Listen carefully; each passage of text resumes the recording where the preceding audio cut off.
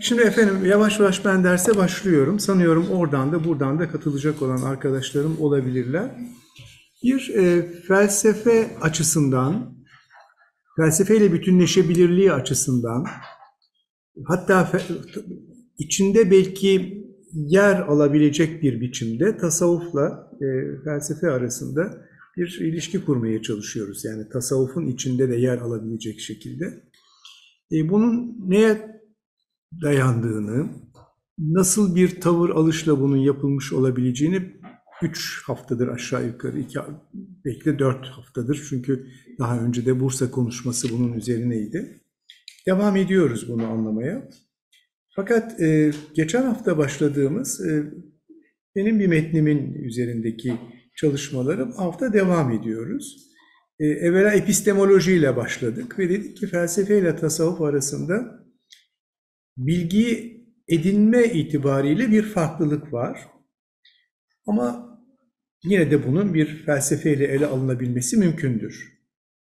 Bu söylediğim şimdi doğru olmakla beraber bir adım daha ileriye giderek tekrar dedik ki ama felsefenin içinde de tam tasavvufun öngörmüş olabileceği gibi, istemiş olabileceği gibi, kendisinin üzerine oturtulabilmiş olabileceği gibi bir biliş tarzı var. Bu nasıl ifade edilebilir? Yani sadece akıl yürütmelere bağlı olarak değil ama bir varlık tecrübesi, bir varlıktalık tecrübesi, bir varoluş tecrübesi olarak keşfi böyle de ifade etmek söz konusu olabilir. Öyle bir farkındalık, öyle bir algılayış ki bu varlığın kendi içinde ceryan eden bir hadise olsun. Ayrıca bir dış dünya tabii ama netice itibariyle bu bir mesafeyi de gerektirse yani öznenin kendine has bir mesafesini de gerektirse bu özneyi de egzistansiyeller gibi ya da mutasavvıflar egzistansiyeller gibi derken egzistansiyeller de mutasavvıflar gibi e, varlığın içinden alıyorlar.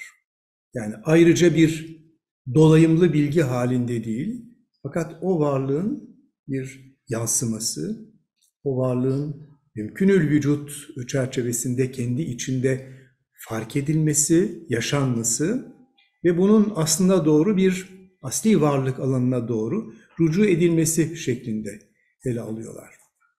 Bu varlık felsefesi veya varlık görüşü, hadi tasavvufa daha yakın bir terimle söyleyeyim, Osmanlıca söyleyeceğim, fazla ileriye gitmeyeceğim, geriye gitmeyeceğim. Vücut felsefesi açısından mevcut ile vücut arasındaki münasebet gibidir. Hatta biraz daha felsefileştirelim. ibn Sina'nın kullandığı terimlerle, Farabi'den gelen bir yaklaşımla tekrar söyleyelim. Vacibül vücutla mümkünül vücut arasındaki bir ilişkidir. Mümkünül vücut olarak kendinizi fark ettiğiniz, içten fark ettiğiniz o yerde, şimdi vacibül vücuda doğru kendinizi bütünleme halini de ayrıca insan olmak bakımından değerlendirebilirsiniz. O zaman varlığın ayrıca varlık üzerine bir düşünceyle dışına çıkılmıyor. Fakat varlık olarak, varlıktalık olarak bunun içindesiniz. Ne fark var? Biri zaten kendinde bir varoluş hali olmak itibariyle yakalayan, kendi aslında yakalayan bir yere sahip. Ayrıca bunun bir delile ihtiyacı yok.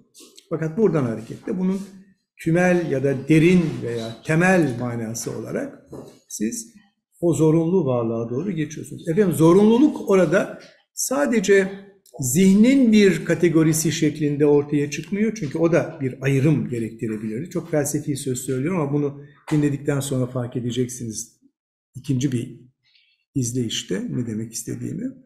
Ama bu zorunluluktan, zihinsel zorunluluktan daha fazla olarak varlığın kendinde oluşla alakalıdır. Ve kendinde oluş zemininde mutlak veya geniş varlık veya temel varlık olarak ele aldığınızda ortaya çıkan bir terim gibi düşünebilirsiniz. İlla düşüncesinden hareketle bunun varoluşuna kendinizi aktarmanız gerekmiyor. Zaten kendiliğinden olarak, kendin deliğinizden itibaren, kendin deliğiniz itibariyle bir varlıktalıksınız ve bu varlıktalığın da varlık anlamında bir dayanağı ve onu çepeçevre kaplayan bir alanı var. Şimdi bunu epistemik olarak da farklılığı kullanırken nasıl bilirimi bu bilişle oluşum bütünleştiği şimdi sıraladım, söylemeye çalıştığım yer itibariyle algılamış olabiliyorsunuz. Burada ıı, karşıt bir örnek sıraya girmek ve kendi üzerinde düşündürtmek durumundadır. Felsefeyle e, böylesi bir imani, vicdani e, yaklaşımın, vicdandan da etik vicdanı anlamıyorum. Temeldeki asıl insanın vecede halinde bulunduğu o yer itibariyle anlıyorum. E, burada e, bilgi teorisi açısından bakıldığında genelde felsefeden anlaşılan o şeyle tarihe bakalım. İbn Sina, Farabi, İbn Rüşd geleneği ve ondan evvel de biraz Aristoteles'ten gelen o veçesiyle ele alış biçimi çerçevesinde ortaya çıkan felsefede evet karşıt olan bir düşünür var. Hayır böyle ele alınmamalı diyen Gazali var. Ee, Gazali sanki felsefeye karşı cephe almış pozisyonda görünüyor. Ama hep şunu söyledik ki, pozisyonları tartışmıyorum kendi aralarında, o felsefenin kendi iç hesaplaşmalarıyla alakalı. Ama Gazali için de söyleyebiliriz ki Gazali'nin felsefe dediği o yer daha rasyonalist bir ele alış tarzıyla alakalıdır. Tabii ki Gazali de biraz evvel egzistansiyeller için söylediğim gibi içten bir kavrayış şeklinde bilginin ancak metafiziğe açık olduğunu ve dini, imani hakikatinde kendisini burada ifade edebileceğini söyleyecek. Diyoruz ki ama biz de şimdi buradan hareketle düşünenler olarak Gazali belki felsefeyi eleştiriyor ama ya da felasifa, ibn Sina, Farabi, ibn Rüşd gibi düşünürlerin o gelenekliliğini eleştiriyor ama bu cepheden baktığımızda, mesela fenomenoloji cephesinden baktığımızda, e, varoluş felsefeleri cephesinden baktığımızda, batıdaki tezahürleri çerçevesinde, e, burada Gazali'yi biz yine felsefenin içinde bir yere, bir etaba, bir merhaleye oturtabiliyoruz.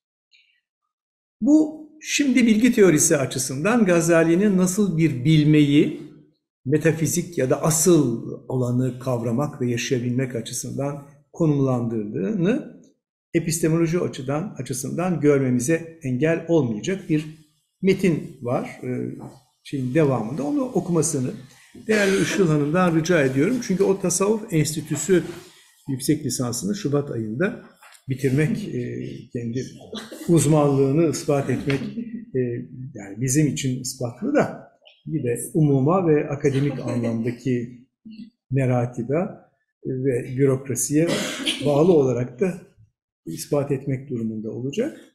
E, o bakımdan o onun işi. Evet buyurun lütfen. Bütün bu söylediklerimiz açısından diye başlayan. Bütün bu söylediklerimiz açısından hem kelamcı, hem filozof, hem de mutasavvıf olarak nitelendirebileceğimiz Gazali'nin görüşleri son derece ilginçtir. Ne kadar bir değil mi? Bir, bir, bir, bir. Neden bir bunu söyledim ben? Çünkü ölüm tarihi olarak 1111. Hepsi bir yere teallük ediyor. Kelamcılığı, felsefeciliği, mutasavvufluğu. Evet. Çünkü ilk defa olarak o tasavvufu mistik tecrübe içinde sınırlı kalan bir bilgi olmanın ötesinde diğer İslam bilimleri bu arada felsefe bakımından da değerlendirilmiş ve yerini göstermiş. Şimdi bu bu çabanın önemli olduğunu artık benim gibi siz de kabul etmeye başladınız mı? Yoksa kabul etmiyor musunuz? Ben hep ediyorum. Bakın ne diyor? Yani biz Gazali'yi felsefenin böyle balta vurucusu olarak anlıyoruz. O Gazali'nin kendisi değil. Yani Gazalicilik ve Gazali'nin tatbikatı olarak oraya ortaya çıkıyor. Ama Gazali ilk defa olarak şunu yapmış. Mistik tecrübe içinde sınırlı kalan bir bilgi değil sadece. Diğer İslam bilimleri bu arada felsefe bakımından da değerlendirilmiş ve yeri gösterilmiş olan bir bilgi halinde tasavvuftan bahsediyor. Bunun önemli olduğunu düşünüyorum. Yani bu çaba biraz da Bu gösterdiğimiz çaba biraz bunlarla alakalı. Yani onu bir tarafa atıp da aa o ne derse kendinden de menkul olsa aa demek ki tasavvufi değeri var falan falan gibi.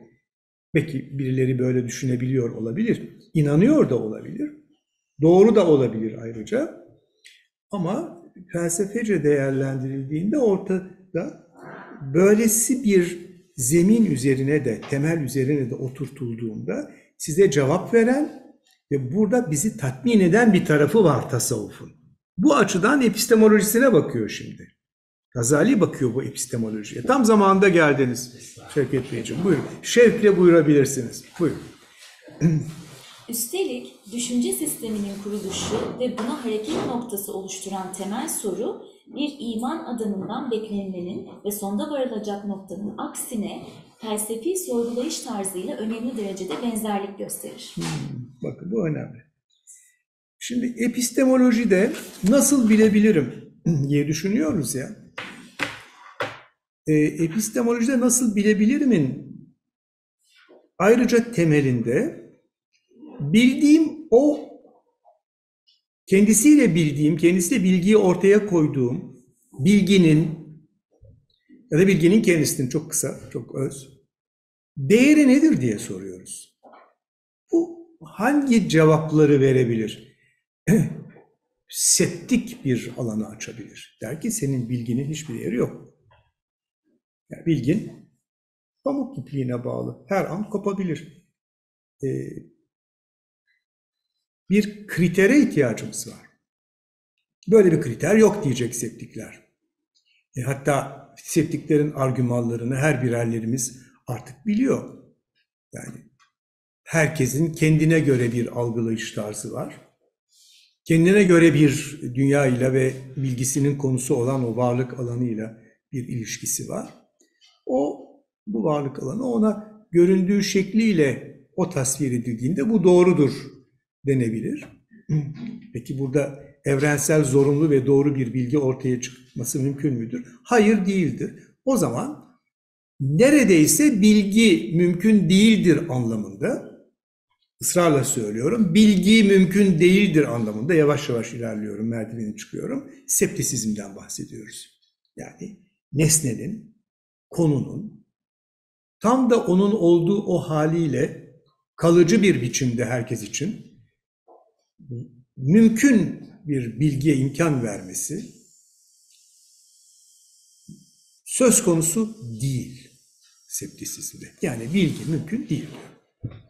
o zaman e, septisizmi bu bilginin değeri problemi çerçevesinde atalım.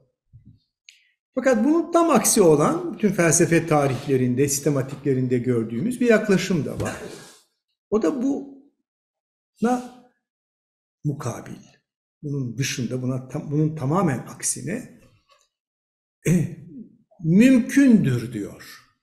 Buna da dogmatik görüş diyoruz. Yani bizim anladığımız manadaki dogmatik görüş değil.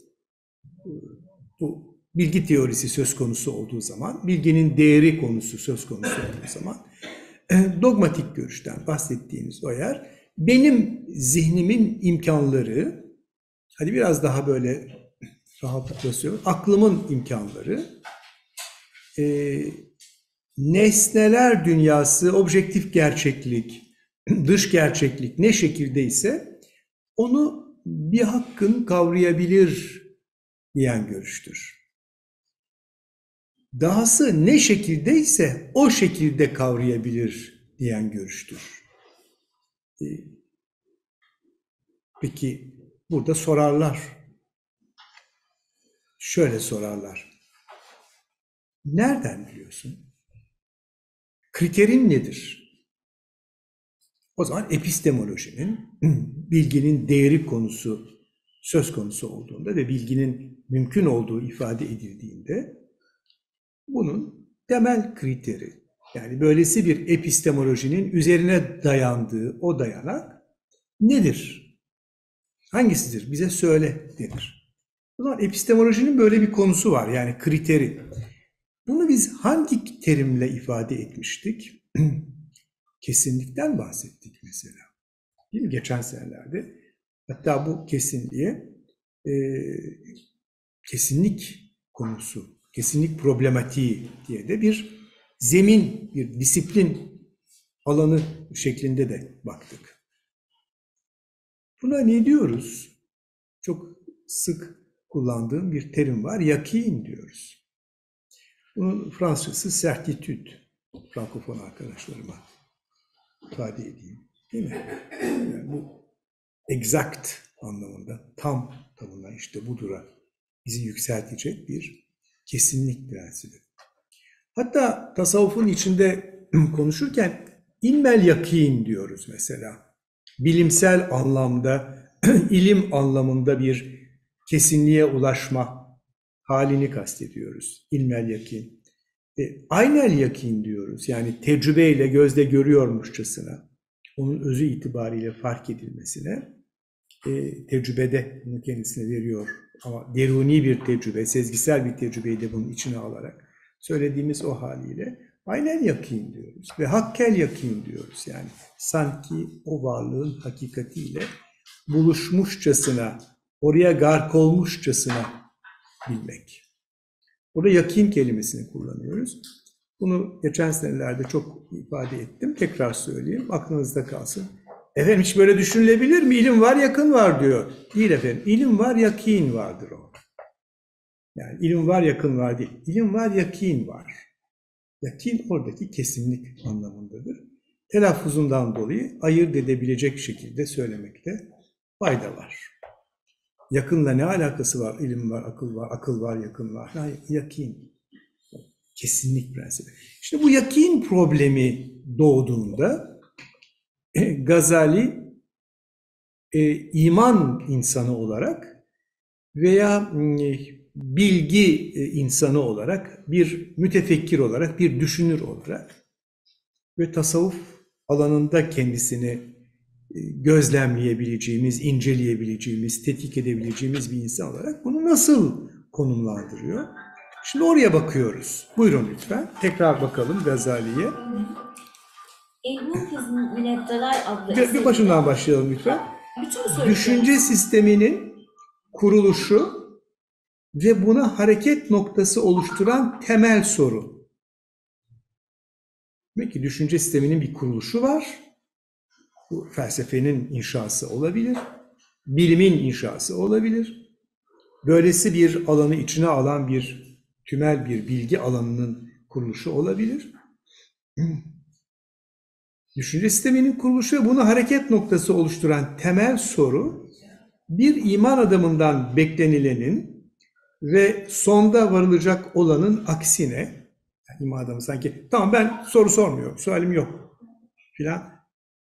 Bundan aksine sorunun sorulmasına izin verecek, sorunun sorulmasını bekleyecek ve hep tekrar ettiğim gibi içinde muhtemel böylesi bir sorunun bulunacağı bir önermeyi ifade edecek şekilde konumlanıyor. İsterseniz biraz bekleyelim sonra devam edeyim. E, felsefenin de şeyini kapatamıyorsunuz. O da bile konuşacak. Tekrar söylüyorum. Yani diyoruz ya vardığınız her kademede bunu değerlendirmeye, sınamaya alacak, sağlamasını yapacak bir temel problematiği veya temel soruyu hep barındırın.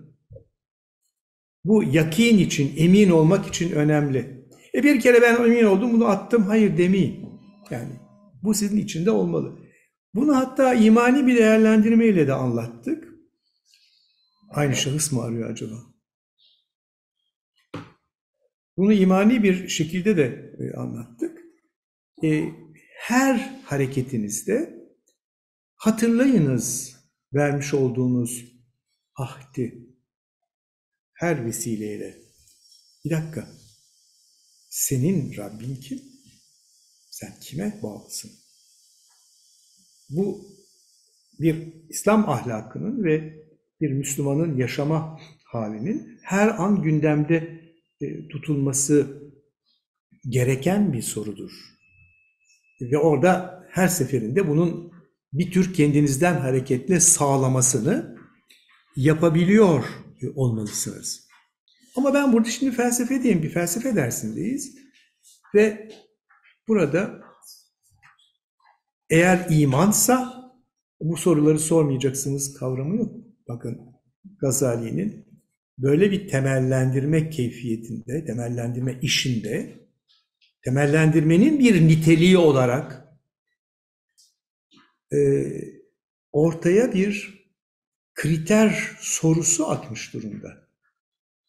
Biz hep felsefeyi böyle yok etti diye düşünüyoruz Gazali. Tam tersine bunun üzerinden düşünüyor. Nitekim onun önemli eseri El Minkız Mined Delal. Yani şüphenin demek ki bir metodik olarak tıpkı Descartes'te olduğu gibi kullanılmış olduğunu ona gösteriyor. Hatta konuyu varlıktalıktan hareketle düşünmüyor. O daha bir kolay. Yani biraz geçen hafta bahsettiğim o ontolojinin içinde olarak bundan emin olmadan bahsediyorduk.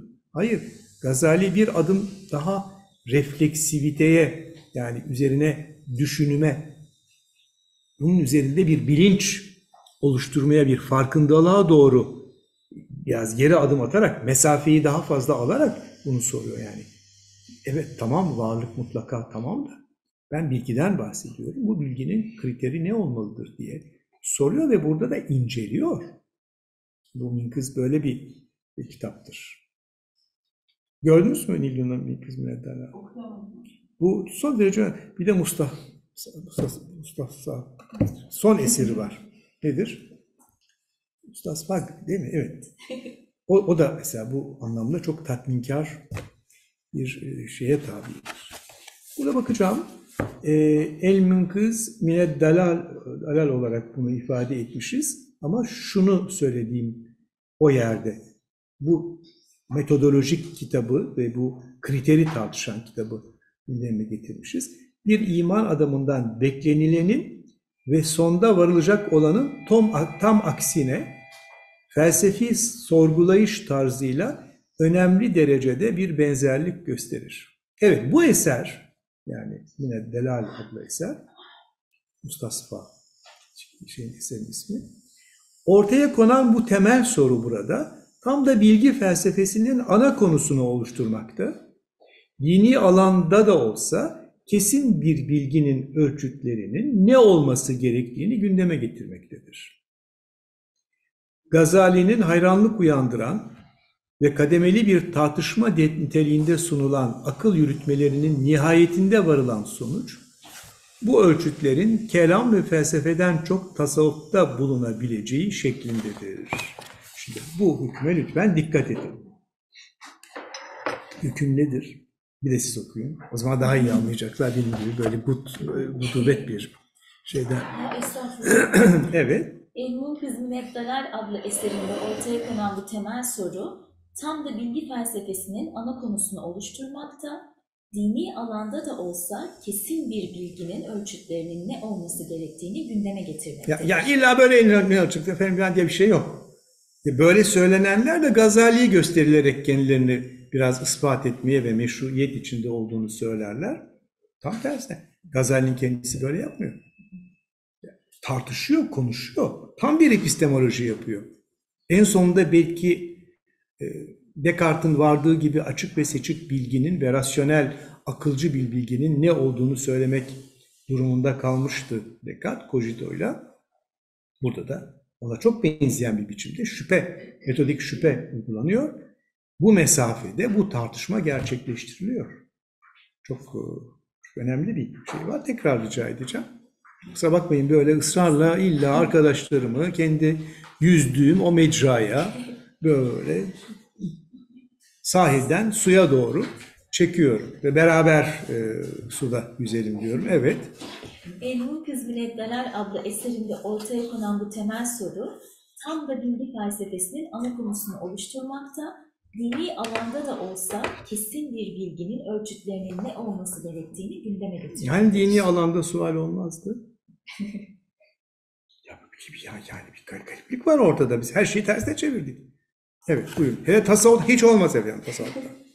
Hiç olmaz. Böyle bir şey olabilir. Tatmin.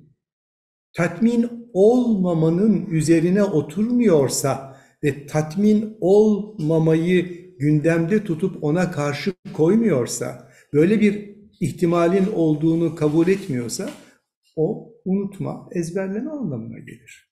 Asli konuyu gündemde tutma anlamına gelmez. Evet. Gazali'nin hayranlık uyandıran ve kademeli bir tartışma niteliğinde sunulan akıl yürütmelerinin nihayetinde varılan sonuç bu ölçütlerin kelam ve felsefeden çok tasavvufta bulunabileceği şeklindedir. Aa, enteresan. Size enteresan gelmiyor mu değerli kurmay başkanımız? Çok enteresan geliyor. Allah'tan ki Fahrettin Hoca girmedi içeriye. Size enteresan gelmiyor mu bilmiyorum. Yani böyle bir durum. Ben yani ben İbn Sina'yı Farabi'yi çok seviyorum. E, tamam Gazaliciliği suçluyoruz ama Gazali'yi suçlamıyoruz. E, ve burada Gazali'nin hiç de bu problemleri görmezlikten geldiğini illa ezberleyeceksin yahu. Eğer tabanca burada ezberlemezsen, ezbere konuşmazsan e, bu tabancayı ben de kullanırım. Yani dediği falan yok ama bunu temellendirin ve bu temellendirmenin asli yerinin de tasavvufi alan olduğunu söyleyen bir tarafı var. Peki ne demekmiş o asli olması? Tasavvuf bu sualleri sormaz anlamında değil. Tam tersine. Ama asıl tatmin edici kriter alanının burada ortaya çıkmış olabileceğini söylüyor. Neden acaba? Buyurun. Adeta matematiğinkini andıran böyle bir kesini Hem de matematiği. Hiç aklınıza gelmedi değil mi? Ee, Hande Hanım matematikle. Hem de matematiğinkini andıran diyorum ama matematik demiyorum. Çünkü sezgisel vasıtasız bir temel bulmakla işe başlıyor. Descartes de böyledir. Evet. Bahsedilmiş ilahi doğruların akıl yoluyla onaylanması biçiminde değil, kişinin kendi içsel varlığı ile söz konusu doğruları birlikte keşfetmesi demek olan dinsel ve bireysel bir tecrübeyi oluşturabilmesiyle sağlanacaktır. evet. He devam edin lütfen. Devam edin. Ha, öyle söyleniyor dedikodusu değildir ilim. Atalarınız böyle söylüyor diye değildir. Yani tam tersine çeviriyoruz. Yani tam İslamiyet'in yaşandığı hali tersine çeviriyoruz. Epistemik tatmin olması lazım. Epistemik sual tatmin olabilmesi için o sualin gündemde tutulabilmesi lazım. Hani hicran ile karışık vuslat diyoruz ya, sual ile karışık cevap. Öyle bir şey var. Oradaki tatmin acaba bir şeyle mi karşılaştım ki o zaman kesin emin bir alanı her şeye rağmen tamam işte bu demiş oluyorsunuz. Üstesinden. Neyle üstesinden gelir? Descartes'te bu e, akıl e, yürütmeler açık ve seçik fikirdir. Evet ama burada e, insanın varoluşsal anlamda kendisiyle buluşta, bulduğu yer yani kalp noktayı nazarından, gönül noktayı nazarından bir zevk dediği bir bilme hali olarak, tadarak bilme hali olarak bunun kesinliği var. Hem bunun objektif e, bir gerçek, objektif gerçekliği sağlayan o şeyleri tekrar düşünmeye devam ediniz.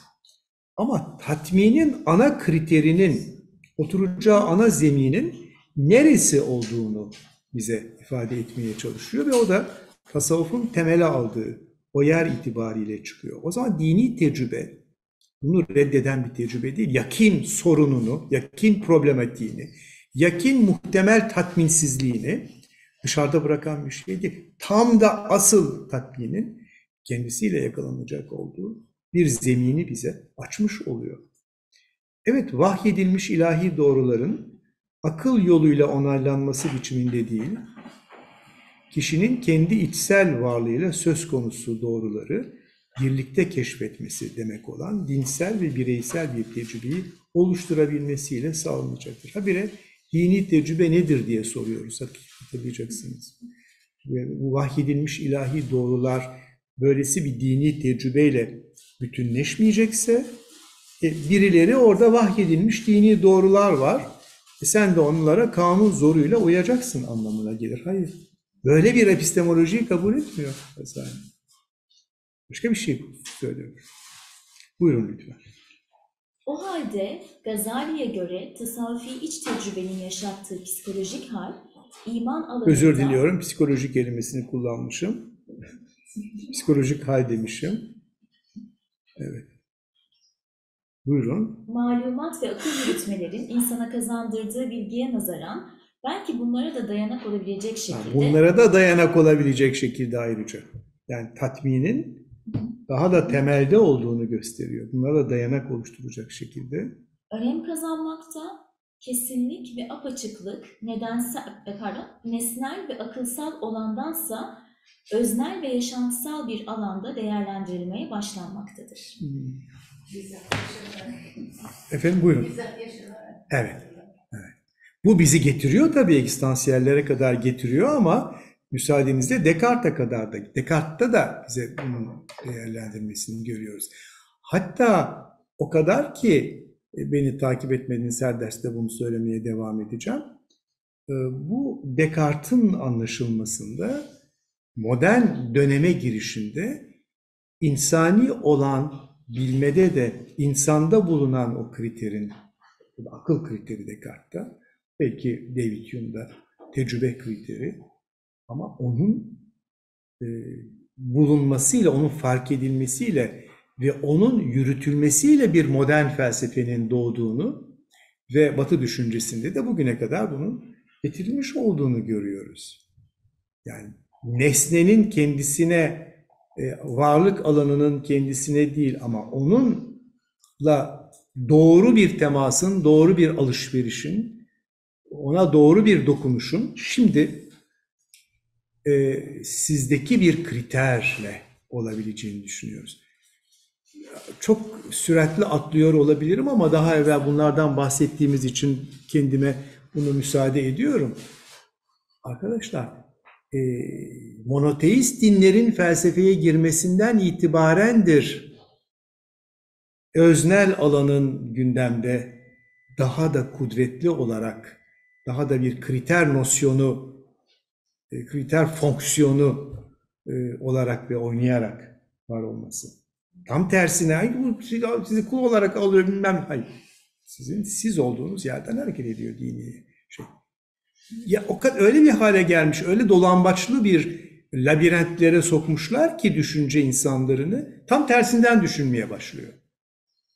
Ya bunun bir temel kriter olarak sizin siz olduğunuz yerde sizin bir e, içsel kriter e, anlamında içsel bir tatmine e, dayanarak bunu vermeniz lazım. Onun için epistemik problem önemli, epistemik kriter problemi önemli, kesinlik ya da yakin problemi son derece önemli. Burada buna bir cevap verilmesi lazım. Bu tabi indilik anlamında ifade edilmeyecek e, sofistlerde olduğu gibi bu dayanacak. E, matematikte dayanıyor işte matematikte böyle bir şey. İnsan zihninde olan güvendir o ve bu zihinsel olarak fark ettiğim bu matematiği aynı zamanda evreni yazan o dil olduğunu da değil mi Leibniz söylüyor. O da bir e, rasyonalist düşünürdür. Evren matematik dille yazılmıştır. Yani matematiğin içinden matematiğin sağlamış olduğu garantili bilgiden itibaren zihin kendisinin de ötesinde doğru bir e, alanda hüküm sahibi olabilir. Astrofiziği nasıl yapardınız başka türlü olsaydı? Yani eğer Aristoteles seviyesinde kalırdınız, lütfen biraz da bir şeyler söyleyelim Aristoteles'e. Ee, sadece bir gözlem yapardınız. Yani tasvire e, size gelmiş, e, anlamışsınız. Sadece bir gözlem içinden kalırdınız, bir observasyon üzerinde e, kalırdınız. E, sınıflandırmalar yapardınız. Belki bir metafizik alan üzerinde akli bir değerlendirmelere de giderdiniz ama e, matematik kullanılmaya başlandığı andan itibaren siz aşan bir varlık alanını, buyurun lütfen, sizi aşan bir varlık alanı hakkında bir sağlam bilgi kriteri e, elde etmiş oluyorsunuz. Bu Platon aynı zamanda onu söyleyeyim de çok fazla da e, size e, sıkıntı vermiş olmayayım ama Descartes seviyesinde söyleyelim. Şimdi bunun da temelinde olabilecek olan bu sübjektif, öznelmiş gibi görünen bir sağlam temel arayışını şüpheyi bertaraf etmek için nasıl ileri sürdüğünü ve bunun da manevi anlamda veya metafizik anlamda, imani hakikatler anlamında size nasıl bir sağlam kriter olacağını gösteriyor. Bu epistemoloji probleminin gündemde olduğunu gösteriyor tasavvufta. Hatta epistemik olarak da Gazali'ye bakarak asli hakikat zemininin, yakinin, asli kaidesinin, dayanacağı o kaidenin böyle bir gönül bilgisi olduğunu söylüyor. Bu enteresan değil mi? Bunun enteresan olduğunu düşünüyorum. E bu niye enteresan? Çünkü biz eğer fenomenolojiyle veya ekstans felsefesiyle filan meşgulsek bu çok fazla uzakta bir yerde değil. Evet çok çok güncel bir şey. Sizin siz olduğunuz o hakikatin içinden. Ama bunu bir indilik alanı herkes kendine göredir canım. O ne isterse odur. Zevkler ve renkler e, nasıl e, muhakeme edilip de hangisinin daha geçerli, hangisinin geçersiz olduğunu söylemek söz konusu olduğu gibi bütün indilikler ne olsa gider anlamında e, sö- söyleyeceğim de söylemek istemiyorum. Post diyektikleri bir yer var ya e, postmodern de. E, hayır bu o değil. Yani sizin siz hakikate muhatapsınız hakikatin hakikat olduğu o yerin sizce fark edilmesi adına da kriter sizdedir. Bu vahiy de olabilir ama vahiy gönüllere doğuyor. İman gönüllerde kendini açıyor. Ha böyleymiş. Hani şimdi anladım. Bizim toplum da zaten bunu böyle söylüyordu. Bizim banka bunu böyle öngörüyor. Anayasada bu böyledir filan değil. Hayır. Sizin siz olduğunuz yer itibariyle böyle bir cevap kriterine, cevap kriter zeminine, merkezine e, ihtiyaç var. Çok yoruyorum sizi kusura bakmayın.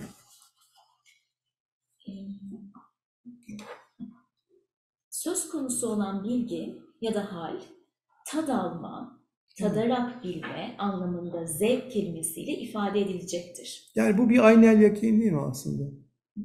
Hakkellik olmaz. Aynel yakin. E, ha- hakkel yakin o hakikatten kendisini ayırt edememe halidir. Ve bilgi olduğu zaman siz oraya nazaran bir şey- bilginin içindesiniz. Evet. Şüphesiz ki bu 12. yüzyıl düşünürünün vurguladığı tarzdaki bir içsel tecrübe ilk defa gündeme getiriliyor değildir. Ama buradaki yenilik bunun felsefe ve din bilimlerinin genel yapılanması içindeki yerinin gösteriliyor olması ve daha ileriki yüzyıllarda üzerinde çok durulacak öznel tabanlı kesinlik kriterinin tasavvuf kanalıyla da ortaya çıkarılmasıdır. Aynı şey akıl iman farklılığının sistematik bir biçimde yerini alması bakımından da önemlidir. Bu yolla dini olan, akla dayanan bir metafizik, rasyonel metafizik ve nesnel olgu referanslı bir bilim anlayışı karşısında kendi yerini belirleyebilecek ve onu koruyabilecektir. Evet. Şimdi dikkat edersiniz burada önemli bir söylenen bir şey var. Acaba arkadaşlarım bunun önemine ikna oldular mı? Dini alan hangi alandır? Bütün bir geçen sene bunu gündeme getirdik. Yani peki dini tecrübe nedir? Dini alan siyasi bir tecrübe midir? Hayır. Yani işte sadece epistemik seviyede kalan akıl yürütmelere bağlı kalarak hayır, dini tecrübe. Neredir, nerededir bunun yakini şeyse? Orada bu alanın bir problem alanı olarak bir konu olarak bir düşünülmesi gereken, üzerinde durulması gereken bir felsefe temaları, disiplini olarak Gazali'de bunun ortaya çıktığını görüyoruz. Önemli söylüyorum, Gazali bunun farkında olmayan değil, tam manasıyla daha da net olarak, daha da temel olarak farkında olduğunu oluşturmak durumunda olan insandır. Evet, Hocam bir şey diyebilir miyim? tabii de bakalım. E, Gazali diyor ki e, bir insan fakih olabilir. mütekellim olabilir, muhaddis olabilir. Bu onun dini bilgiye vakıf olduğu anlamına gelmiyor. Ha, dini tecrübeye dayalı bilgi anlamında. Evet çünkü dini bilgi dediği İmani bir tecrübe. imani bir bilgi yani insanın sadece e, ihsan düzeyinde yaşadığı e, ve gerçekten Müslüman yani Müslüman olduğu ama Müslümanlığı da ihsan düzeyinde yaşadığı an elde edeceği bilgiye e, gerçekten dini bilgi diyor. Bu anlamda da insanı ortaya çıkardığı için sanki yani burasıyla da uyuşuyor ve çok kıymetli geliyor bana. Çok, çok Yani kıymetli. direkt insan var. İnsan kıymetli. yoksa yok. E, Evet yani e, bütün muhatabiyet insana yani Kur'an-ı Kerim allemel beyan değil mi? Hı hı. İnsan beyan edilen. İnsan insana ve Kur'an-ı Kerim ikra olması adına Kur'an-ı Kerim. Ya okunabilmesi adına Kur'an-ı Kerim. Okumaktan kastım şu değil. Yani fark et, farkında ol. Kim sen olacak? Ya o bakımdan hani böyle sivrilip de e,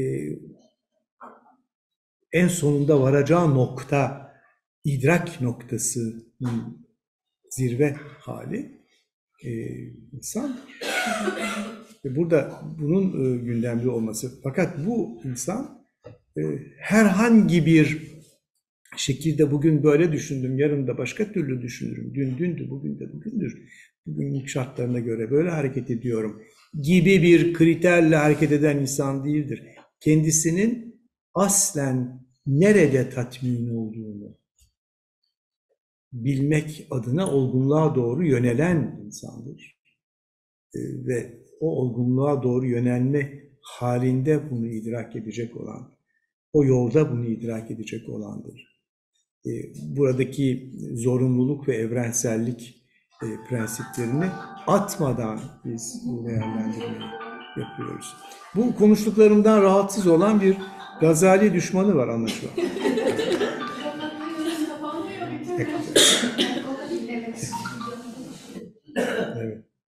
Hocam bir şey sorabilir miyim? Tabii.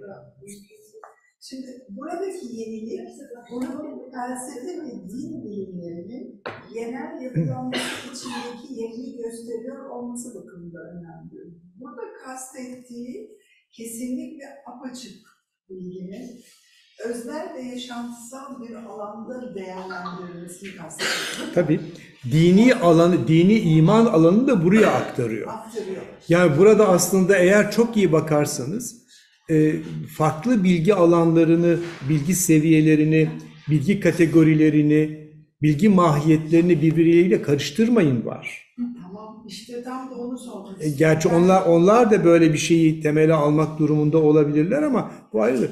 E, burada eğer çok dikkat ederseniz e, tür dini değil layık bir okuma da var.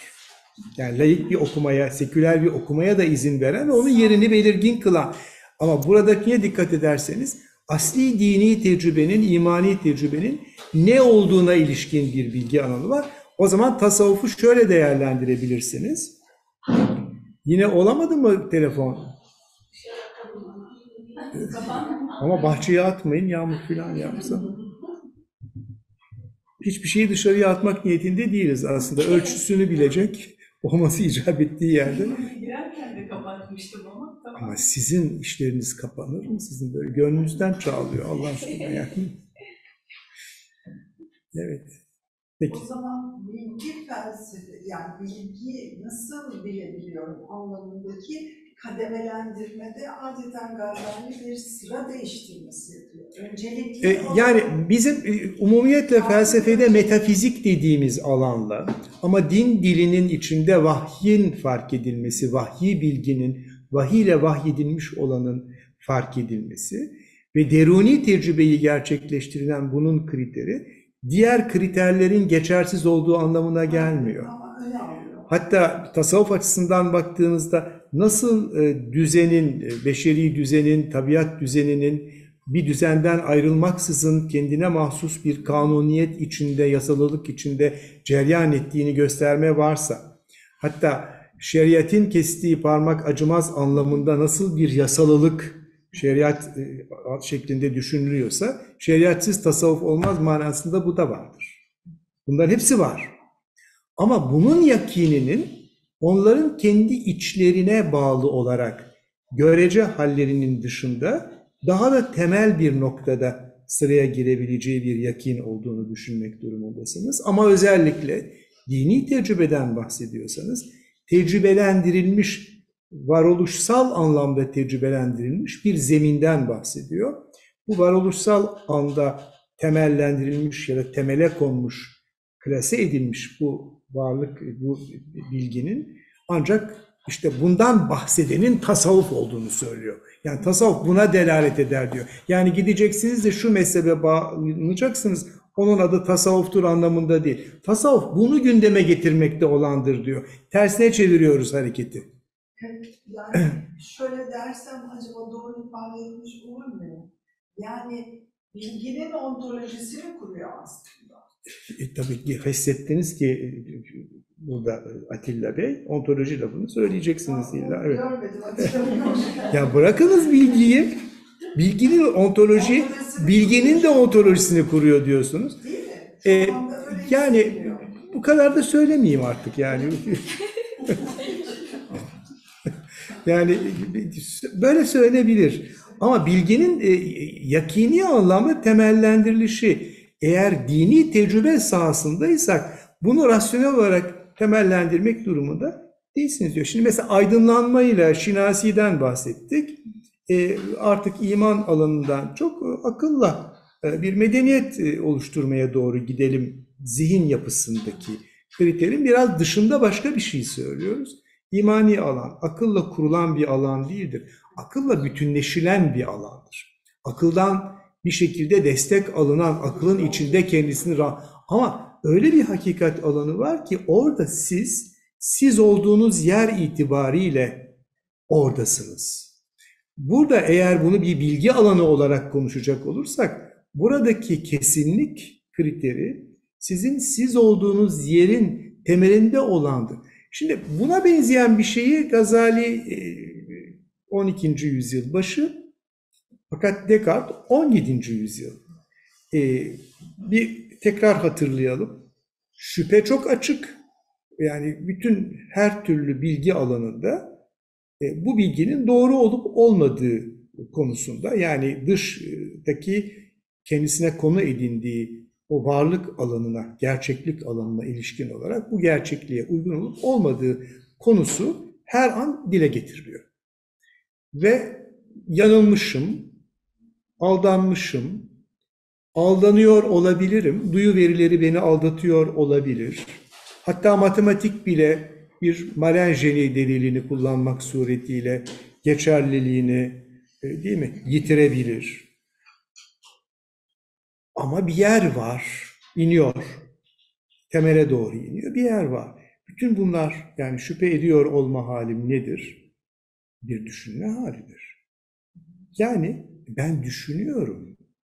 Yani sen bir düşünüyor olmakta oluş halisin. Hem de hem de bunun e, bir birinci tekil şahıs ve şimdiki zaman olma niteliği var. Ne zaman nitelik dersem keyfiyetten tercüme ediyorum arkadaşlar kusura bakmayın. Çünkü keyfiyeti keyfilik olarak anlayanlar var. Sınav kağıtlarında böyle şeyler geldi sizin evet. Keyfiyetle keyfiliği ya indilikle nitelendirmeyi niteliği e, karıştırmış olanlar var. Onun için ne zaman aklıma bunu böyle bir keyfiyettir diyeceğim. Hepsi böyle bir nitelik sahibi, böyle bir nitelendirilebilir falan diyorum. O bakımdan işte böyle inmek suretiyle en temel e, alanda bunun böylesi bir tecrübeye dayandığını söylüyoruz. Buradan hareketle eğer bakacak olursanız e, böylesi bilimsel anlamda metafizik yaptığınız zaman aynı zamanda bütün bir bilgi alanını da tekrardan temellendirilmiş olduğunuz açık. Yani bu kendini ayrı ve aşkın bir alanda ortaya koyuyor olabilir. Ama bununla bir bilgi tümel, genel, metafiziğini de oluşturmuş, bir değerlendirmesini de yapmış oluyorsunuz. Aynı şey Descartes'te de vardır. Yani Descartes, e, cogito ile, yani düşünüyor, ben bir düşünüyorum hali olarak birinci tekil şahıs, e, şimdiki zaman olarak, e, kendinde bulduğu kendinden hareketle yakaladığı bir yakinden yola çıkıyor. Ama bu aynı zamanda bütün bir bilgi alanını yani rasyonel anlamda kurgulayacağı bir bilgi alanını içine matematiğin de girdiği, analitik e, geometrinin de girdiği bir rasyonel bilgi alanını oluşturmuş oluyor. Şimdi lütfen beni böyle karıştırıp da "Aa, dinsel olduğunu mu söyledin, sen layık değilsin gibi böyle din, tanrı girdi, ahlak girdi bilmem ne falan falan gibi laflar söylerseniz artık 17 seneyi helal etmeyeceğim. 16 seneyi hani helal etmeyeceğim. Yani Tanrı girdi, Tanrı çıktı filan gibi şeyleri artık dinleyecek dinleyecek halde değilim. Yani artık bir- biraz da bunu biraz derinleştirelim. Matematikten bahsediyor. Matematiğin ne demek olduğu anlaşılmamış oluyor. filan. Böyle bir şey. Yani burada bir bilgi metafiziği, bilgi te- metafizik temeli de var. Aynı şey Descartes'ta da var. Ve bu Descartes'ta bu temel bir metodoloji yapma ve bilimleri tekrar konumlandırma, hatta Kant'a doğru, Spinoza'ya doğru, Leibniz'e doğru ahlakı tekrardan temellendirmeye doğru götürüyor. Yani bilimsel olandan ayırmıyor ama temelde böyle bir kriter nosyonu var. Epistemolojinin içindeyiz evet, ontolojinin değil, epistemolojinin içindeyiz. Neden? Çünkü soru bilgimin değeri nedir sorusudur. Yakinin var mı? Bir kesinlik, temel prensibi var mı sorusudur. Evet, buyurun lütfen. Gazali'nin bu görüşüyle tasavvufun akıl ve içsel tecrübeyi kendine has bir biçimde kademelendiren klasik anlayışı arasında yakın bir ilginin bulunduğu açıktır. Buna göre İslam düşüncesinde en temel prensip konumunda olan Tanrı'nın birliği inancı, onu fark edebilme ve yaşayabilme anlamında başlıca üç seviyede değerlendirilebilmektedir. Bir ilk seviyede bu, Yani bakın e, bir şey söylüyor. Buna göre İslam düşüncesinin en temel prensip konumunda olan Tanrı'nın birliği inancı. Nedir bu? La ilahe illahu, Allahu la ilahe illahu. Değil mi? Ayet-el Kürsi'den başlıyoruz yani. Buradan başlıyoruz. Yani de ki o tektir. Ee, La ilahe illallah dediğimiz zaman yani nedir İslamiyet? Bu bunun bu, bu, bu ifadenin hakkının bu hükmün hakkının kişi olarak verilmesidir. Şimdi bunun e, tasavvuf düşüncesi de bunu temele alır. Yani bu tarz bir yaklaşımı temele alıyor ama biz genelde de söylesek aynı şey gelecek. Tanrı'nın birliği inancıdır. Yani haşa, hocam beş olsa ne olacak diye ne mahsur var sizin için? Yani beş olsa ne olacak? Ne, ne, ne mahsur var yani? Soruyor size karşınızdaki muhatap. Genç bir arkadaş veya e, bunu da düşünmek isteyen, konuşmak isteyen bir arkadaş soruyor. Hatta e, Ebru bile soruyor. Yani beş olsa ne mahsur var? Lütfen.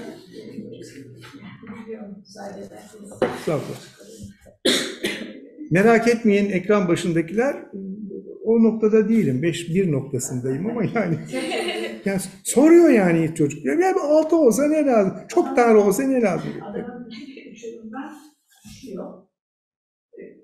Biraz dar, dar, Laz diye geçiyor burada.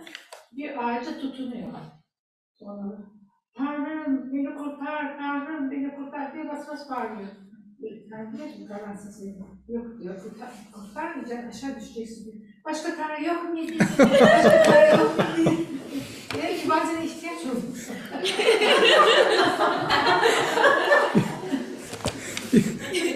Bir yedeğine ihtiyaç var.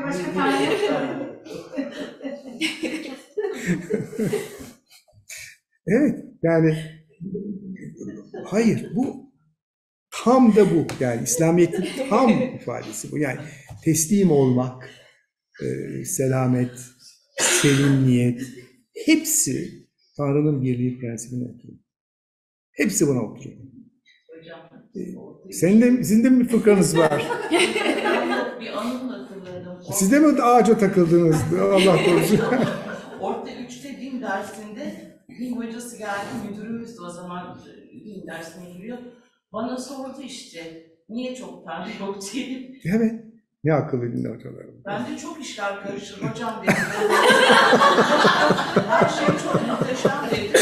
Çok tanrı Şimdi ö-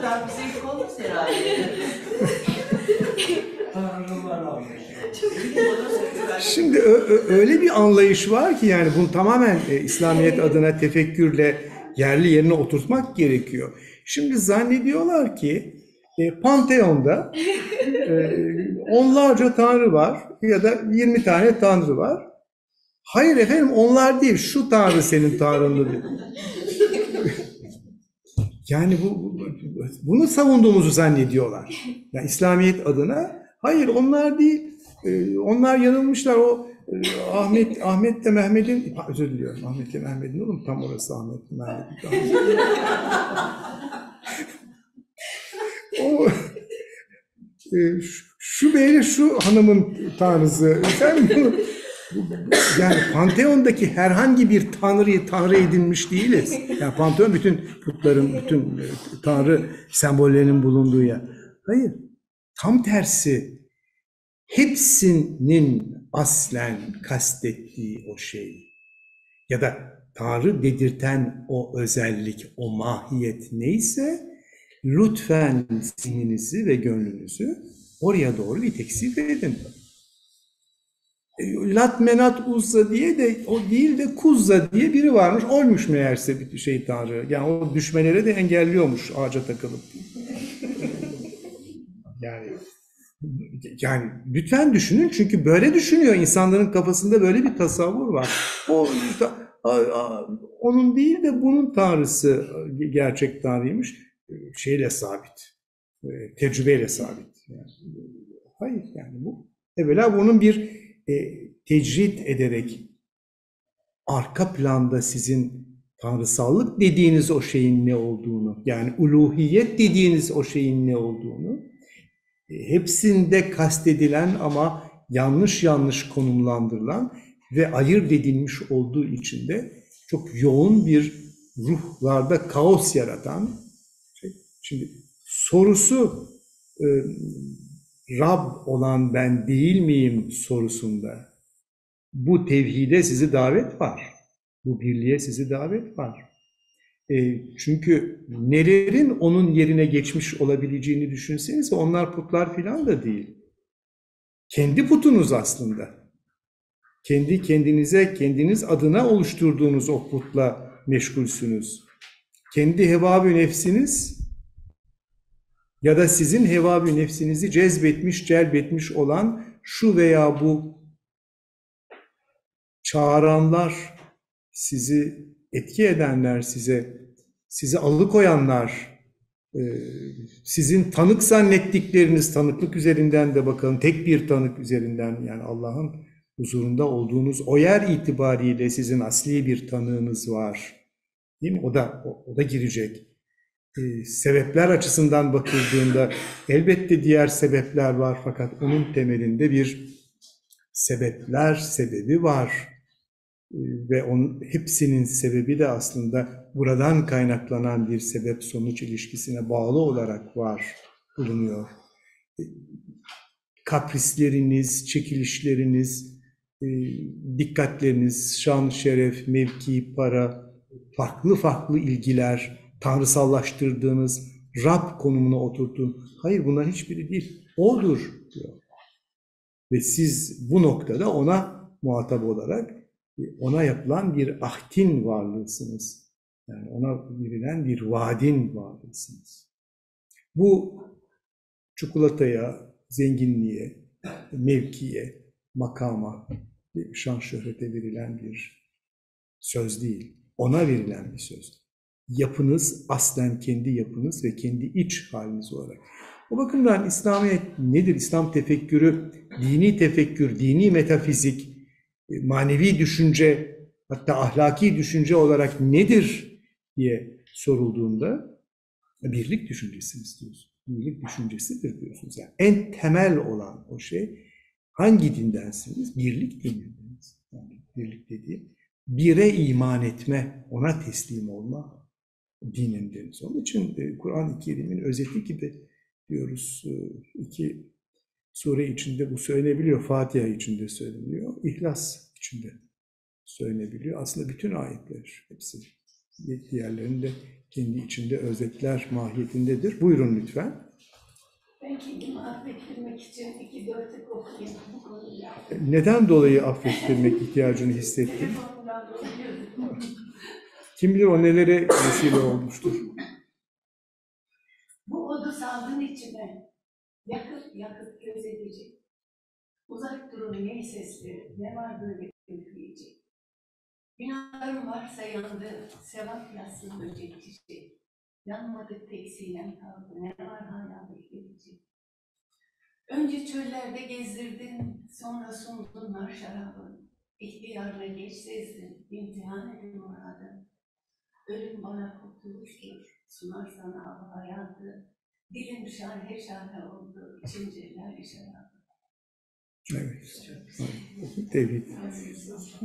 Yani hafif bir serzeniş e, varmış gibi ama hafif böyle bir yani sana da ne oluyor beni bu hale getirdin varken tam da oradan hop şey içerisine dönülüyor.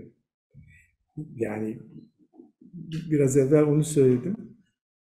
E, en e, anlamlı e, birle yapılan hüküm cümlesi hayır ifadesi birden biredir. Yani bir dakika siz başka bir şey anladınız birden bireden. Yani lahzada oldu anlamını anladınız. Hayır. Bütün bir kainat, bütün bir yaratılış bir kavramını kullanarak yapalım. Birden bire oluşmaktır. Ne kadar basite irca ediyoruz. Fakat o basitin o zaman dilimi ya da dilimsizliğini ifade eden o deyim aslen tam da zamanın ne olduğunu bize ifade eder. Birdenbire mi dediniz? E, onun dışında bir şey yok ki. Yani birden bire. Evet şimdi tekrar bunu söyleyeceğiz. Buyurun. Demek ki bu, bu manada işte hangi put beş olsa ne olacak filan meselesi buraya geldiği zaman bütün sözler, bütün görüntüler, bütün zuhurlar susuyor. El an kemakanın şimdi yaratılış sahnesinden çıkıp yaratan sahnesine nasıl rücu edeceği idrak ediyor şunu. Buyurun. efendim. Bir ilk seviyede bu, Neymiş tekrar tekrar. Ta- e, Tanrı'nın birliği ne inancı, kadar sabırsız bir Işıl Hanım var. Tanrı'nın birliği inancı, ay çok özür dilerim ben kendi çizdiğim yerden başladım. En temel prensip konumunda olan Buna göre İslam düşüncesinde en temel prensip konumunda olan Tanrı'nın birliği inancı, onu fark edebilme ve yaşayabilme anlamında başlıca üç seviyede değerlendirilebilmektedir. Bir ilk seviyede bu, inanan genel bir kitlenin dini emir ve yasakları öğrenip onlara titizlikle uyması anlamındadır ki henüz inanılan bu birlik prensibi zihni bir tefekküre, derin düşünceye ve ruhi bir mana, manalandırmaya, anlamlandırmaya konu olmamıştır. Burada dışsal bir kayıt altına girmenin gerektirdiği bir yaptırım, Tanrı'dan çok onun vereceği cezalardan bir korku, ödüller için bir ümit söz konusudur. İkinci seviye, birlik prensibinin düşünce ve bilim prensipleri tarafından tanınmasıdır ki, burada bütün bir yaratılmışlar alanının temelinde yatan tanrısal bilgelik ve adalet, neden-sonuç ilişkilerinin ortaya koyduğu bir açıklama çabası çerçevesinde kanıtlanacak ve bu da her türlü kanıtlamanın dayanağı konumundaki özdeşlik prensibinin de zorunluluk yoluyla gösterdiği gibi kendisini en temel birlik durumunda olan tanrısal birliğe doğru aşacaktır. Tasavvuf, Evet, burada ne var sizce? Evet, tanrısal bilgelik, adalet, neden sonuç ilişkilerinin ortaya koyduğu açıklama çabaları çerçevesinde kanıtlanacak başka bir alana doğru gösteriyor. Bir tür metafiziğe doğru gidiyoruz. Bu da her türlü kanıtlamanın dayanağı konumundaki özdeşlik yani ne ise o olma. Özdeşlik mantıki anlamda düşündüğümüzde e, evet prensibinin de özdeşlik prensibinin de zorunluluk yoluyla gösterdiği gibi kendisini en temel birlik konumunda olan tanrısal birliğe doğru aşacaktır. Yani özdeşlik prensibinin net olarak kullanılacağı, hatta bu noktada onun dahi bir şekilde aşılanabilmiş olacağını düşündüğümüz bir alana girmiş oluyoruz. Tanrısal birliğe doğru aşacaktır.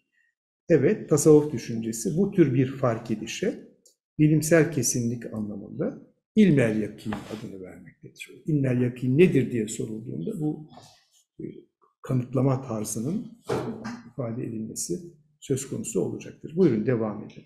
Kelamcıların ve filozoflarınki diye nitelendirilen böyle dışsal bir yaklaşımın sadece akılsal ölçütlere bağlı kalınarak gerçekleştiriliyor olması bu tasavvufları tatmin etmemekte ve onların marifet denen ve birlik prensibinin kişisel anlamda bizzat yaşanarak anlaşılması demek olan aynel yakin, gözle görüyormuşçasına kesinlik seviyesini aramaya sevk etmektedir. Aynı seviyenin bir ileri merhalesinde ise hakkel yakin, tam olarak hakikatiyle bilmeye ulaşılması arzulanmaktadır. Böyle bir seviyede akıl düzeyi reddedilmeksizin aşılmakta Yani aynel yakin seviyesinden bahsediyoruz şimdi. Öbür taraftan çünkü bahsetmek hakkını kendimde bulmam.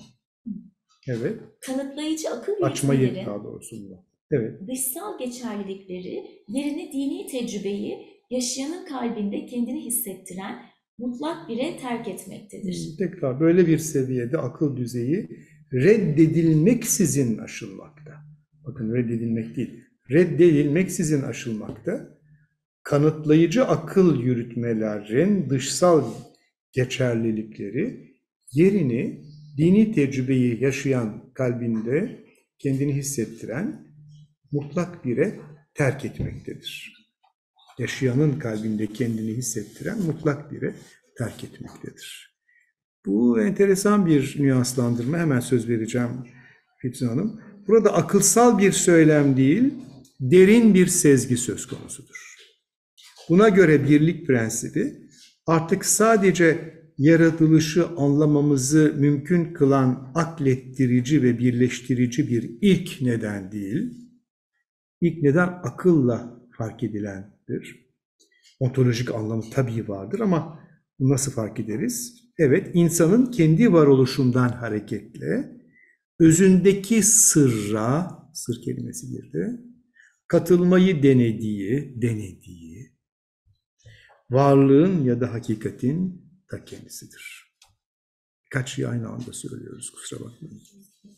Tekrar okuyacağım. Buna göre birlik prensibi artık sadece yaratılışı anlamamızı mümkün kılan aklettirici ve birleştirici bir ilk neden değil, insanın kendi varoluşundan hareketle döndük insana, varlığına, onun kendi özündeki sırra, sırrı buldu demiyorum, sırra katılmak diyorum dikkat edin.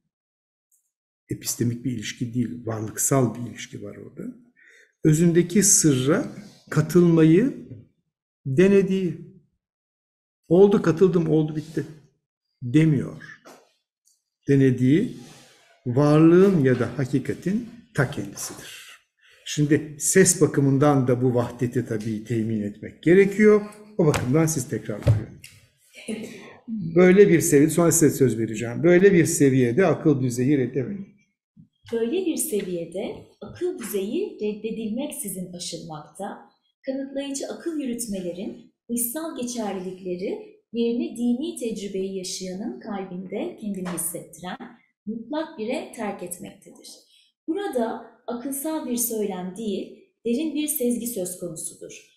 Buna göre birlik prensibi artık sadece yaratılışı anlamamızı mümkün kılan aklettirici ve birleştirici bir ilk neden değil, insanın kendi varoluşundan hareketle özündeki sırra katılmayı denediği varlığın ya da hakikatin ta kendisidir. Evet. Buyurun lütfen.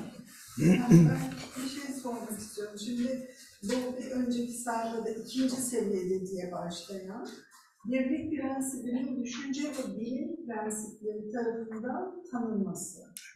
O zaman zemini zaten burada belirlemiş oluyor. Ya mantıksallık, yani matematiğin kullandığı, mantığın kullandığı biliyorsunuz e, en temel zemin yani akıl yürütmenin veya aklın e, akıl ilkeleri olarak en temel zemini e, özdeşlikten bahsetmek. Temel dayanaktan bahsediyoruz. Evet, Şimdi diyor ki burada bütün bir yaratılmışlar alanının temelinde yatan tanrısal bilgelik ve adalet tam da son paragraftaki geçişte yani epistemik açıklamanın, epistemik sistema, sistematikten varoluşsal sistematiğe bir geçiş yapıyor burada.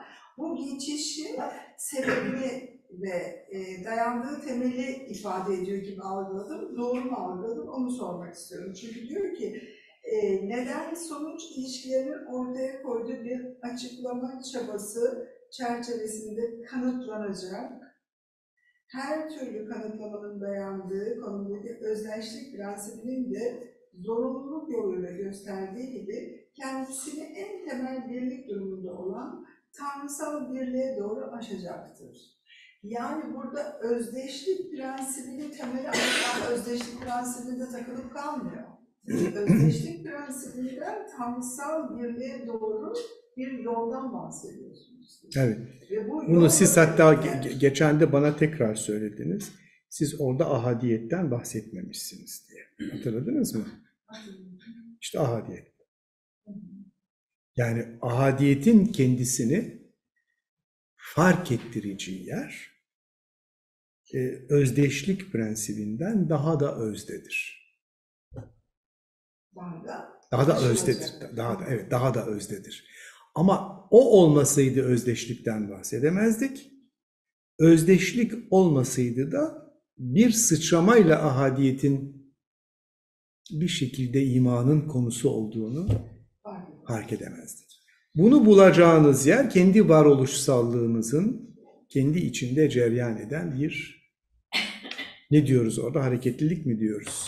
Onu tekrar bakıyorum. Kendi içinde, kendi için bu bir sırsa ahadiyetin sırrı sır olarak sizi rasyonel bir dile aktarmaksızın sizde size o sırdan haberdar ediyor.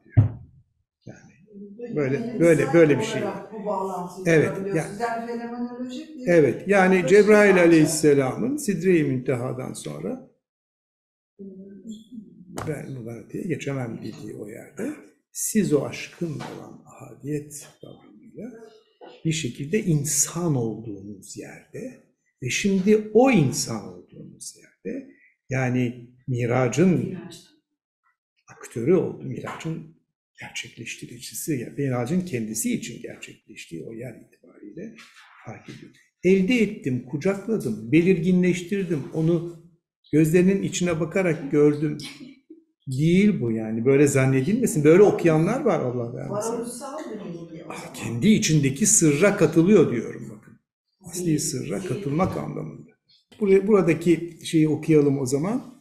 Buna göre birlik prensibi artık sadece yaratılışı anlamamızı mümkün kılan aklettirici ve birleştirici bir ilk neden değil, hemen aynı zamanda bu. İnsanın kendi varoluşundan hareketle özündeki sırra katılmayı denediği varlığın ya da hakikatin ta kendisidir. Hadise bu. Yani birlik prensibini böyle oluyor diye düşünüyorum. Burada dikkat ederseniz belirgin kılmaksızın sizi paydaş kılıyor. Belirgin yani karşınızdaki bir belirginlik olmaksızın sizi oraya paydaş kılıyor. Buyurun lütfen. e, sırra zaman miraç gerçekleşiyor. E onu bilemem ben nereden bileyim böyle şeyleri. Sadece yazılanları okuyorum. Yani bir katılmadır.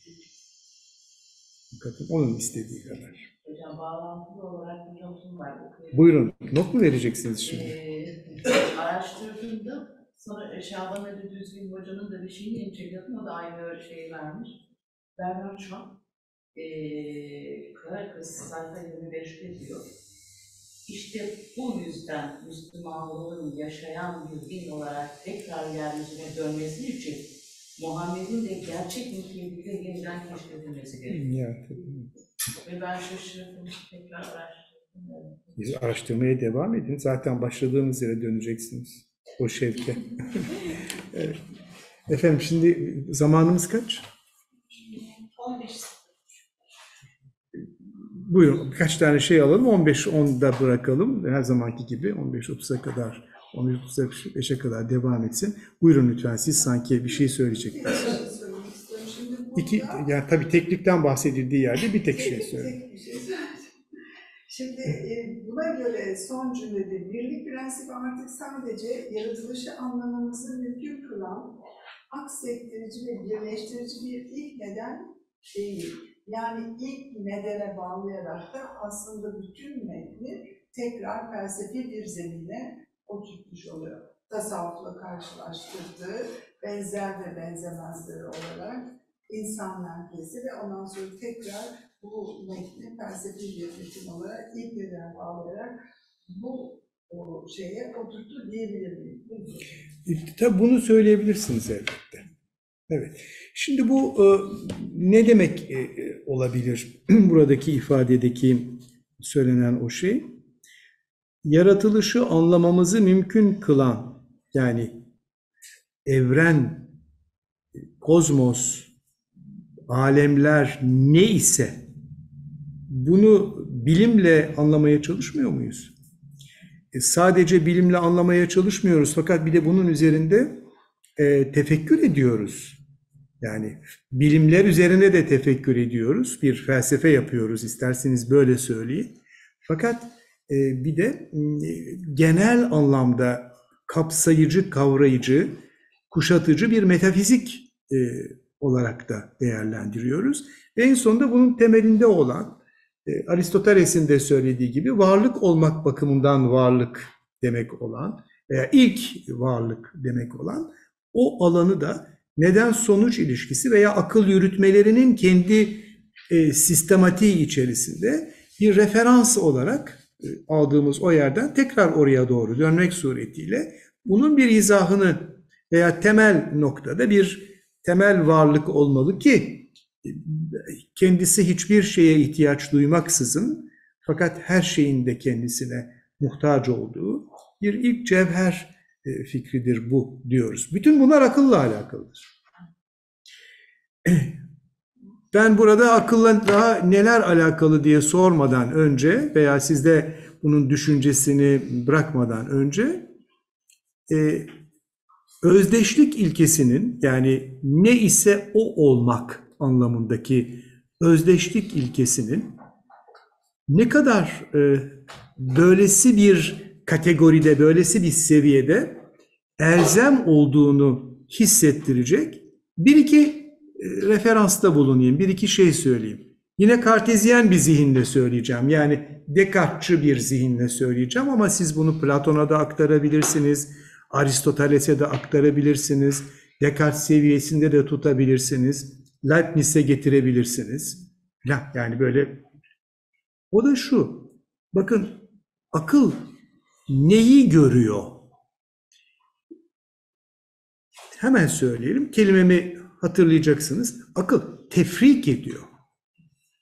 Ayır ediyor. Evet, ayırt ediyor. Ee, bu birinci noktada özdeşliğin fark edilmesidir. Yani bunu Descartes üzerinden söyleyelim. E, açık ve seçik olarak şu diyecek değil mi? Yani karmaşık bir, kaotikmiş gibi görünen, dolambaçlı bir alanmış gibi görülen, sisli, belirsiz bir alanmış gibi görülen ve sizi de e, bir tür bilimden ayıran, e, bilgiden ayıran, doğru bir kriterle kriterlendirilmiş olmaktan ayıran o alanı ve sizin karıştırıcı mahiyetteki iradenizin de istekleriyle filan da kendine göre ayrıca iyice karmaşık olan bir alanda neyi ele alıyorsanız ve henüz neyi ele almamış dahi olsanız ayrımlarda bulunarak onu ayırt ediyorsunuz. Şu kaotik ortamda şu gözlük sür, gözlük tür diyorsunuz. Veya küçük küçük küçük ideler olarak yani fikirler olarak bu bir gözlük e, fikridir. İşte bunu kendisidir ve kendisi olmayan değildir diyorsunuz. Açık demek kendinden kendini fark ettiren, seçik kendisi olmayanlardan yine ayırt edilen manasında. Şimdi e, habire açık ve net açık ve net diyor e, politikacılar pek kullanıyorlar son zamanlarda. E, açık ve net. E, açık ve seçik olarak politikaya girmiyorum. Bilim ve tefekkür adına bakıyorum. Bakın bir şeyi belirlediniz. Şimdi tefrik neyi gösteriyor? Fark ettiriyor, tefrik ettiriyor, seçtiriyor, ayırt ediyor diyorsunuz. Dikkat ediyor musunuz bilmiyorum. Kendinde bir olanı gösteriyor. Bu bir gözlüktür. Burada kendini ortaya koyan işte gözlüktür diyor. Yani efradını cami ayarına mani kendi içinde bir fikir, bir tanıma konu olacak şekilde toparlanmış veya bir obje olarak kendini ifade etmiş ama kendisi olmayanları da dışarıda bırakmış. Yani tefrik edilmiş, ayırt edilmiş olanı o bir olarak gösteriyor. Bu şimdi münferit olanı ayırt etmek. Değil mi? Teşhis, tespit, ayırt etmek. Ama bir bir daha var. Akıl seviyesinde kalıyoruz. Yani buradaki akıl seviyesinde kalıyoruz. Akıl neydi? Hangi melekeydi? Evet, bağlama melekesidir. Yani nedir bu? İrtibatları ayırt etmiyor sadece. Şimdi irtibatları kuracak. E buna Descartes birinci merhaleye analiz diyor. Şimdi senteze geçiyor. Terkip ediyor. Terkip ediyor.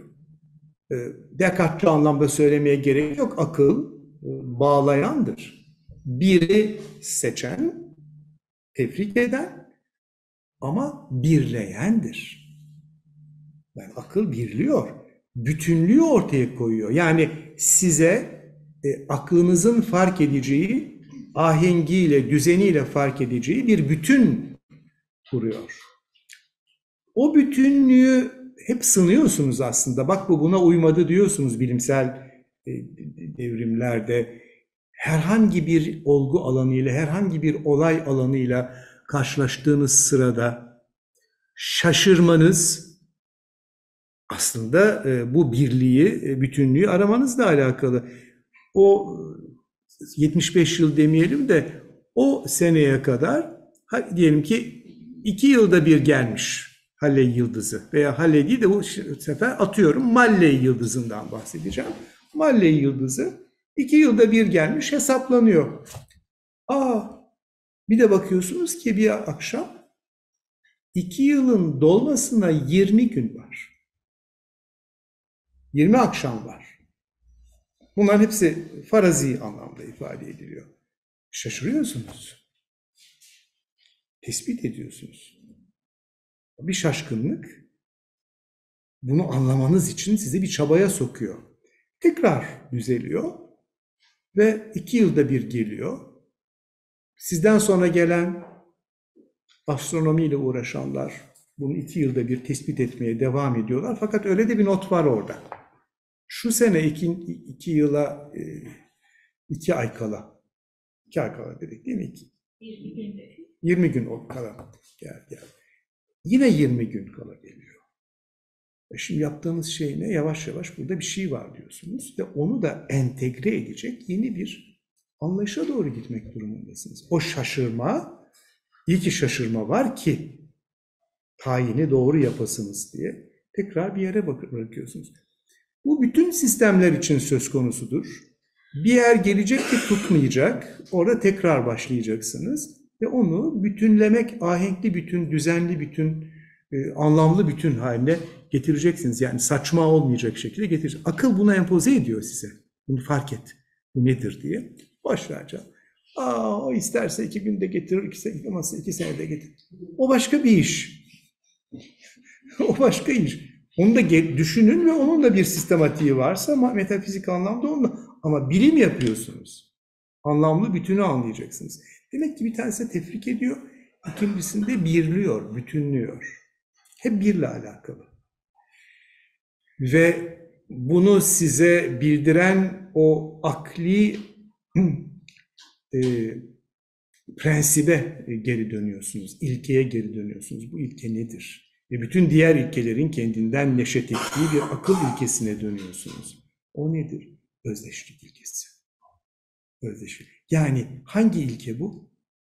Bir şey kendisi olarak tespit edilecekse eğer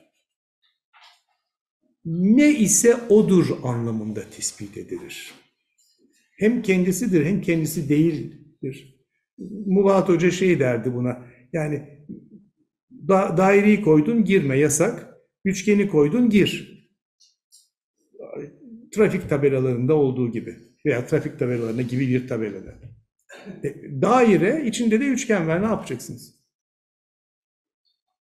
Hocanız sordu Allah rahmet eylesin rahmet istedi. Ne yapacaksınız diyorsun. Yani orada bir şey var. Bu- Bunu bir yerlerine koymak. Hayır, kendisini tespit etmeye yarayan şey akıl. Fakat bunu nasıl tespit ediyoruz? Kendi içindeki tespit ettirici. Bakın tespitte sabitlik var ve ispat kelimesi de belki e, bunlarla alakalı olarak gelebilecek. E, Bunu özdeşlik ilkesiyle yapıyorsunuz ve diğer ilkeleri de bu özdeşliğe bağlı olarak konumlandırıyorsunuz. Nedir o? E, çelişmezlik ilkesi hem kendisi hem kendisi değil olamaz. Ya kendisidir ya kendisi değildir. Bu da üçüncü şıkkın imkansızlığı. Üçüncü bir şey olamaz. Üçüncü şıkkın imkansızlığı meselesi. Biraz daha açtığımız. Ve diğer bütün ilkeleri buna bağlı olarak kurguluyor. Evreni bununla anlıyorsunuz. Yani evreni birle anlıyorsunuz. E, sayıları da böyle anlar mıydınız hocam? Çünkü birden de öteye sayı var. 29, 9926.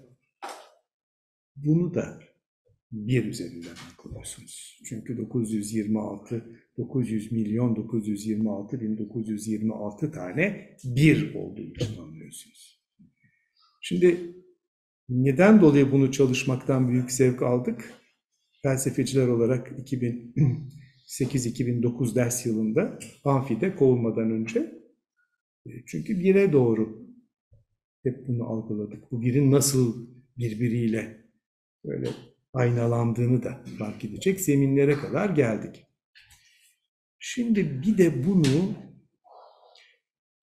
siz olduğunuz yer itibariyle yani bu bir yani güzel seçilmiş bu birey bu kendiniz olduğunuz birey sensin, sizsiniz dediğiniz o birey sensin, benim dediğiniz o birey bunu bir zihinsel faaliyet sonucunda değil, bunu kendi olduğu o yer itibariyle algılayacak.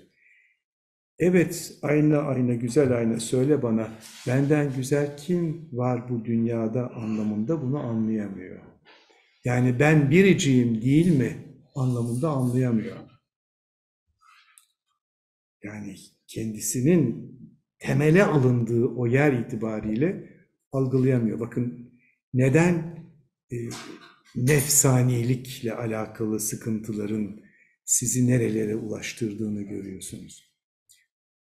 Belirgin kılmaksızın biri anladığınız yer sizin siz olarak size referanslı olarak düşündüğünüz o yer sizin aslen biraz evvel söylediğim o şeyin yarısını söyleyeceğim.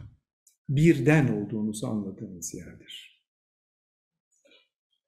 Ama birden olduğunuzu anladığınız yer bu bardaktır, bu çataldır, bu masadır, bu bütünlüktür dediğiniz yer gibi değildir. Kendinizsiniz çünkü. Birden olduğunu anladığınız yer ben de birim, Kenan'ım ama ben birin ta kendisi değilim dediğiniz yerdir. Teşhislerle kendinizi fark etme haliniz birden farklı.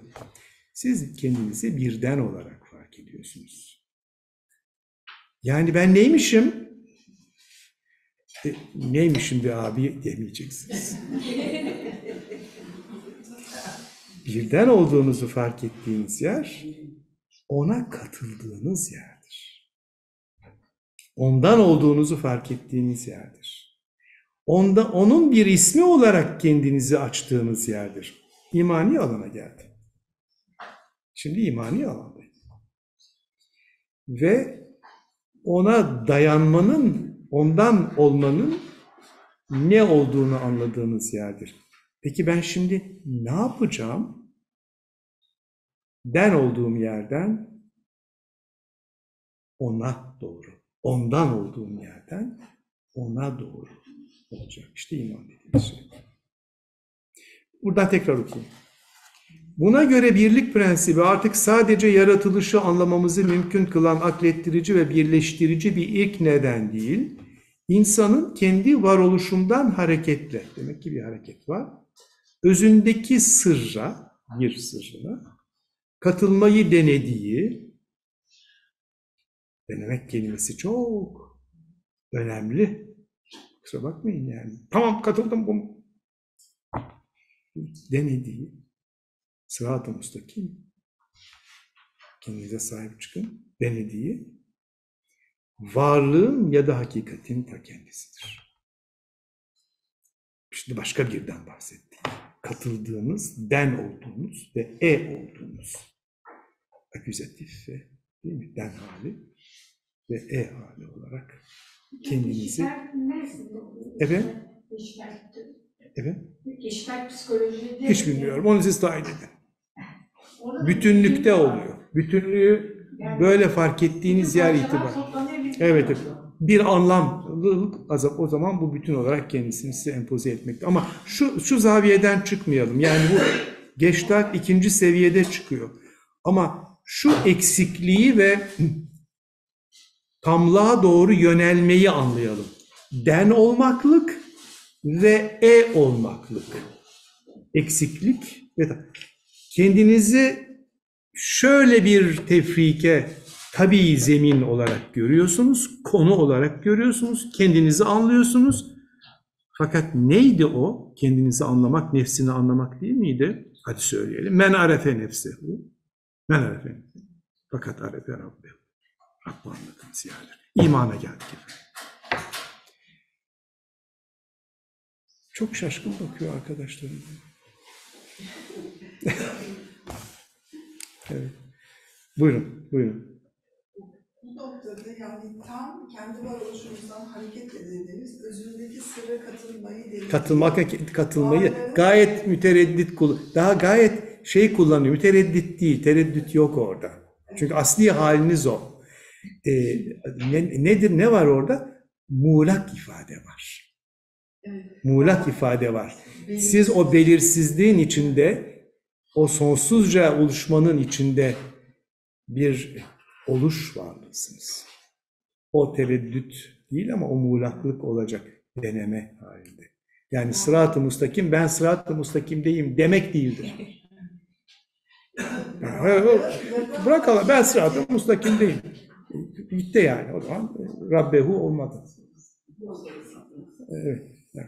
özündeki sırra katılmayı denediği varlığın ya da hakikatin ta kendisidir. Bir, bir, bir hakikatin. Bir gerçeği. hakikat. Ya ben ona bana fark edemem. İşte burada söylenmeye çalışmak İbn Arabi lisanıyla söyleyecek olursam ahadiyetten bahsediyorum kendimden hareketle ama oraya biz önemli Aslında bu tasavvufun yani İslam e, bir Müslümanın yaşama ve hayat tecrübesinin Egzistansiyel tecrübesi. Egzistansiyel Yani tecrübe. tasavvufi tecrübe buraya doğru yöneliyor. Yani dini, manevi e, tecrübe bunun içinden bir Yani tecrübedir. temeli, yani temelini belirliyor. Temel prensibini hem epistemik olarak hem ontolojik olarak hem etik olarak belirliyor. Evet. Bu ama ikinci şey bahsediyor. ikinci olarak birleme prensibini yani akıl yürüterek bütünleme prensibini dışarıda bırakmış değil.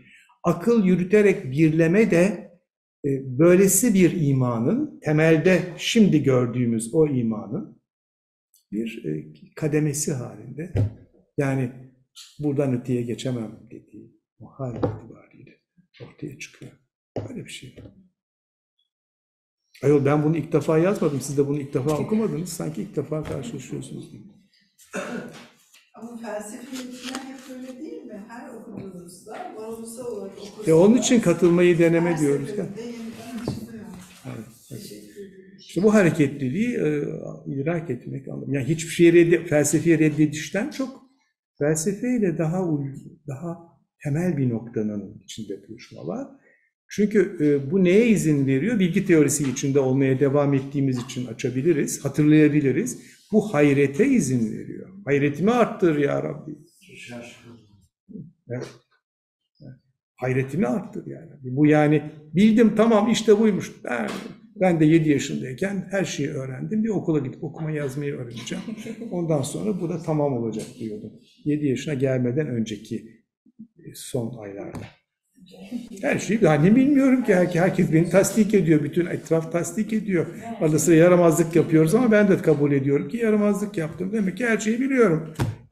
Yavaş yavaş şimdi anladık ki ilkokula başladıktan şu kaç sene sonra, 30 sene sonra biz e, hiçbir şey bilmiyormuşuz.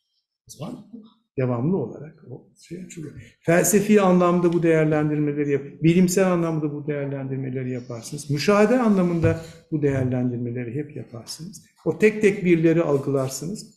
Bütünlüğe doğru yönelirsiniz. Bütünlüğü teşhis de edebilirsiniz akli anlamda. Ama buraya geldiğinizde sizin siz olarak orada den varlık halinde fark ettiniz. Ve oraya doğru yöneliş halinde fark etmeniz gerekiyor. Şimdi o zaman hiçlik ne demekmiş ontolojik olarak söyleyelim. Daha fazla ileri gitmeyeceğim bu kadar bitireceğim. Bu bir siz bir geliş ve yöneliş halisiniz. Kendinizden neydiniz? Orasını sormadı. İşte orada sen senden değilsin ve sen sana olmaktan daha öte bir şey değil. Ona doğru olmaktan başka bir şey değilsin. Ama işte tam da orada bütün bir cihan meğerse ahengiyle içinize sığdırılmış da siz o ahengi bir de kendi içinizde keşfetmeye çalışıyorsunuz çıkar. Böyle efendim. Şimdi bu değerlendirmelerle alakalı değerlendirmeleriniz var mı? Yorumlarınız var mı? Sorularınız var mı? Şimdi ben kendi kendime bir soru sorayım sizin adınıza. Bu son cümleyle ilgili olarak. Ondan sonra da bu birlik prensibi ve ontolojik statüsüne geçeceğim. Dikkatinizi çekti, sonra ben de cevap teşekkür ediyorum diyor. Dikkatinizi çekti, ben de cevap verdim. Veya ben de dikkatinizi çektiği kadar cevap verdim. Fakat e, sorulabilir neden bu ifadeyi kullandınız diye. Bakın şöyle söyleniyor. Özündeki sırra katılmayı denediği. Denemek neden? Niye denediği diyor demiş. Özündeki sırra katılmayı denediği varlığın ya da hakikatin ta kendisidir. Yani birlik, bir olan o. Buradan tekrar okuyacağım. Buna göre birlik prensibi sadece yaratılışı anlamamızı mümkün kılan aklettirici ve birleştirici bir ilk neden değil, insanın kendi varoluşundan hareketle özündeki sırra katılmayı denediği varlığın ya da hakikatin ta kendisidir. Yani o varlığın özündeki ama kendi özündeki aynı zamanda sırra katılmayı denediği. Neden denediği? Ee, olabilir. Yani devamlı olarak bir seyir yoludur bu. Bu tatmin böyle daha fazla kendisini ifade ederek oluşabilir ama yol bakımından tatmin olursunuz. Ama neden denediği kelimesi üzerinde tekrar soruyu sorayım. Müpemiyet var çünkü dedim. Müpemiyet dedim. Tam da budur demek istemedim.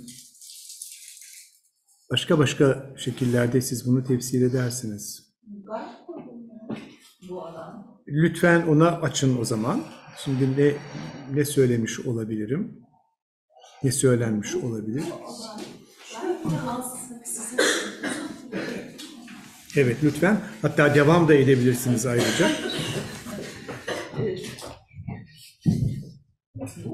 Hocam bu sırrı olan gayb olanı e, Evet, evet. bilinmeyen e, iki alan vardı e, Safiye Erol'un ifadesinde de bir e, öncesi ezel ve ebed.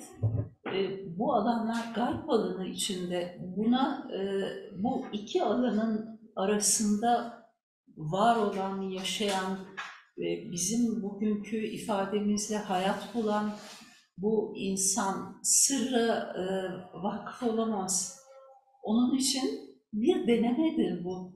Evet. Yani e, fani olanın baki olandaki o sıçradığı anlık denemelerdir. Burada uzun süre kalması mümkün değildir. Sanırım bunu Evet, ifade katılma olduğu için bu sırrın bütününe vakıf olma ve o sırrı kendi adına iddia etme imkanına sahip değildir bu manada. Evet. Bu bir gayb alanıdır ve orada ancak siz bir seyir içerisinde buna katılırsınız. Fakat deneme kelimesinin bir anlamı daha var. O da çok e, sade olarak söylenebilir. Talep ve gayret size ait olabilir. Ama bunun sonucu sizden değildir. Sizin sahip çıkacağınız tek nokta talep ve gayrettir. Yani niyetinizi, talebinizi ve gayretinizi bu alanda ona doğru yönelmek halinde düşünebilirsiniz. Ama her zaman, her bütün gayretlerde olduğu gibi tevfik, tevfik Allah'tandır diyoruz.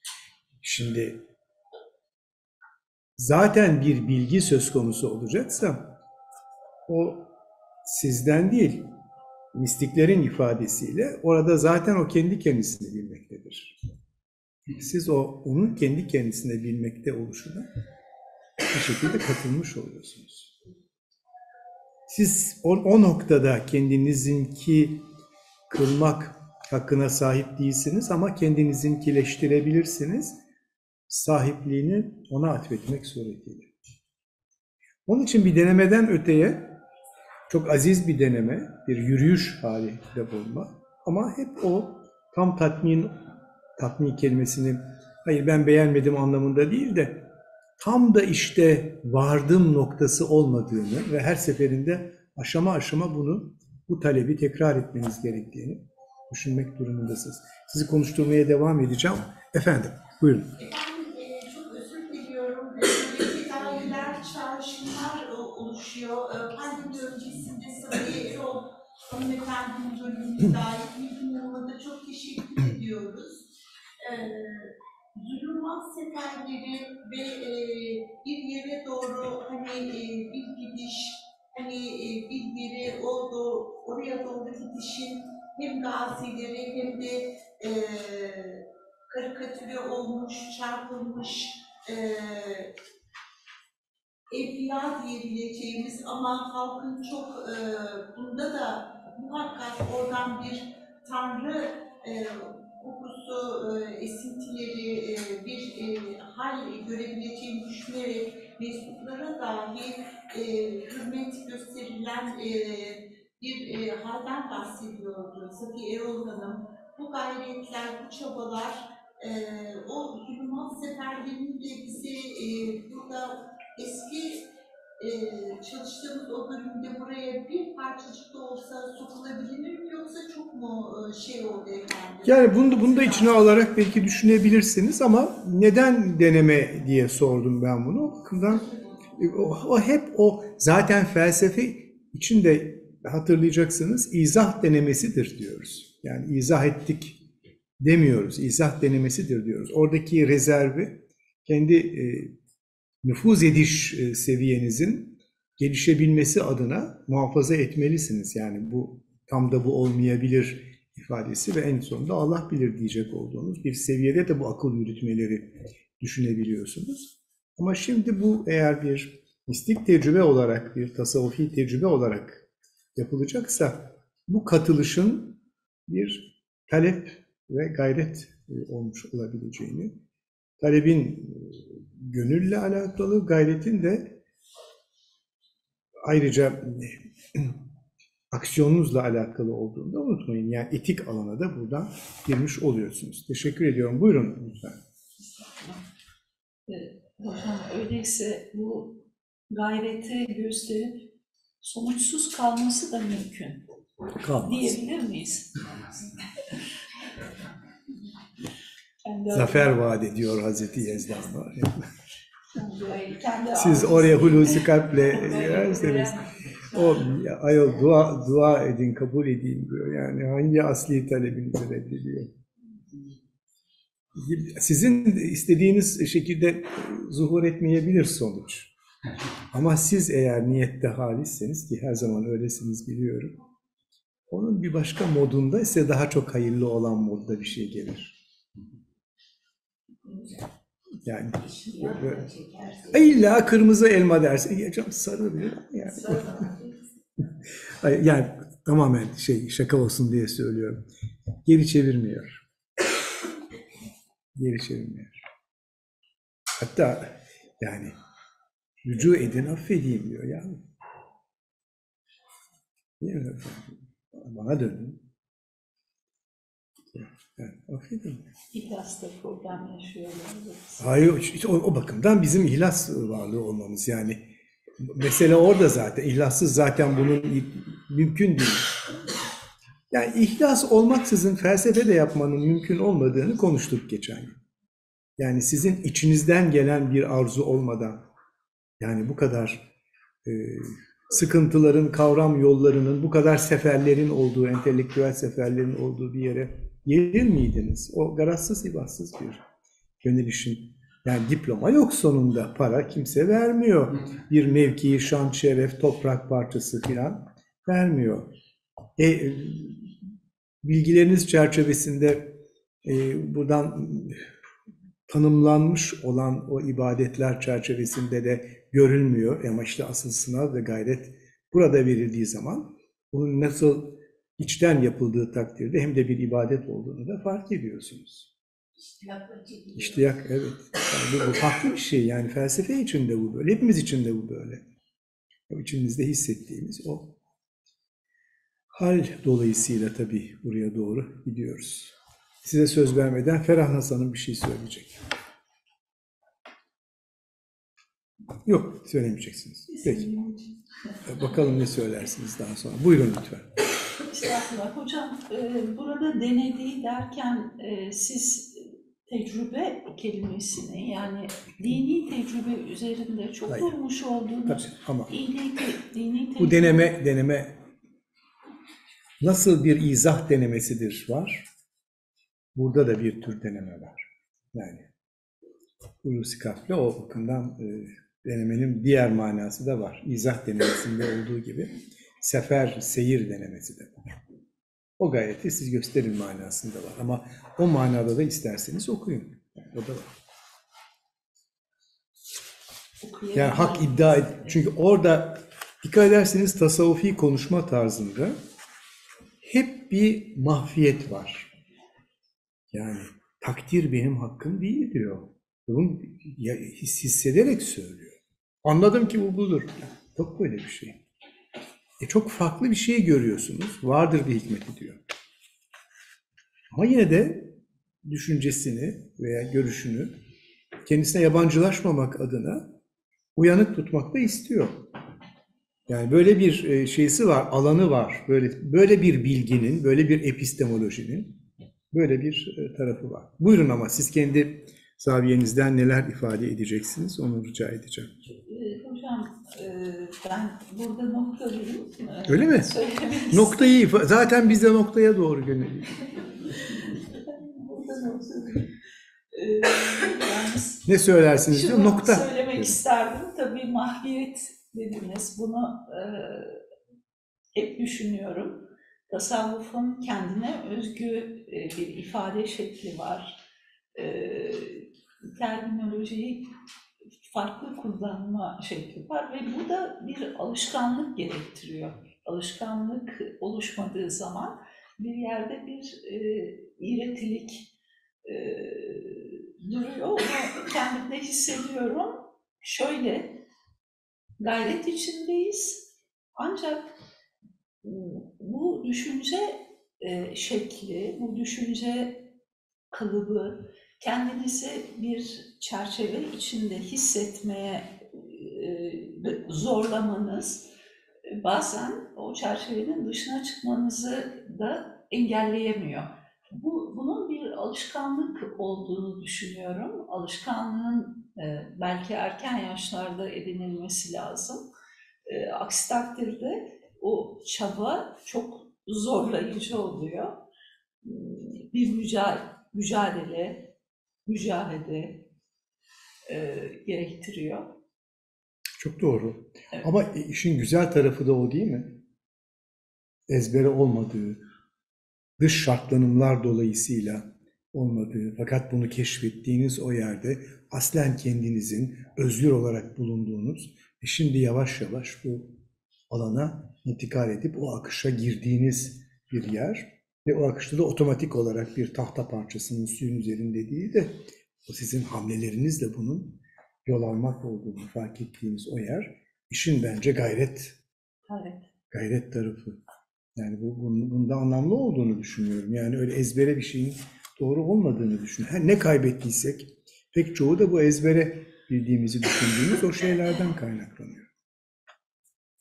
E, stil, mod belki sizin ifadenizle. Stil de. Bunu e, biraz daha kolaylaştırıyor. Ha tabii, tabii. Ama onu, onu da zaten onu öğrenmiş oluyorsunuz.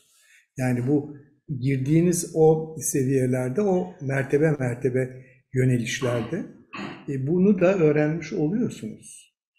Bununla bütünleşmiş de oluyorsunuz. Ama o talebin sizin tarafınızdan e, ihlasla kendi içinizde kendinize dile getirilmesi lazım diye de düşünüyorum. E, Yani o, orada o talebin dile getirilmesi işi sizin kendinizle alakalı bir iştir. Bu tabii yani mu- musiki bilmiyorum, piyano çalamıyorum Ee, ama Beethoven gibi bir beste yapmak istiyorum. Bu mümkün olmuyor, onu öğrenmek durumunda. Beethoven olmaya gerek yok. Ee, Bir virtüöz olma halindeki Nilgün Hanım'dan da bahsedebiliriz ama birdenbire olmuyor. Çocukluğumda rüyalarım vardı böyle şey piyano çalmak için değil de yani araba kullanmak istiyorum. Ehliyetim yok. Aa, otomobil uçar gider halinde araba kullanıyorum. Yani, o evet. Birdenbire olmuyor. Onun bir mertebe mertebe kazanılışı var. Şimdi Hande Hanım buradan bir şey çıkarttı mı acaba diye böyle birdenbire endişelendim. Evet, çok teşekkür ediyorum. Buyurun. Teşekkür ederim. Hocam Ayşe Buyurun lütfen. Bu- buyurun lütfen. Kim efendim? Ayşe Hanım ama soruma cevap Ayşe Hanım buyursunlar. Ayşe Hanım, aşağı yukarı e, cevapladınız benim soracağım şeyi ama biz hep cevabın içinde soru olması lazım diyoruz. Siz soruyu iyice reddediyorsunuz, cevaptan yetiniyorsunuz. Buyurun lütfen. şimdi denemek deyince e, ben şunu düşünmüştüm. Denediğimiz şeyi tekrar tekrar yapma şansımız var. Bu manevi alanda bir deneyim yaşadığımızda aynı şekilde onu tekrar yaşama şansımız var mı? Onu tekrar yakalayabilir miyiz? Yoksa bu kademe kademe ileri veya geri olabilir mi? Valla siz o heyecanı, o iradeyi, o muradı kendi içinizde saklı tutarsanız hiçbir zaman mahrum olmayacağınızı düşünüyorum. Teşekkür ederim. birdenbire de verilmiş olan bir şey olmuyor. Yani vakti merhunu da geliyor. Ama bu, bu bir gayret olarak sizde belirsin yani. Hadi bakalım hangi kitabı okuyayım da hocam ben şimdi felsefeyi öğreneyim gibi değil bu yani. Şimdi onu kendi ekstansiyel halinizle her an geliştirmek adına merhale merhale yol almak adına bir gayret, bir bir şevk olarak içinde barındırmanız gerekiyor. Böyle bir şey.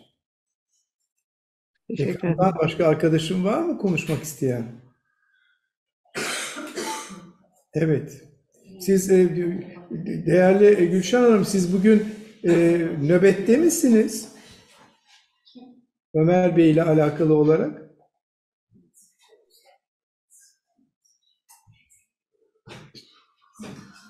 Şeyden katılıyorsunuz. Sesiniz gelmiyor. Sesiniz gelmiyor.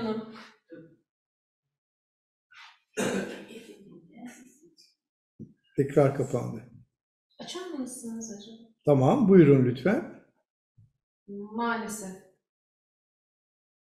Evet, duyu- Duyamıyoruz. duyulmuyor. Peki, nöbette olduğunuz anlaşıldı o zaman. E, Evet, buyurun efendim. Başka? Yok. E, Şimdi devam etmek istiyorum. Birlik prensibi ve ontoloji statüsü. Demek ki birlik prensibinin bir ontoloji açısından değerlendirilecek bir tarafı var. Okumak isteyen bir arkadaşım var mı? İnsan anlayışına kadar gelmek istiyorum. Buyurun lütfen.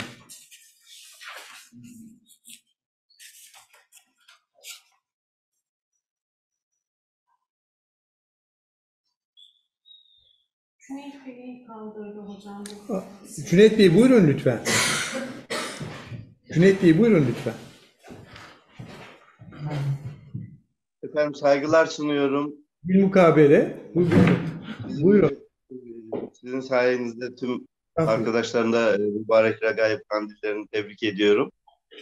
Ee, özündeki sırra katılmayı denediği ibaresi e, bende bazı düşünceleri getirdi. Ee, Lütfen onları arz buyurun. etmek isterim müsaade, müsaade ederseniz. Estağfurullah. özündeki sırra katılmayı e, katılmayı ifadesinden bir irade anlıyorum. Yani bir katılmanın isteği var.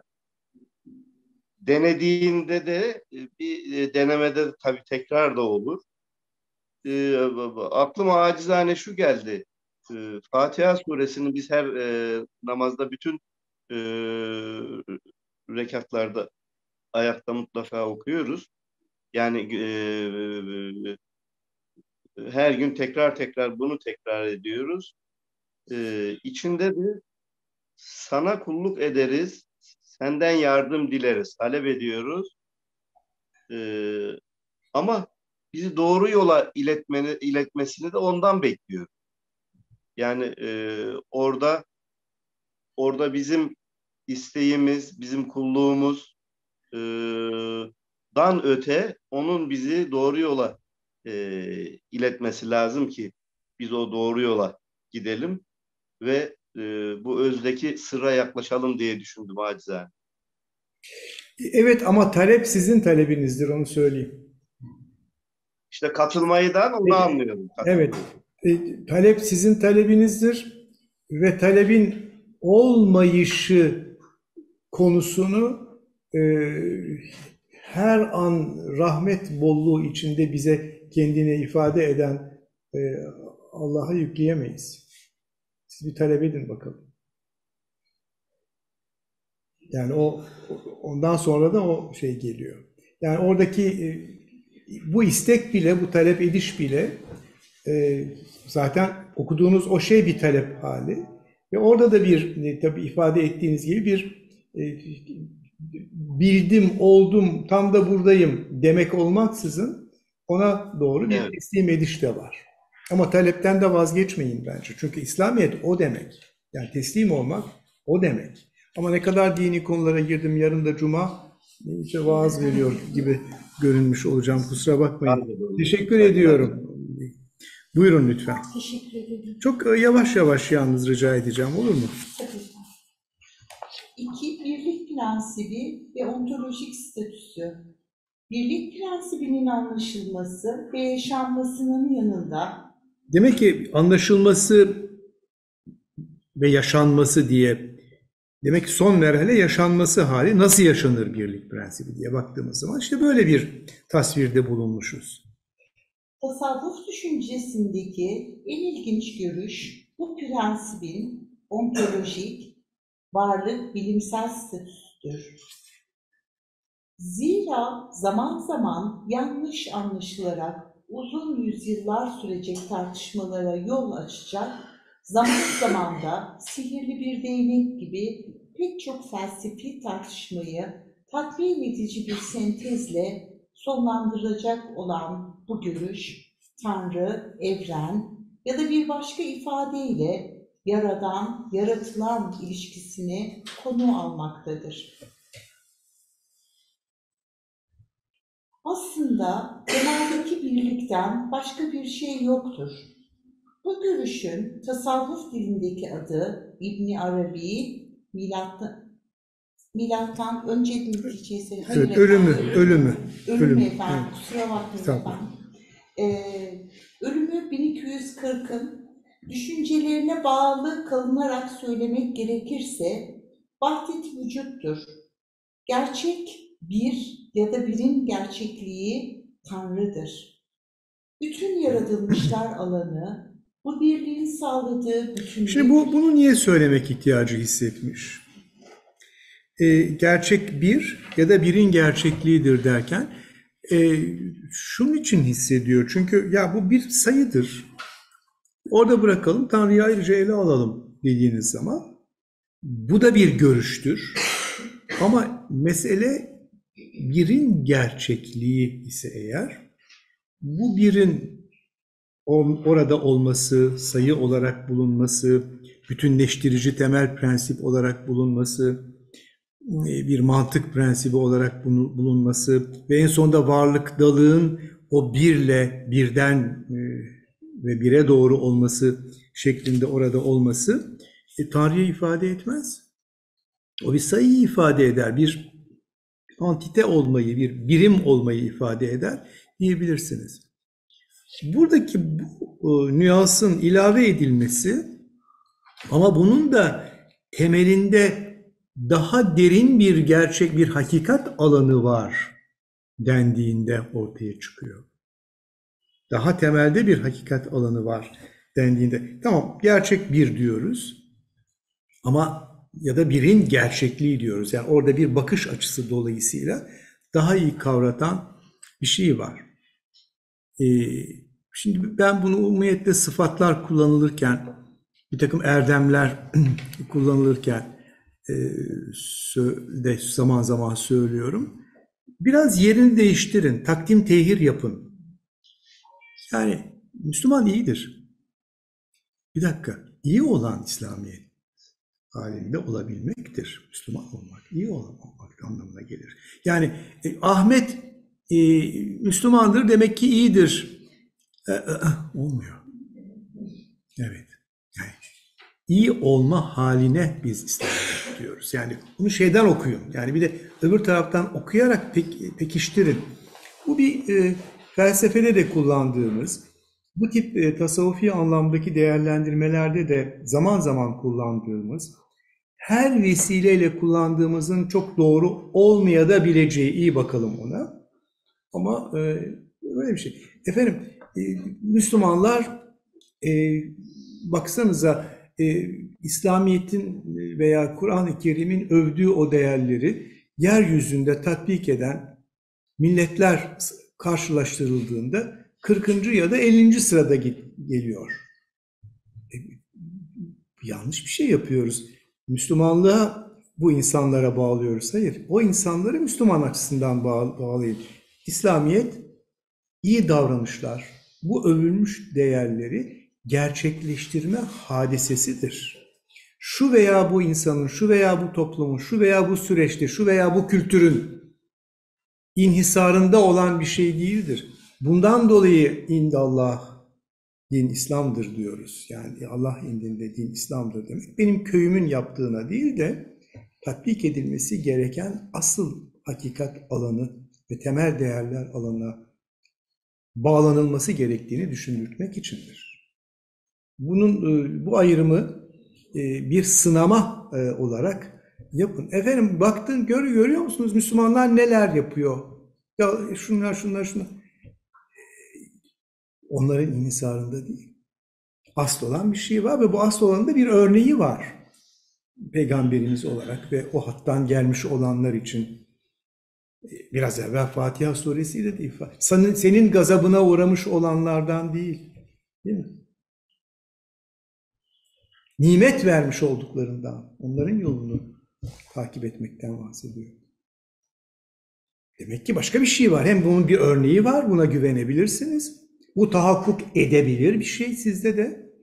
Ve onun için siz böyle bir sırat, böyle bir yol takip etmek adına kendinizde bir gereklilik ve yine kendinizde bir güven duyuyorsunuz bunu gerçekleştirebilirim diye ve bunun örnekleri var. Ee, ama yani ters noktadan bir görüyor musunuz bu Müslüman ülke demek ki bunun geçerliliği yokmuş. E, bu bir mantık değil. Yani dini hadiseyi Hatta ilim, bilimsel hadise. Yani bilim e, elbette e, bilimler akademisine, e, ilim alemine, e, Türkiye e, Bilimler Akademisi, e, Türkiye e, Türk Tarih Dil Kurumu'na e, bağlı olmak dolayısıyla bilim adamı olunmuyor. Bilim adamı olunduğu için buraya üye oluyorsunuz. Siz o bilim adamlığını bir tarafa bırakacak olursanız ve buna ihanet edecek olursanız ve buna layık değilseniz orada sizin bilim adamlığınızdan bahsedilmiyor. Her seferinde e, edindiğimiz ve intisap ettiğimiz, müntesibi olduğumuz, saliki olduğumuz o dinin faziletli olduğunu söylüyoruz. Sonra o fazileti e, yaşadığını e, düşündüğümüz, yaşaması gerektiğini düşündüğümüz insanlara bakıp onlar üzerinden hayır diyoruz. Hayır siz bunun üzerinden o insanları değerlendirin. Demek ki değilmiş deyin. Ha, Müslüman değildir diyemiyoruz. Çünkü onun o niyetine e, bir şekilde bir şey söyleyemeyiz. Bunu tahakkuk ettirsin diye değil mi? Bu değerleri de gerçekleştirsin diye e, ona belki bir ikazda bulunabiliriz.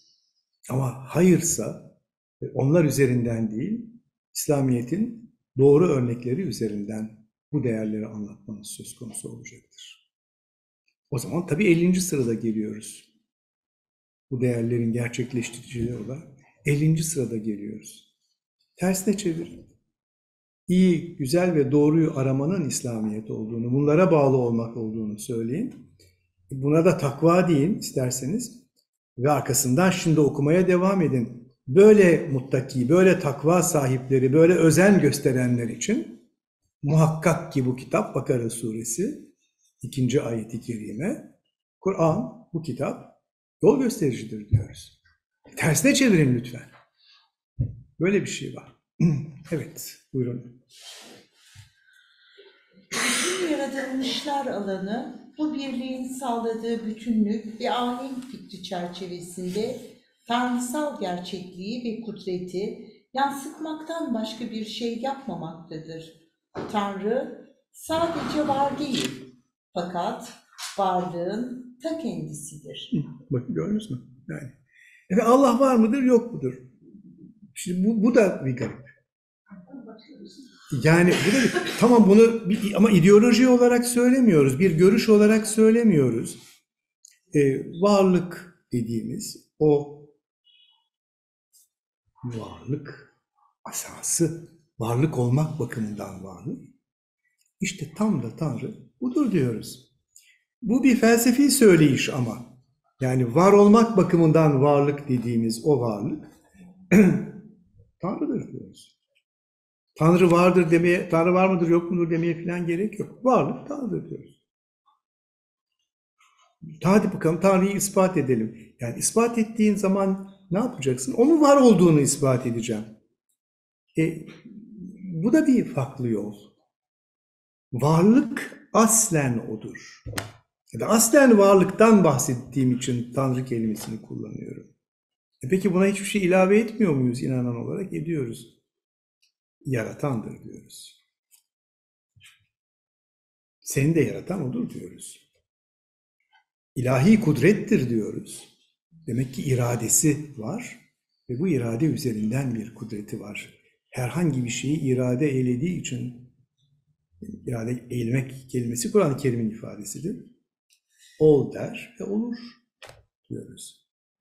E, bunun şeylerini açıyoruz, sıfatlarını açıyoruz ama varlık vardır demek e, o vardır demektir. Birinci merhalde bir felsefi noktaya nazardan bakıldığında. Varlıktır demek. Ama bu bir de ayrıca şu sıfatları haizdir. Sadece, hatta varlık bile sıfat olabilir. Onun arka planında varlığa bile, varlıkla bile izah edilemeyecek bir e, üst aşkın bir hakikatinin olduğundan bahsediyoruz. O varlık odur, varlık onundur. Şimdi aynı şey mülk onundur diyoruz. Mülk onun elindedir diyoruz. Yani varlık onun elindedir diyoruz. Bu sıfatları da onun için kullanıyoruz ve dikkat ederseniz bu sıfatların aslen kullanılıyor olması bir birlemenin yolu itibariyledir. Birleme halindeyiz. Yani bir ayrı bir yerde bir güzellik, bir ayrı bir yerde bir iyilik, hayır, ayrı bir yerde bir doğruluk değil. Hepsi bunların, hatta hayır ve şer dahi onun iradesinin bir eseridir diyoruz. Demek ki buradan bakalım önce, son, sonra onun e, onunla bütünleşmenin, ona doğru olmanın, ondan olmanın idrakinin insan için ne anlama geldiğini fark edelim. Bunu hep akılla söyledik. E, vahdeti vücut e, dendiği zaman, varlığın, vücudun birliğinden bahsedildiği zaman bunun aynı bir kelimeler şunlar, aynı bir cevher olduğunu söylüyoruz. Bakın Şevket Beyciğim bu cevher fikri Spinoza'nın var. Tek bir cevher fikri. Bu dahi yetmiyor olabilir. E, Bütün bunlar aynı bir varlıktan diyoruz. Bu dahi yetmiyor olabilir. Cevher fikrini samet olma anlamında kullanıyoruz. Ne demek? Kendisi kendinden başka herhangi bir diğerine muhtaç değildir. Fakat e, kendisi bir başka nedenden dolayı nedenlendirilmiş değildir. Kendisi bir sebep sonucunda vuku bulmuş değildir. Doğrulmamıştır. Bakın burada bir gayet felsefi sayılabilecek bir şey var. Doğrulmamıştır. Yani bir şeyin jeneolojik bakımdan, e, hayatiyet bakımından devamında değildir. O kendisidir. Ne ise odur. Şey, Kul Allahu Ehad'dan bahsediyorum.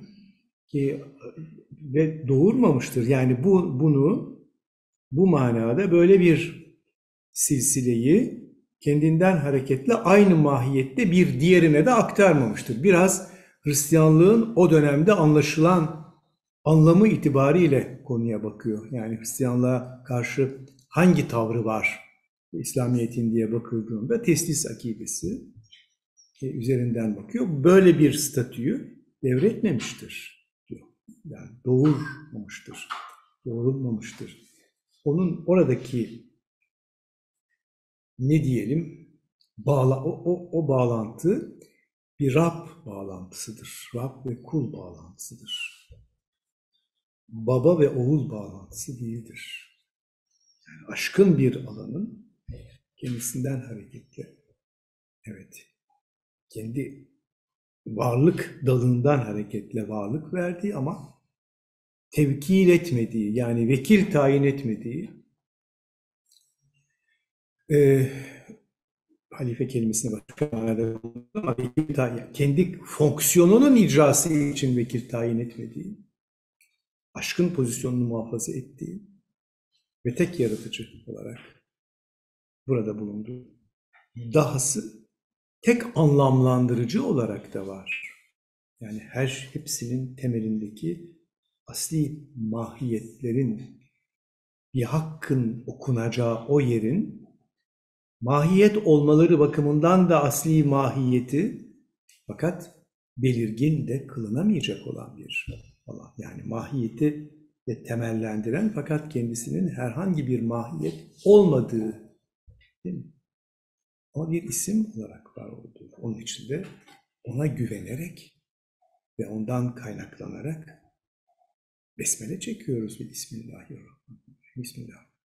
Rahman ve Rahim olan Allah'ın adıyla diyoruz ve Rahman ve Rahim sıfatlarını da kendimizi bağlayarak bu ismi anmış oluyoruz. Ama ben tamam onu öğrendim, e işte budur şeklinde tefrik etmek, tayin etmek değil.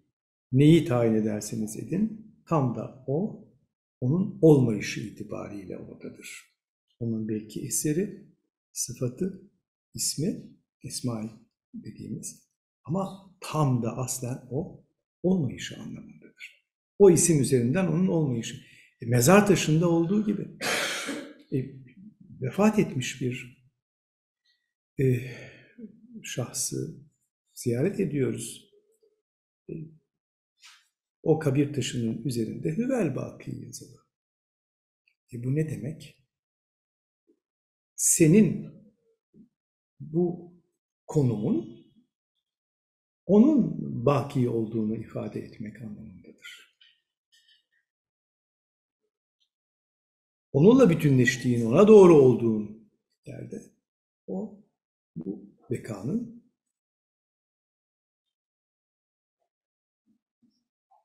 sahibidir veya beka onun sıfatıdır.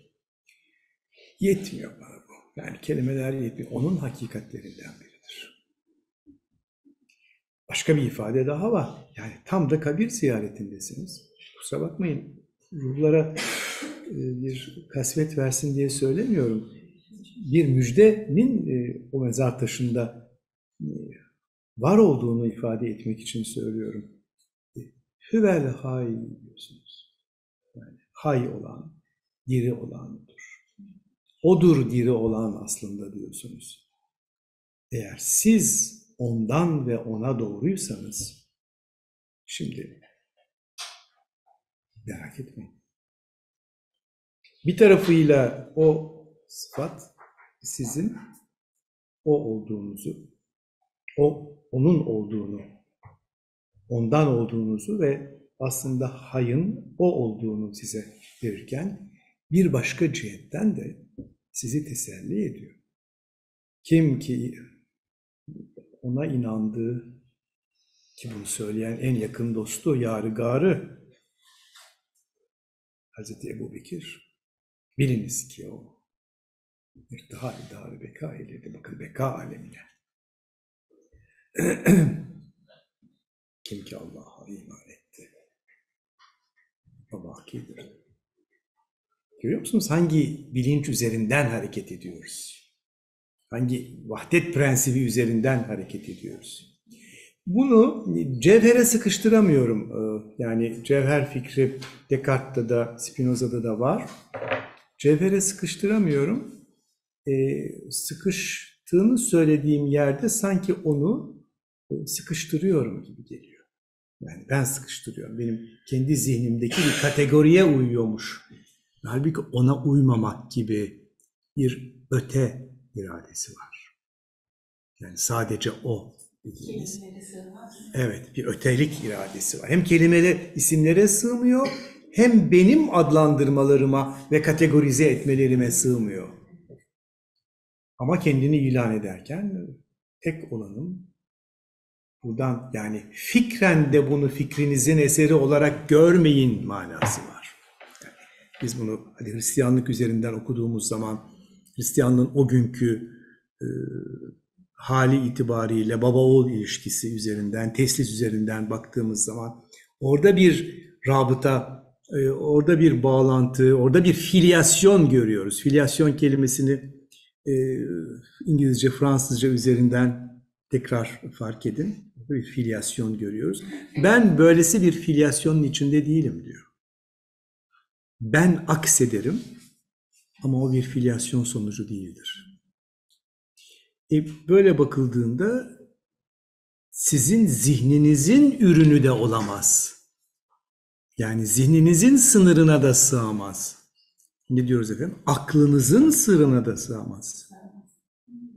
Yani bakın bir de o var. Şimdi akıl e, düzenleyici, e, belirleyici, tefrik ettirici, bütünlüğü sağlayıcı, bütün bunlar tamam. Fakat teolojik olarak konuşuyorum. Başka türlü konuşamam zaten şu anda. Yani bunu başka türlü ifade edecek kudrette ben olamam. Ama e, orada aklın bir fonksiyonu da kendi nüfu, kendinin nüfuz ettiği bir hakikatmiş gibi gösterdiği o yerde sanki kendi nüfusundanmış gibi gönde göstermeye de başlıyor. Yani o ben onu zihnen kontrol edebiliyorum anlamı taşıyorum. Doğru anlatabiliyor muyum bilmiyorum. Yani akılcılığın bir problem, handikaplarından biridir bu rasyonalizmin. Yani bunun her şeyi onu rasyonalize ettiğiniz zaman onu o kalıplar içerisinde kendine mahsus olmaklığını hissetmek sizin veya onu reddederek bu aklın kalıpları içinde onu sadece anladığınızı düşünmezseniz, aklınızın onun gerçekliğine e, hükmedebileceğini de düşünürsünüz. Yani hangi manada? Ben onu yaratıyorum anlamında değil. Ben onu anladım manasında. Nitekim sıra dışı olanları anlamak durumu söz konusu olduğu zaman sadece şaşkınlığa düşmezseniz, şaşkınlığa düşseniz fena bir şey değil. Sadece hayret etmezsiniz. Bunu da yapsanız güzel bir şey değil. Hayır, bu bir saçmadır ve şeydir diyorsunuz. Yani bunu kale almamak lazım diyorsunuz.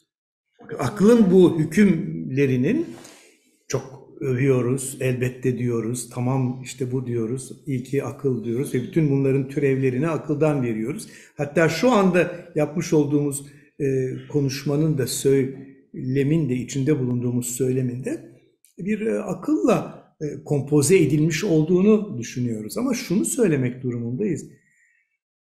E, buna sığdırdığınız anda kontrol etmeye başlarsınız. Onun için akıl kelimesinden çok, geçen hafta söylediğim gibi, bilinç kelimesini söylemeyi daha mütevazi ölçüde, daha e, efikas görüyorum. Yani daha sonuç alınabilir ve daha isabet ettirilebilir görüyorum. Çünkü orada bir edep var. O farkındalıkta bir edep var. E, ama eğer benim onu kavradığım gibi olacak, o ölçütlerin içinde olacak dediğiniz zaman bilimin gelişmesi de, felsefenin gelişmesi de, sanatın gelişmesi de, yeni bir hayatın gelişmesi de o kalıbın içine girdi, girmiş oluyor ve orada bir yabancılaşma söz konusu oluyor. Fark etmeyi ve kendinizden aksettirmeyi e, düşünebilirsiniz. O bilinci düşünebilirsiniz. O tabii bu bilincin getirdiği bir sorumluluğu da getirebilirsiniz ama bu sorumluluk e, bize e, hayreti ve hayranlığı gündemde tutacak şekilde sizi bilgi gelişimine şaşırabilmeye imkan verişe yol açabilmelidir. Biraz evvel söyledik. Hani ne oldu? İki ay, 20 gün önceden geldi. Ee, evet orada hayret edebiliyorsunuz.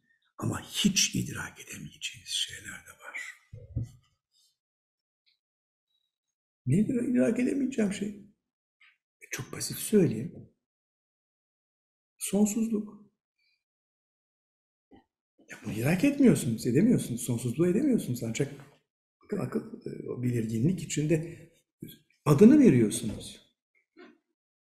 Ama sonsuzluk diyorsunuz. Ve o sonsuzluk hatta o kadar fark edilmediği yerde anlamlandırdığınız ve çok farklı yerlere sizi sevk edebilecek olduğunu hissettiğiniz yerde size biraz size kazandıracak olduğu ve böylesi bir yolculuğa sizin siz olarak davet edilebileceğiniz o yerde o sonsuzluk aslında sizi kendine davet de ediyor. Bir taraftan fark edemiyorsunuz. Yani ama bir diğer taraftan da akışa kendinizi, o yönelişe kendinizi, o cezbeye, o incizaba değil mi? Cezbedilişe kendinizi kaptırmış oluyorsunuz. Böyle bir kavramınız da var mesela. Böyle bunu farklı kavramları ifade edebilirsiniz. Oraya girmeyeceğim. Ama bu sizi akıl yoluyla belirgin kılmadı. E, hocam söylüyorsunuz, yani bunu şunun için söylüyorsunuz değil mi? Yani sonsuzluk olmalı. E, evet bunun için de söylüyorum. Yani sonluluktan bahsetmek hem de sonsuzluktan bahsetmektir. Negatif bir unsur olarak. Fakat bu onu anladım anlamına gelmiyor. Onu belirledim anlamına gelmiyor. Bunu yönelişinizin bir ufku olarak görüyorsunuz. Menzili de değil, hedefi de değil. Ufku olarak görüyorsunuz. Sonsuzca kendini size, sizin o seyyahlığınızda, seyrinizde açan bir ufuk olarak görüyorsunuz. Evet. Yani özgürlük olmak ister. Bakın sevgimiz, yani oradaki hayrette yani onu mesela sonsuzluk dediğiniz o yeri kontrol edemiyor. Yani gayb fikri de işte Safiye Erol iki üç defa geç. Gayb fikri de iki gayb arasındaki insandan bahsediyor. Şimdi yine felsefi bir şey yapalım. Arkadaşlarım bunu hatırlayacaklardır. Ee, Kant'ın e, kendinde değil mi şeysi, şeyi yani numen. Ama numen bilinmeyen değil, bilinemeyecek olandır. Biraz gayb fikriyle onu yakınlaştıralım. Bilinemeyecek olandır. Ne demek bu? Varlık olmak bakımından varlığın ta kendisini sizin tecrübe imkanlarınız ve akıl yürütme imkanlarınız, aklınızın kategorisi, kategorileri e, bilmek imkanına sahip değildir. Hocam bir gün biliriz ya. E, yani bilinemeyen olsa keşfedersiniz. E, belki hayal edersiniz. Gerçi hayal e, hayretin çok yakın bir kuzenidir. E, bir hayal edersiniz ama pardon bi- bilinemeyecek olan sizin bilinemeyecek olduğuna e, iman ettiğiniz neredeyse inandığınız bunu ortaya koyduğunuz yerdir ve bu sizi ayrıca harekete de geçiriyor bir yerde harekete geçiriyor. E, Kant için söyleyelim. Çünkü tecrübenin imkan alanı oluyor. Ne demek? E, bir dış varlık alanı var ve siz e, sizin aklınızın icadı olmayan, aklınızın kategorileri çerçevesine sığdıramayacağınız o alanı kendinde bir varlık, arka planında kendinde bir varlıkla seyrediyorsunuz. Yani şunu söylüyorum, ben tecrübe ediyorum bunu algılarımın içine ve kategorilerimin içine alıp onun bilgisini inşa ettim diyorsunuz ama peki kim söyledi bunun e, senin tecrübelerinden ibaret olmadığını? O zaman indiği olurdu, görece olurdu, relatif olurdu. E, evet ama onun arkasında benim çepeçevre kuşatamadığım, belirginleştiremediğim, bilemediğim, bilgi konusu haline getiremediğim bir kendinde varlık alanı var. Bırakın da o bana kendine, o bana kendini müdafaa etsin, bana dirensin ki ben o tecrübemin kendim ver, kendi verdiğim anlamla dahi olsa bir şeyleri ifade ediyor, bir şeylere referansla senin algılayabildiğin kadar bir şeyleri, benim algılayabildiğim kadarıyla bir şeyleri ifade edebiliyor olduğunu söylemiş olabileyim. Bakın oradaki bilinemeyecek olan, belki de şimdi sonsuz kavramında kullanabilirim, bunun bir imkanı olarak görülüyor. O kadar belirgin kıldığınız yer bu şansa sahip değil. Çünkü belirgin kıldığınız yer eğer kendi zihninizin imkanlarıyla belirgin kılmışsa sizin zihniniz olmasaydı pek de öyle bir varlık alanı oluşturmamış olacaktı kendinde anlamında. Bakın neler nelerle birlikte kompoze edilebiliyor. İşte bu açıdan e, akıl e, öyle bir noktada kendini e, öteleri kabul etmek ve kendi sınırını görmek ve size hatırlatmak bakımından akıllı oluveriyor. Yani aklın akıllı olması böyle bir sınırı bize bildirmesiyle alakalıdır. Akılsız bir akıl değil akıl. Kendi sınırının farkında. Keşke biz de insan olarak kendi sınırımızın, sınırımızın ve ölçülerimizin farkında olmuş olabilseydik. Buyurun efendim. Bütün diğer varlıklar var olmaları bakımından ondandır. Evet. Ya Samet işte bu. Samet. Evet. O ise Biliyorsunuz sadece- Abdülsamet'tir insan. Değil. Değil midir? Abdülsamet değil. Peki Abdülsamet o zaman. Değil mi gerçekten? İbnül Samet değil. Hayır. Ne peki? Ne, ne peki? Bir dakika buradan bir şey zuhur edecek. Allah'ım Samet. Evet. Tamam ama Abdülsamet var. Abdülsamet Bey var işte. Abdülsamet Bey'den de bahsediyoruz. Ancak onun kulu olmak manasında var. Oradan çağrışımı yapacak. Evet ama buradan bir şey çıkacak onu dikkat çekti. Evet. Buyurun O lütfen. ise sadece kendinden, kendisiyle ve kendindedir. Bu kavramları tefrik edebiliyor muyuz? Yani kendinden. Havza suyu mu? Efendim? Havza suyu. Evet, kendi kendisinin sebebi. Ens causa sui. Evet. Kendi kendisinin sebebi. Kendinden yani nereden zuhur etti, nereden geldi? Kendinden. Ben kendim sanki şeymişim gibi gösteriyorum kusura bakmayın. Kendinden.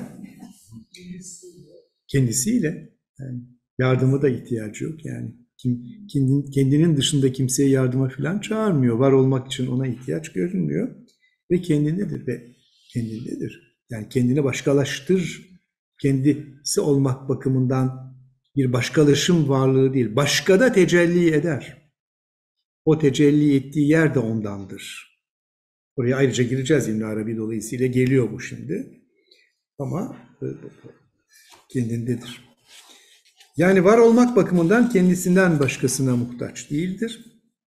Aslında varlık olan ya da var olan sadece odur. Biraz evvel söylediğim gibi. Evrenin yaratılışı onun kendi içine kapalı bir hazine olmaktan çıkarak bilinmeyi arzu edişiyle alakalıdır. Şimdi geldik böyle yaratılış noktasına. Yani burada okunacak en önemli kavram yaratılış. Peki bunun ya on, o varlığın ta kendisi ise peki başkaları ne? Sorusu geliyor. Burada İbn Arabi icazeti olan arkadaşımız var. Buyurmaz mısınız? Buraya okuyalım o zaman. Halisane, halisane. Bu yüzden evren onun kendini bilmeye arzu edişinin bir tezahürü, onun kendinden kendine olan alışverişinin bir sahnesi. Kendinden yani kendine nazaran başkası diye düşünebileceğimiz biraz akıl yürütüyoruz ve aklımızı şaşırtıyoruz ayrıca. Şaşırıyoruz da ayrıca. E peki hem kendinde hem kendine nazaran öteki kendi hem de kendinin gayrı, kendinin aynı fakat kendine nazaran da gayrı nasıl olur? Yani kendinin gayrı olduğu o zemin onun dışında bir yerde olabilir mi? Doğru öyle. O- da söyleyelim ama buradaki kavramı bir şekilde fark etmenizi hatta tadmanızı rica ediyorum. Yani gayrı var mı ki bir varlıktan bahsettiğinizde? O da onun karşısındaki komşu bir varlık olsun. Hocam aşkın ta kendisi değil mi? Kendileri. Tamam ama o aşkınlık da aşkın olması dolayısıyla ayrıca şimdi o aşkınlığının da bir tür izahı anlamında burada çıkabiliriz. Kendinin gayrı dediğim yani kendinden başka olma hali. Bir kere başkadan bahsettiğiniz zaman e, başkanın ayrı bir varlık danlığının olduğunu düşünmüyorsunuz. Düşünemiyorsunuz. Yani bu, bu noktada İbn Arabi sisteminden bakıyorum. Peki neden? O zaman şu çıkmıyor mu? Evet o çıkıyor. Ne? Kendinin gayrı da yani kendinden başka olma hali de ona aittir. O kendinden başka olma hali yani varlıktan varlık ötesinde varlıktan öteye varlığın dışında olma hali de ona aittir. E, o işte yokluk sahnesi oluyor. Yokluktaki sahne oluyor. Böyle bir şey. Efendim yıllar önce, 11 sene önce Müşten Cumhur e, hanımefendiyi hatırladım. O güzel Hep hatırlayalım evlerinde, e, ilk dersimde Zühre Yıldızı'nı anlattılar. Ondan sonra birlikte e, bir olmak, deryaya katılmak, e, kendilerini inşallah hatırlattırdılar burada. Belki de orada o noktada çok zor efendim demiştim, çok kolay demişti. E, sadece sizin e, yardımcınız e, yani yoldaki rehberiniz sizin bütün e, kötü huylarınızı alacaktır ve kendi güzel huylarını verecektir buyurmuşlardı. Evet ama burada o- henüz o girmedi. Değil, özür dilerim girmedi.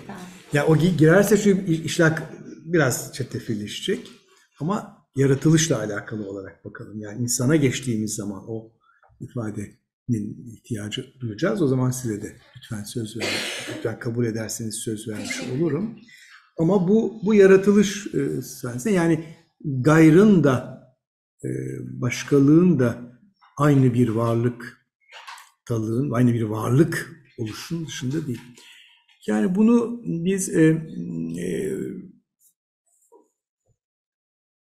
sofist diyaloğundan itibaren felsefe tarihinde konuşuyoruz. E, orada mıydınız hocam? Hayır, daha sonradan intikal ettim.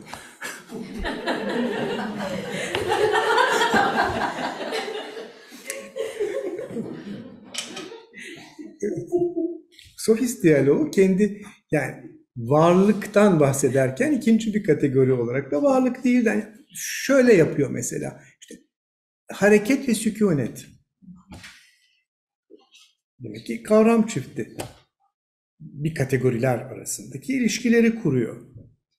Fakat varlık da bir kategori. Onun karşısında da varlık değil var. E, peki ne yapacağız? Aynı ve başka var. E, evet, e, bir de varlık değil var. Şimdi bu önemli bir problem. E, bu problem e, bir ve çok problematiği olarak daha önce Platon'da biz o zaman yanına gitmemiştik. Konuşulmuş. Sofist yani onda intikal ettik. Tabii bütün bunlar şaka yani. Şeyden dinleyecek olanlar hoca galiba başkalaşmış diyecekler. E, Sofiste bu aynı ve başka ile beraber peki varlık ve varlık değili hareket ve sükunet gibi e, varlık ve varlık değili nasıl algılayacaksınız? Önemli bir problem. Bu şeyde de devam edecek. Plotinus'ta da devam edecek. Daha iyi bir noktaya getirecek. E, İbn Arabi Hazretleri'nde de var. Yani bu işte bu şimdi ifade ettiğimiz gibi kolay olmayan yani matematikte nasıl kolay olmayan konular var. Bu da kolay olmayan konulardan bir tanesi. Bir tek yerde anlıyorsunuz. Bir tek yer üzerinden algılıyorsunuz. Ee, biraz geriye, bir sayfa geriye gidelim. İşte orada algılıyorsunuz. Bu bir olanı kendinizde algıladığınız yer itibariyle algılıyorsunuz. Çünkü siz bunu en iyi bu varlıktalığın içinde, var olanların içinde bunu idrak edebilecek, bir şekilde düşünce halinde de gündeme getirebilecek en e, uygun e, bir varlık alanısınız. Çünkü kendi olmaklığınız, şimdi geliyor sizin gireceğiniz nokta, ama bugün girmeyin, daha sonra girin. Geri geliyor. Bu varlık e, siz, siz olmayanla birlikte sizsiniz. Descartes gibi. Ama orada, e, Burada Descartes yok. Her Descartes hiç karıştırmayın. Şimdi ben sizi muhafaza edeyim. karıştır. Şey, işleri karıştırmayın. Varlık olmayan, yani varlık dalığınız yek diğerinin varlık dalığıyla. İşte ve tanrısallık adına da ortaya en yüksek mertebede ona yöneliş halinde ortaya koyduğunuz o yerle. Onun için nefsini bilen diyor. Bilirsen ancak onu, onu bilirsen ancak nefsi, nefsini bilirsen ancak onu bilirsin demesinin nedeni bu. Çünkü o da size nazaran size sınırınıza sığmayan bir, ölçünüze sığmayan bir alan. Fakat bunu en güzel idrak edeceğiniz yer yek diğeriyle birlikte var olma halinde siz bunu fark edersiniz.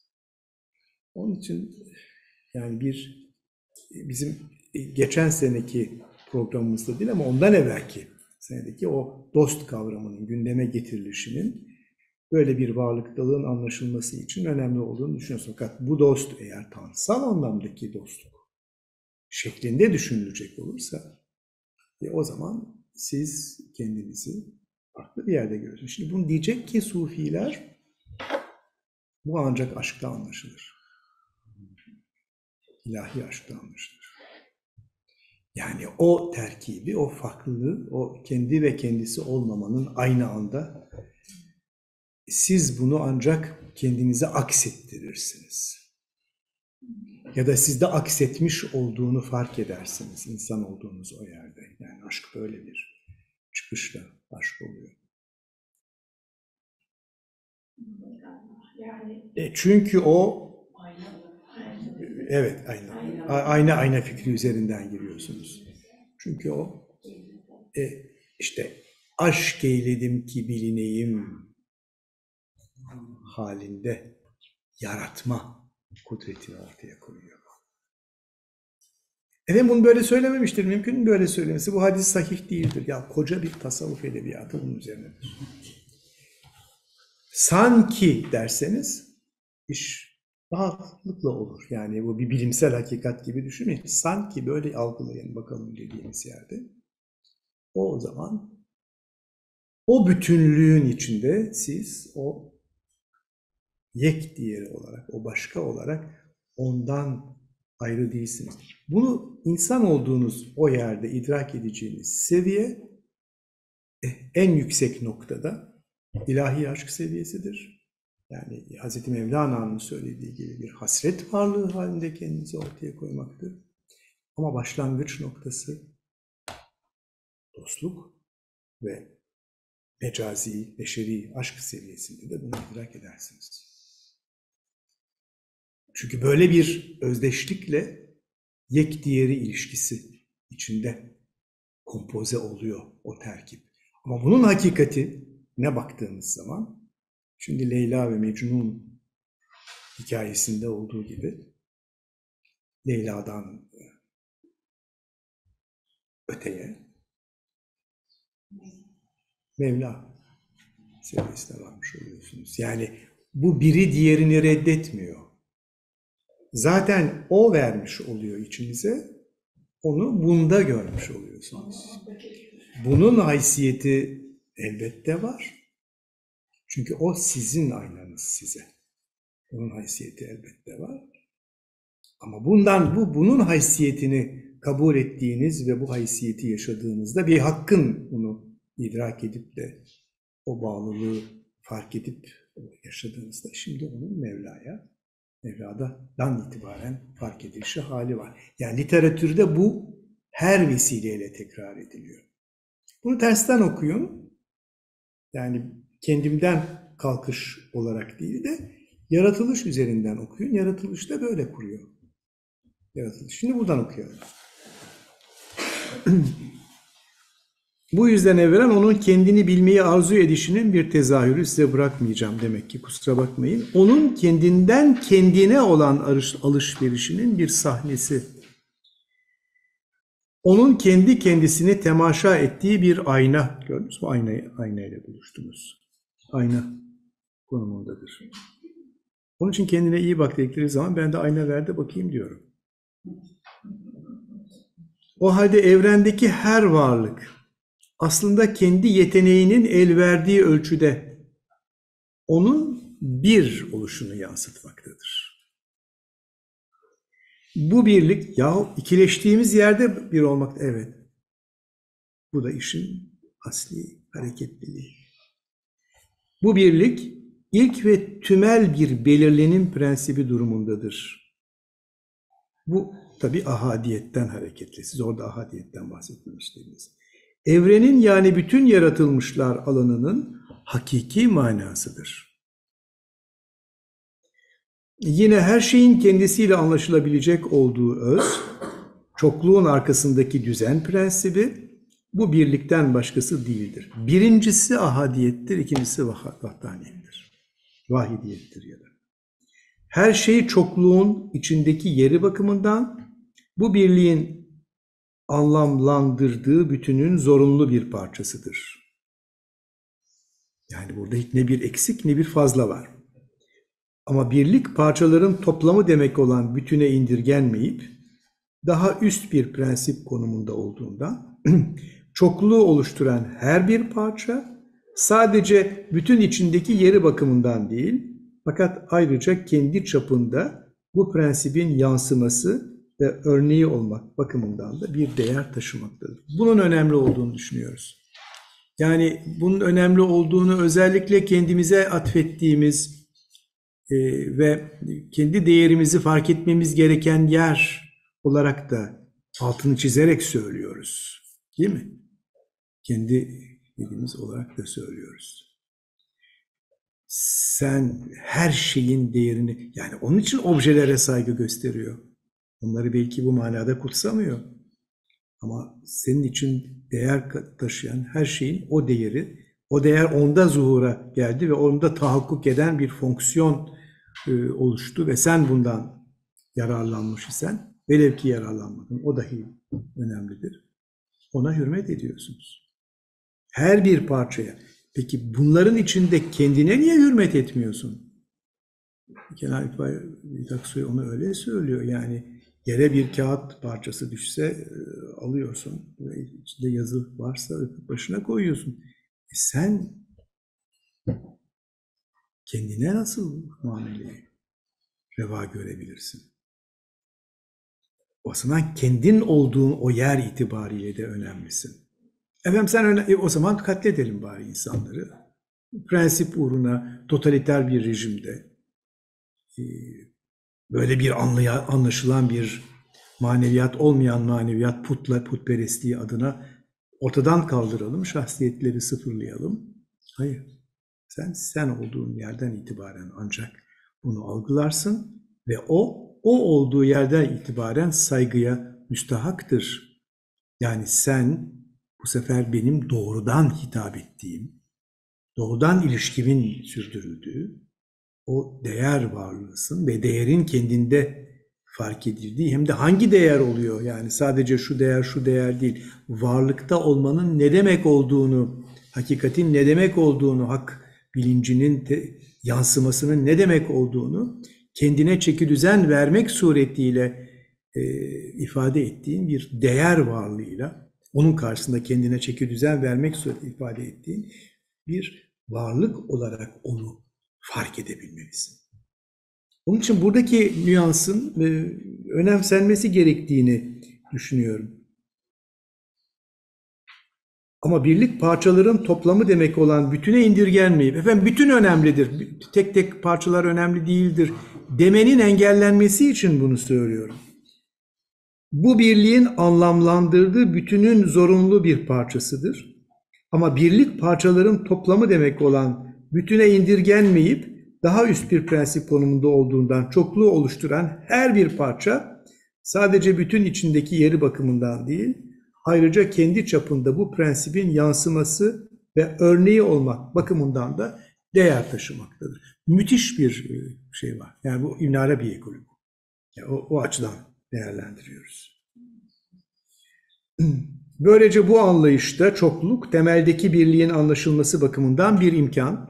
Hep söyledik. Birlik ise çokluğun ancak kendisiyle varlıkta kalıp öz kazanabileceği dayanaktır.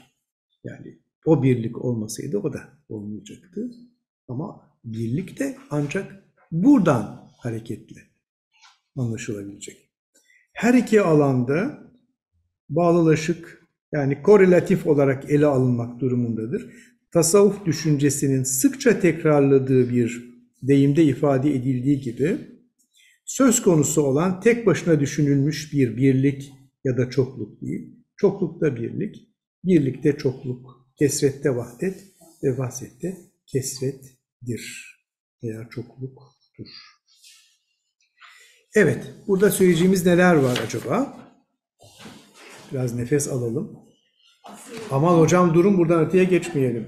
E zaten habire orada duruyoruz. Yani varlıkta olduğumuz andan itibaren. Bütün dünya insanlarının böyle bir şeye çok ihtiyacı Çok, çok. Bugün adına bunu açmak, bir insan anlayışı bakımından, bir e, varlık e, anlayışı bakımından, bir barış telakkisi bakımından, yek diğerinin anlamının bize emanet emanet edildi. Maalesef onu al da hükmet ona manasında değil. Onu idrak etmek, o anlamı idrak etmek ya da o anlamı anlamadıysan bile ona saygı göstermek işinin bize emanet. Yani kediye emanet edilmemiş bu. Ee, Kedi de arıyoruz da yani kedi de e, bu, bu, saygıyı göstersin fena olmayacak ama benim ona saygı göstermem lazım. Ya benim sana yani sen olana saygı göstermek mecburiyim. Biz Tanrı'ya saygı gösterdiğimiz için gösteriyoruz. Evet. Var yani. Ya o, o ama yani sen böyle bir saygının varlığı olduğun için kendine de saygı göstermelisin. Yoksa ben işte söyle bana benden saygın kim var bu dünyada demek için değil.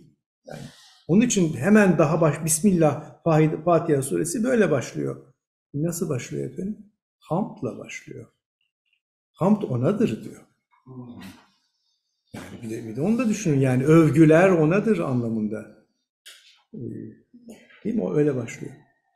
Ama yani kendinize e, tabii saygı göstereceksiniz ama lütfen kendinize bu e, temel prensipler çerçevesinin e, tahakkuk ettiricisi olarak saygı göstermeyi ya da şöyle söyleyelim, bu temel e, saydığımız değerlere saygı göstermenizi seçtiğiniz için ve bunun için yolda olduğunuz için, bunun için gayret ettiğiniz için saygı gösterin.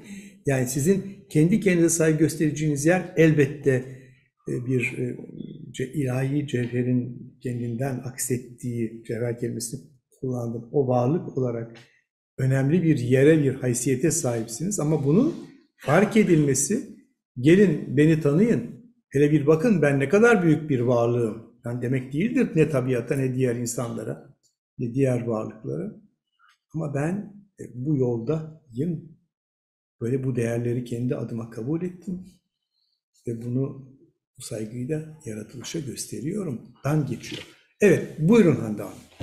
Gayet suskun olarak seyrediyorsunuz bugün. Burada burada duracağım çünkü ama yoruldunuz çünkü çok çok yoğun geldi. Devam etmek istiyorum fakat e, şey var. Yani bir sayfa, bir saat sonra biraz daha fazla bir şey var. En azından siz bir konuşun, bir e, arkadaşlarım konuşsunlar.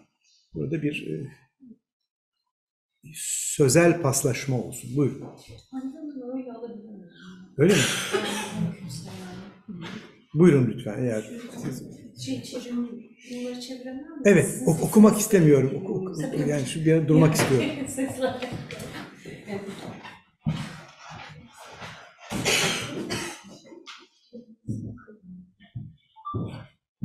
Şevket Bey siz de konuşmak isterseniz. Peki.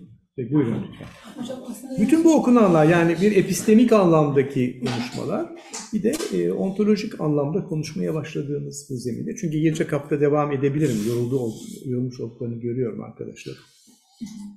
Evet. Hocam ben genel hakkında konuşayım çünkü tam bu kısım benim için oldukça e, yani konuşabileceğim bir bölüm değil tam bir bölüm ama Deneyin diye istedim. peki. Epistemolojide daha rahat konuşabilecek olduğunuzu düşündünüz değil mi? Evet. Yani bu varlıktalık üzerinden de bir konuşun diye istedim. Buyurun. Hocam hani genel başlığımız felsefe ile tasavvuf arasındaki ilişkiydi. O bağlamda belki şu ıı, düşünce denemesi ıı, yapayım diye. Lütfen. Ee, Yani bugün mesela hocam felsefeyi genel olarak e, şöyle tanımlayabilir miyiz diyeyim. Daha çok e, sözün, e, cümlenin yani dil bilgisel ve kurallı yapının içine sıkışmış gibi duruyor. Yo- Yorumsamacı olan, işte varoluşçu olan dışında genellikle ağırlıklı olarak bu ya da büyük yapılar işte postmodernizmde de büyük yapıların artık yokluğu üzerinde onları çözülmemek e, Ya şu anda ç- çağ e, postmodern olarak ifade etmek de kendini debriyaja bastı. Evet. Ama debriyajdan kaldırdığınız zaman tekrar hareketlilik başlayacaktır. Yani bu bir paranteze alma dönemi. Evet buyurun. Evet. E, fakat e, sonuç olarak felsefe sadece kendini sanki e, bu e, cümle dizisine, cümleye, kurallı yapıya, kelimeye sıkıştırmış e, gibi duruyor. E, Burada mesela bahsettiğimiz hani varoluşsal olan, ontolojik olan bu açıdan bizim zihinlerimizi açıcı diye düşündüm. Yani çok bilinçli olmasa da hepimizin zihninde aslında felsefe bir şekilde e, dil bilgisi içinde sıkışmış bir durumda. Ama bu böyle olmak durumunda değil. Hakikati yine arayabilir felsefe. Çünkü e, belki şu anda felsefenin de böyle araçları varmış gibi bu tür birisi olarak baktığımda hissediyorum. E, sonuç olarak insan yapısının tükenmemiş olmasından düşünüyorum. Yani insan hani felsefe belki bir noktada kendisini bu noktada iflas etmiş, ilan etti bir ara ama insan pes etmedi diye hissediyorum ben.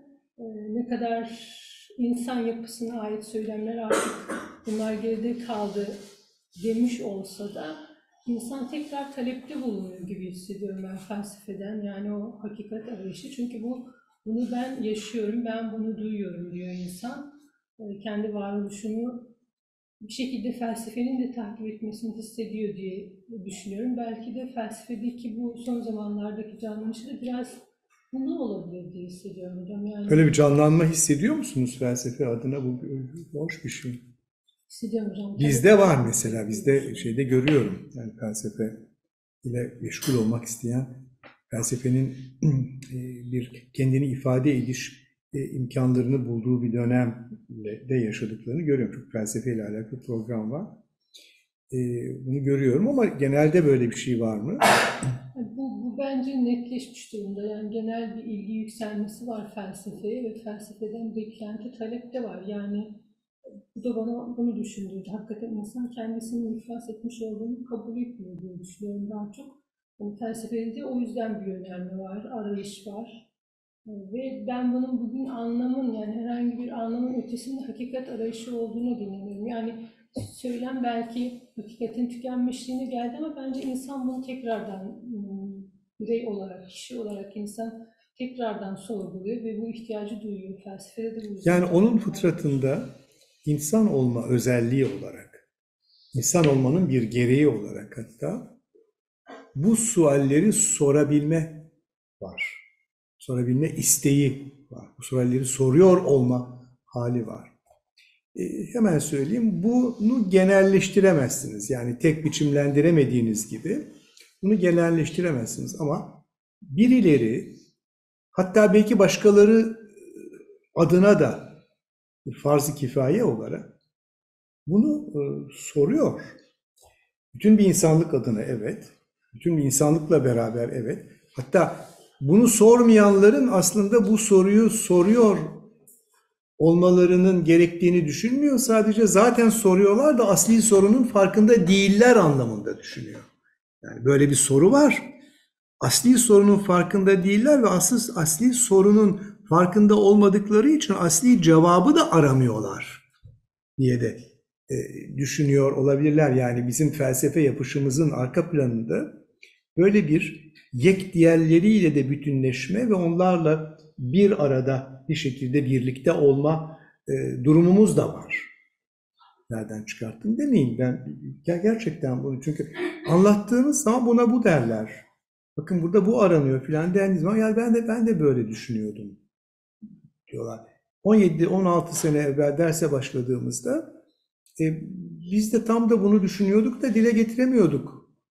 E, değil mi değerlendirmesi oldu Tülay Hanım, e, Füsun Hanım? Yani böyle bir değerlendirme oldu. E, bu, bu çok önemli yani bir dile getirme, sizinle ilgilenebilecek olduğunuz e, bir ortaya koyma e, anlamında. Bunun insani olduğunu, beşeri olduğunu e, belli bir seviyeye gelindiği zaman hadi ilkokulu bitirdik tamam onun gereklerini yaptık lise, üniversite filan. Peki bir takım şeyleri engelliyorsa içinizden doğabilecek bir takım sualleri ve bunların arayış yoluna girmenizi engelliyorsa yapı, toplumsal veya işte e, tarihsel şartlar, iktisadi şartlar orada bir bunalım hissediyorsanız, bir kriz yaşıyorsanız böyle bir soruyu aslen formüle edemeyişinizle ve böyle bir arayışın içine giremeyişinizle de alakası olabilir. Bunu ne küçümseyeceksiniz ne de çok fazla büyüteceksiniz. Bu sizinle beraber zaten var. Kendinizi küçümsememek adına bunun gerekliliğini anlayın ve kendinizin bunu gerçekleştirebilecek olduğunuzu düşünmek suretiyle bunu da çok fazla büyütmeyin ama koyulun yola. Yani hayat bunu gerektiriyor. Ve bununla bütünleşmeyi manevi olarak da düşünüyor. Yani ekstansiyel anlamda bu soru sadece sorduğunuz herhangi bir soru değil.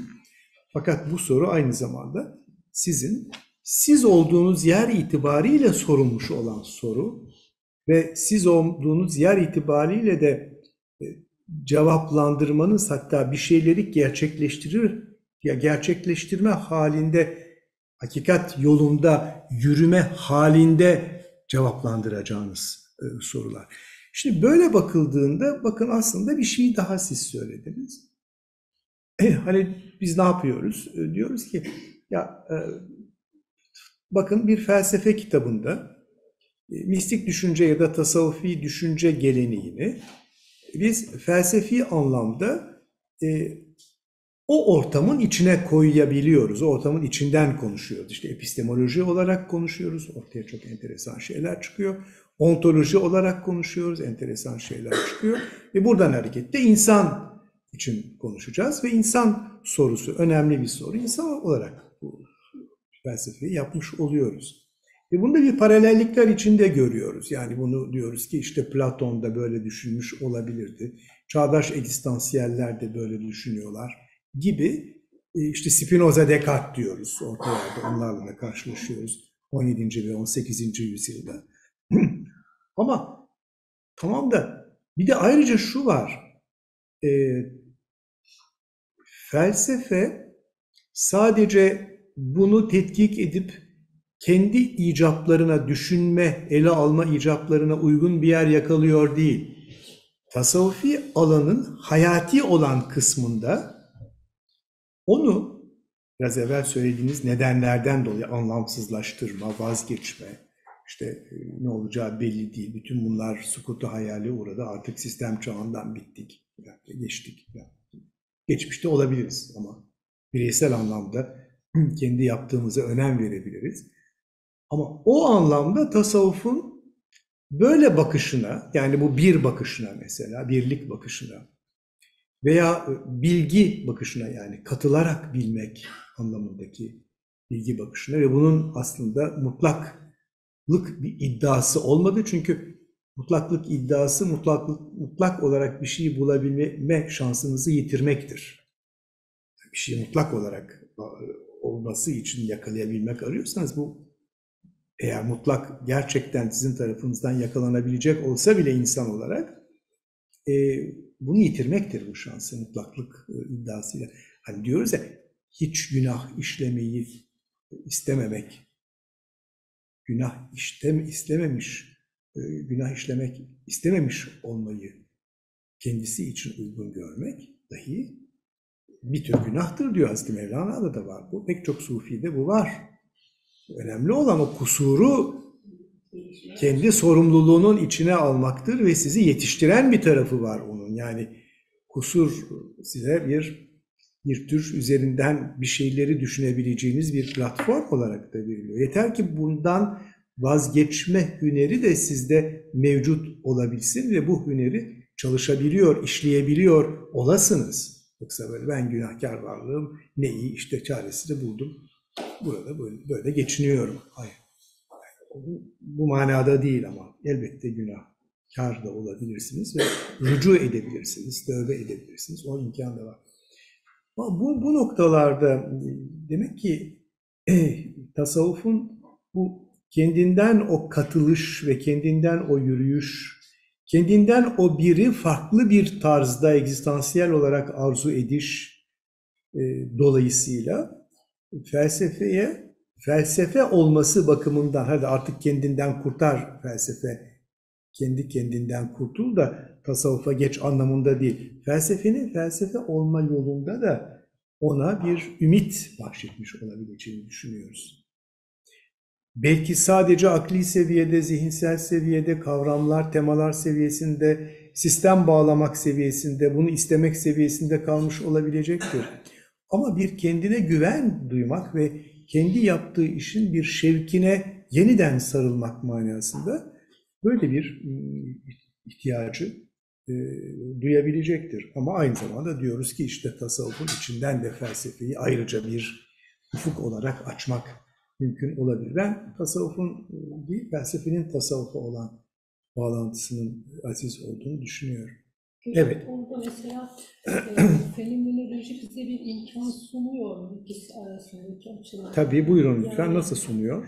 e, fenomenoloji e, deneyimden yola çıkması ve bir de e, benim onu anladığım bir, onun kendini anladığım Affedersiniz. Hayırla görüşelim inşallah. Eyvallah. Hayırlı kandiller. Fenomenolojiye geldik. Evet buyurun. Fenomenoloji e, deneyime yöneliyor, nasıl yaşandığını e, araştırıyor ve e, Neyi deneyimliyorum burada diye de bakıyor. Yani ve e, diyelim ki felsefi olarak bakıldığı zaman da ona onu kendi anladığı gibi anlamak, kendini kendisinin tanımladığı gibi tanımlaması önemli. O açıdan fenomenoloji e, felsefe ile tasavvuf arasında bize bir imkan verir mi? E, ve insan deneyiminin e, tek boyutlu olmadığını biliyoruz. Mesela biraz önce e, söylediğiniz sözde de hani bunu ben anlatabilirdim, böyle hissediyorum diye. Mesela e, bir soruyla karşılaştığımız zaman böyle ifade edersek cevabı biliyorum ama kelimeleri bilmiyorum diyebiliyoruz bazen mesela. Bunun cevabını biliyorum fakat hangi kelimelerle nasıl ifade edeceğimi bilemiyorum diyoruz.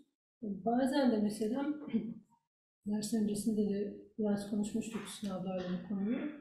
Ee, Genç insanlarda mesela bugün çok sık rastlanıyor, çok yoğun eğitim aldıkları için metni okuduğunuz zaman 40 yaşında bir insanın metni zannediyorsunuz ama çocukla konuştuğunuz zaman e, o yoğun eğitim sonucu o kelimeler, o tecrübe varmış gibi orada duruyor ama e, işte ayrı eve çıkamam, annemsiz yaşayamam diyen bir çocukla karşılaşıyorsunuz. Yani e, iki örneği ben önemsiyorum. Biri cevabı biliyorum ama kelimeleri bilmiyorum.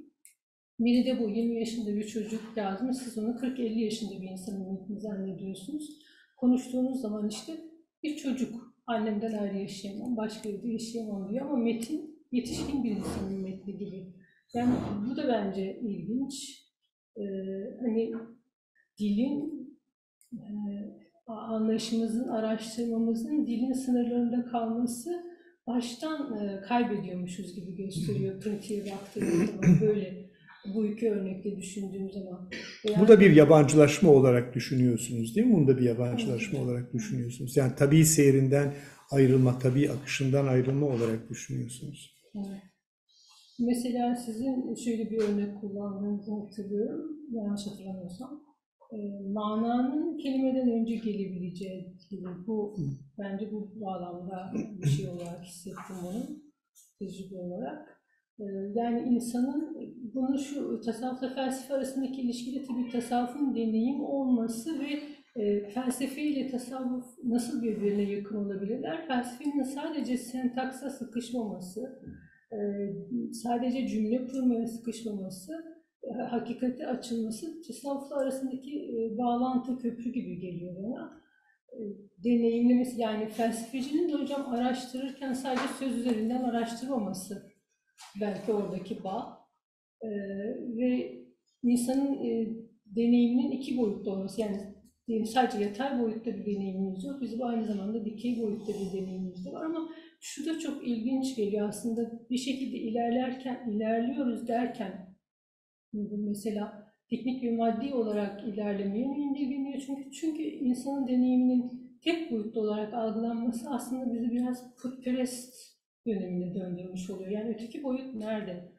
Tamamen e, putperest halinde, o putperest bir algılayış mı hakim oluyor biz fark etmeden hani çeşitli imkanlardan dolayı, maddi e, işte teknolojiden dolayı aslında insana ait olan öteki boyutu görmemiş mi oluyoruz? Tam tersine ilkel, daha ilkel bir duruma mı düşmüş oluyoruz diye düşündüm. Evet, sor- sor- sorularınızda gündeme getirdiğiniz konular. Aziz çok teşekkür ediyorum. Sağ olun, var olun. Evet, buyurun Şevket Bey. Ontoloji ile alakalı bir şey söylemiyorsunuz değil mi? Peki.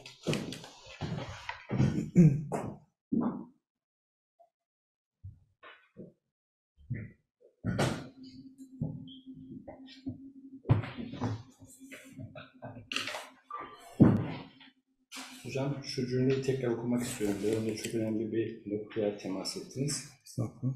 Ee, Tanrı sadece var değil fakat varlığın ta kendisidir. Evet.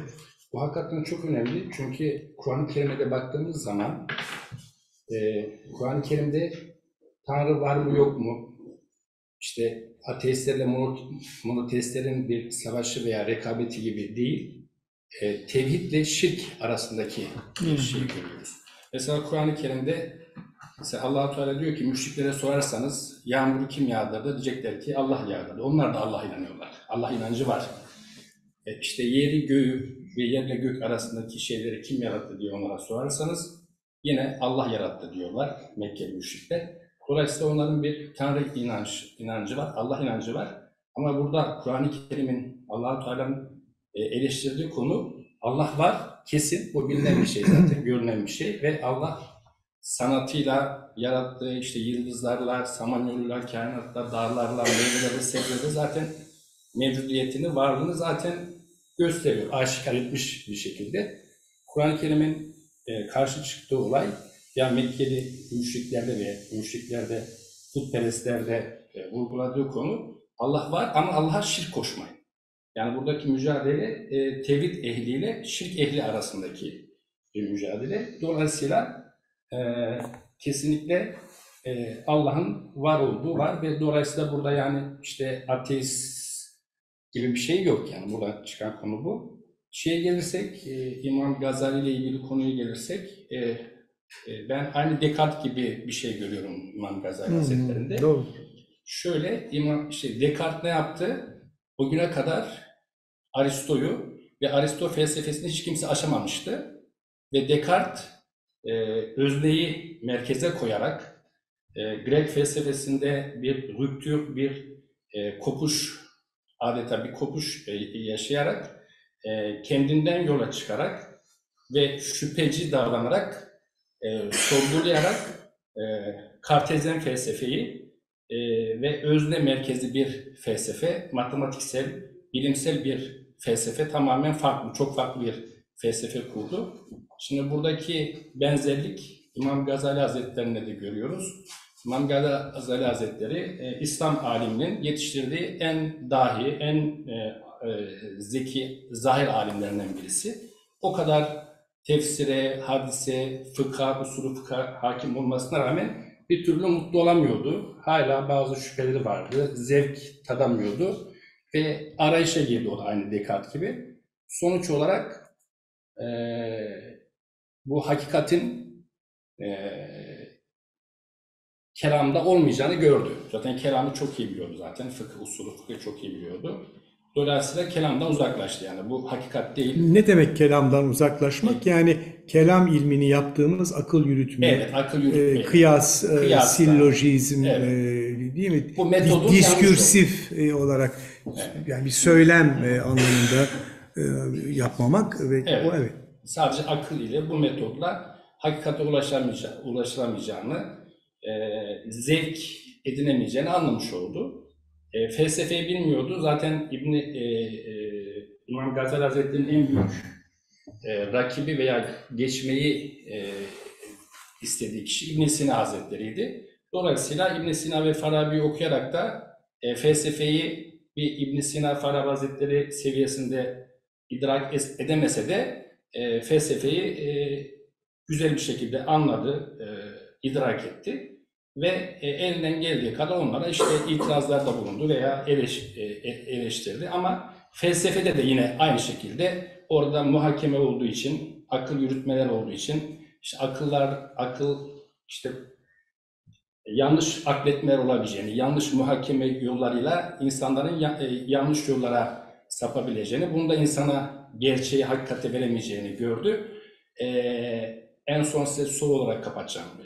Görüşme, konuşmamı bitirirken o üç konuda işte üç önemli meselede maalesef e, o en büyük hatasını yaparak e, işte İbn Sina Hazretleri'ni ve Farabi Hazretleri'ni ma- maalesef tekfir etti. E, olacak Evet, o keşke ol- olmasaydı, yaşanmasaydı. Ee, şeye gelirsek hocam, e, e, şimdi felsefe tasavvuf arasındaki benzerlikler, e, e, şimdi biz tasavvuf yaptığımız zaman tasavvufta hakikaten felsefe var mı, felsefe yapıyor muyuz? Yoksa böyle çok muğlak, çok e, öznel, çok e, kendi e, öznel bir şey mi yapmış oluyoruz?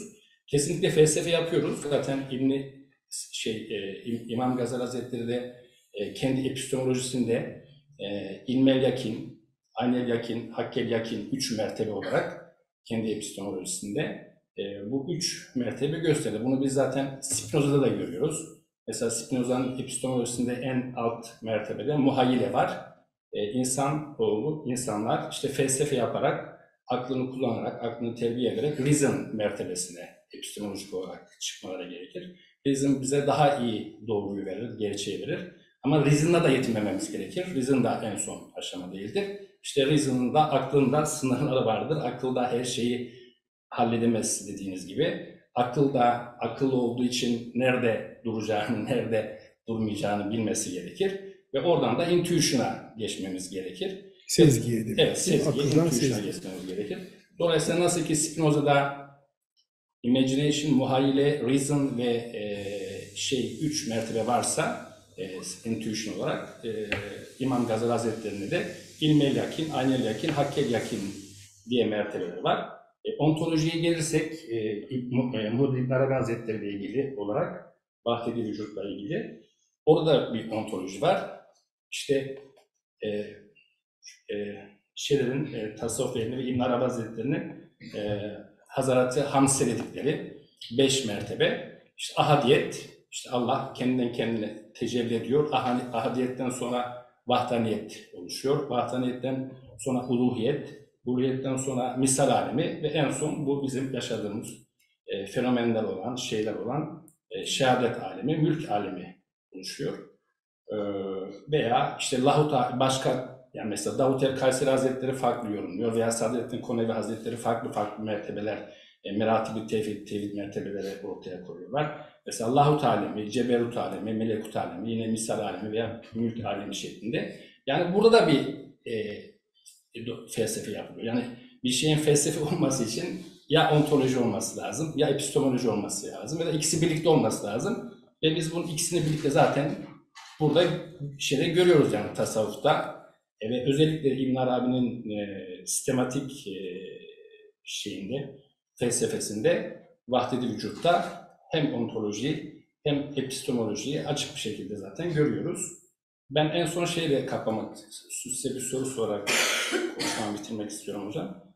İşte bu e, İmam Gazali Hazretleri bu kadar işte e, ilme önem vermesine rağmen hatta işte mantık bilmeyenin ilmine bilen ben güvenmem demesine rağmen ki çok yanlış anlaşıyor işte felsefeyi ortadan kaldırdı İmam Gazali veya e, felsefeyi öldürdüğü gibi çok e, Yani Kant'ın ve- öldürmesine benzer felsefe. evet şeyler var. Kant felsefeyi öldürdü demek de Evet, aşağı yukarı. Böyle aynı şey. diyen birisi nasıl oldu da yani o üç konuda, o üç meselede tekfir tekfire gitti. Evet. Yani sadece eleştirseydi orada kalsaydı niye tekfir etti sizce? Onu Onu bilmiyorum. Yani girme, giremem de. Ha, yok, tamam. Yani giremem de. O yani. Anlayamam. Yani kendisi bir izah etmişse o izahı Yok. belki izah etmek açısından bakılabilir. O izah e, değerli, izahın izah olduğu o yapıyı değerlendirebiliriz. Ama e, yani Yok, ben şey sordum sadece. O konuda haklı olup olmadığı, kimin haklı olup kimin haklı olmadığı konusu değil. Niye yani? Ben böyle düşünmüyorum. Keşke böyle söylemeseydiler. Keşke bu kadar ileri gitmeselerdi denilebilecekken çok yani aşırı uca kaçıp tekfir ki şeyi- güzel değil. Evet. Efendim? Güzel değil, doğru değil. Evet. Yani bu, bu böyle bir şey. Yok, ben kendi Küpe şey- Ahmet Hoca'nın biraz evvel hediyeleri gibi Orada geliyor. mesela peki başka çağları bugünden bakarak yargılamış olmuyor. Olabilir, olabilir. O bakımdan yani evet bir yapıyı görelim ve Yani kendi argümantasyon, kendi Bakın. argümantasyonları bakımından değerlendirelim diye bakalım. Ama Fahrettin Hoca e, e, bu noktada çok karşıdır Gazali'ye ve ondan da dinlemekte yarar vardır. Ama ben hocam şeyi sormadım. Yani kim haklı kim haksız argümantasyonlar o detaylara girmeden sor. Ama ben ancak argümantasyon üzerinden bakabilirim. Yani oradaki argümantasyonun Yok hocam, değerlendirmesi yani bakımından bakarım. Ama o da e, din bilimleri açısından bakmayı gerektirir. Beni sadece alakadar eden çok velut e, bir e, felsefe e, etkinliği tarihine açabilecekken Gazali'nin bütün bu görüşleri tam tersine ondan ilham alarak veya onu öne sürerek, onu bahane ederek e, tam tersi noktaya gelinmiş. E, ve e, bizden işte Descartes'in, e, Kant'ın, Hume'un e, ki bunlar aynı insanlar değillerdir, farklı görüşleri savunurlar. İşte fenomenolojinin, Pascal'in, e, egzistansiyalizmin bütün bu subjektif alan, düşüncel temel e, kriteri olarak bakıldığı o yerde pek çok şey Gazali'den hareketle de söylenebilirdi. Biz her seferinde bu uzlaşmasını bir türlü becerememiş olan e, bir e, ikili görüşün mücadelesini yapmış oluyoruz orada. E, Tehafütler geleneği olarak da alıyoruz. Yani 12.sindeydi ben bildiğim kadar Karabayi tehafütüydü, tehafütüydü. Felsefenin tutarsızlığından bahseden tehafüt kelimesi, tutarsızlık demek. Ee, belki daha da fazla, 15'te çıkmış olabilir, 16'da çıkmış olabilir. Ee, ama bir e, tehafüt geleneği ve buna verilen cevaplar geleneği var. Bizdeki felsefe ya da tasavvufi etkinlik açısından bir gelenektir. Değerlendirmekte insan zihninin çalışabilmesi açısından önemlidir.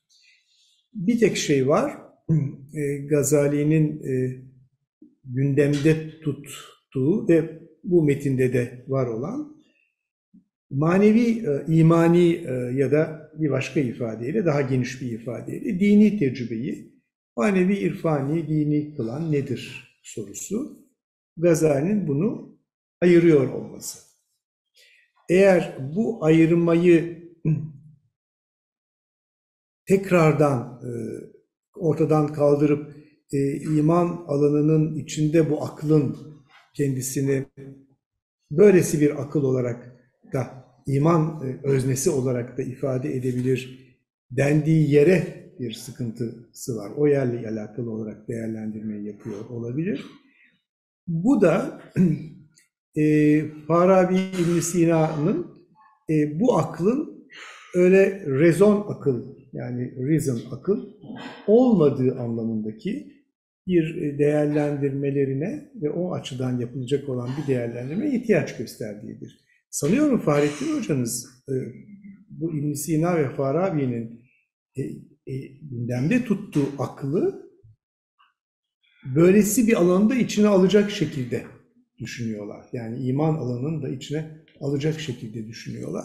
Bu terminolojik ya da felsefi ekolleşmeler arasında kendine mahsus bir ihtilaf anlamında da değerlendirilebilir. Böyle yaparsanız bu budur manasına gelen bir, bilmiyorum, tekfir işine hiç karışmak istemiyorum. Ben son derece ızdırap duyuyorum. Bir, bir insanın bir başka insanı tekfir etmesi işi benim çok ızdırap duydum. Ben de ızdırap için. Çok çok ızdırap duydum bir noktada. Hocam orada çok özür diliyorum. Buyurun. Yani mesela kendi e, onu kişisel olarak öyle görmesi gerekmez fakat Ha, evet, evet, o olabilir. Mesela Haklısınız, tabii. bir şey Böyle bir söylem, böyle bir sistematik e, benimserseniz bu olabilir. Mesela Aynı şey- aynı şeyi düşünüyor, düşündüm. vahyi düzenlemeye yaklaşıyorsa kendi konumu gereği bunu sınırın dışına atmak istemiş olabilir. Yani zihin vahyi... Evet, o manada ben de öyle anlıyorum. Olabilir. Ama o zaman herkes herkesi tekfir eder. Hayır, yani kişisel değil diyor. O zaman Orada Eğer İmam Gazali'ye göre o haşa kafir ise o da ona göre kafir olur. Hayır. Yani bunun sonu gelmez. Hayır. Bu savaşlara Hayır, şöyle söylüyor. Mod olarak düşünün. Düşünme ve iman etme modu olarak düşünün. O bu modda olmaklık eğer bunu reddediyorsa imanı reddediyor anlamına gelir. Sanıyorum bunu söylüyor e, değerli arkadaşımız. Ama bu İbn Sina Farabi açısından değil, her e, anlamdaki şey için dini tecrübe, hatta dini ideoloji haline getirenler için de söz Yani dini bir siyasi ideoloji, bir şey haline getirenler için de söz konusudur. Tereddüt göstermiyorum burada. Yani siz bir şey söylüyorsunuz. Sanki bir şey söz alacaksınız. Yani burada tereddüt etmeden söylüyorum. Eğer bunu bir ideoloji haline getirdiğiniz anda dini tecrübeyi ihmal edip bir felsefi sistematizasyonu ideoloji haline getiriyormuş gibi getiriyor ve bunu politika aracı haline getiriyorsanız burada da bir şey söz konusudur. Yani burada, da bir şey. İnsanların buna asli alana imanları bakımından söylemiyorum. Fakat tavır, yaklaşım tarzı olarak söylüyorum ki yanlış bir noktaya gider. Onun alt edildiği zaman o zaman İslam alt edilmiş olur veya Hristiyanlık alt edilmiş olur ki oradaki o hiçbir din, hiçbir semavi din, hatta hiçbir inananları içinde yer aldığı ve bağlılıkların yaşadıkları hiçbir din böylesi bir e, kaderi e, tanımamalıdır. Doğru değil. Yani böyle bir şey var. Ama işte bu yanlış yol açıldığı için hocam e, daha sonra e, işte e, İbn Arabi Hazretleri'ne işte bir kısım Şeyhül Ekber derken bir kısım Şeyhül Ne, Ek- onun o Ekber kendi dedi. İmam Kendi problemleri. İm- İmam Sürelerde Hazretleri katledildi. İmam e, Marş, e, İsmail Marşuki Onlar- on- Hazretleri onlar- gibi. on- yok. Yani onlarca yüzlerce ve bunu açan o oldu. Eş, eşari ekolünün ö- Sadece, yani ben demek istedim sadece tehafüt denseydi, tehafütte kalsaydı veya çok sert eleştiri Nitekim olsaydı. bizim bizim kürsümüzü alakadar eden kısmı da zaten bu kadar. Evet. Yani tehafütler konusudur. Tehafüt.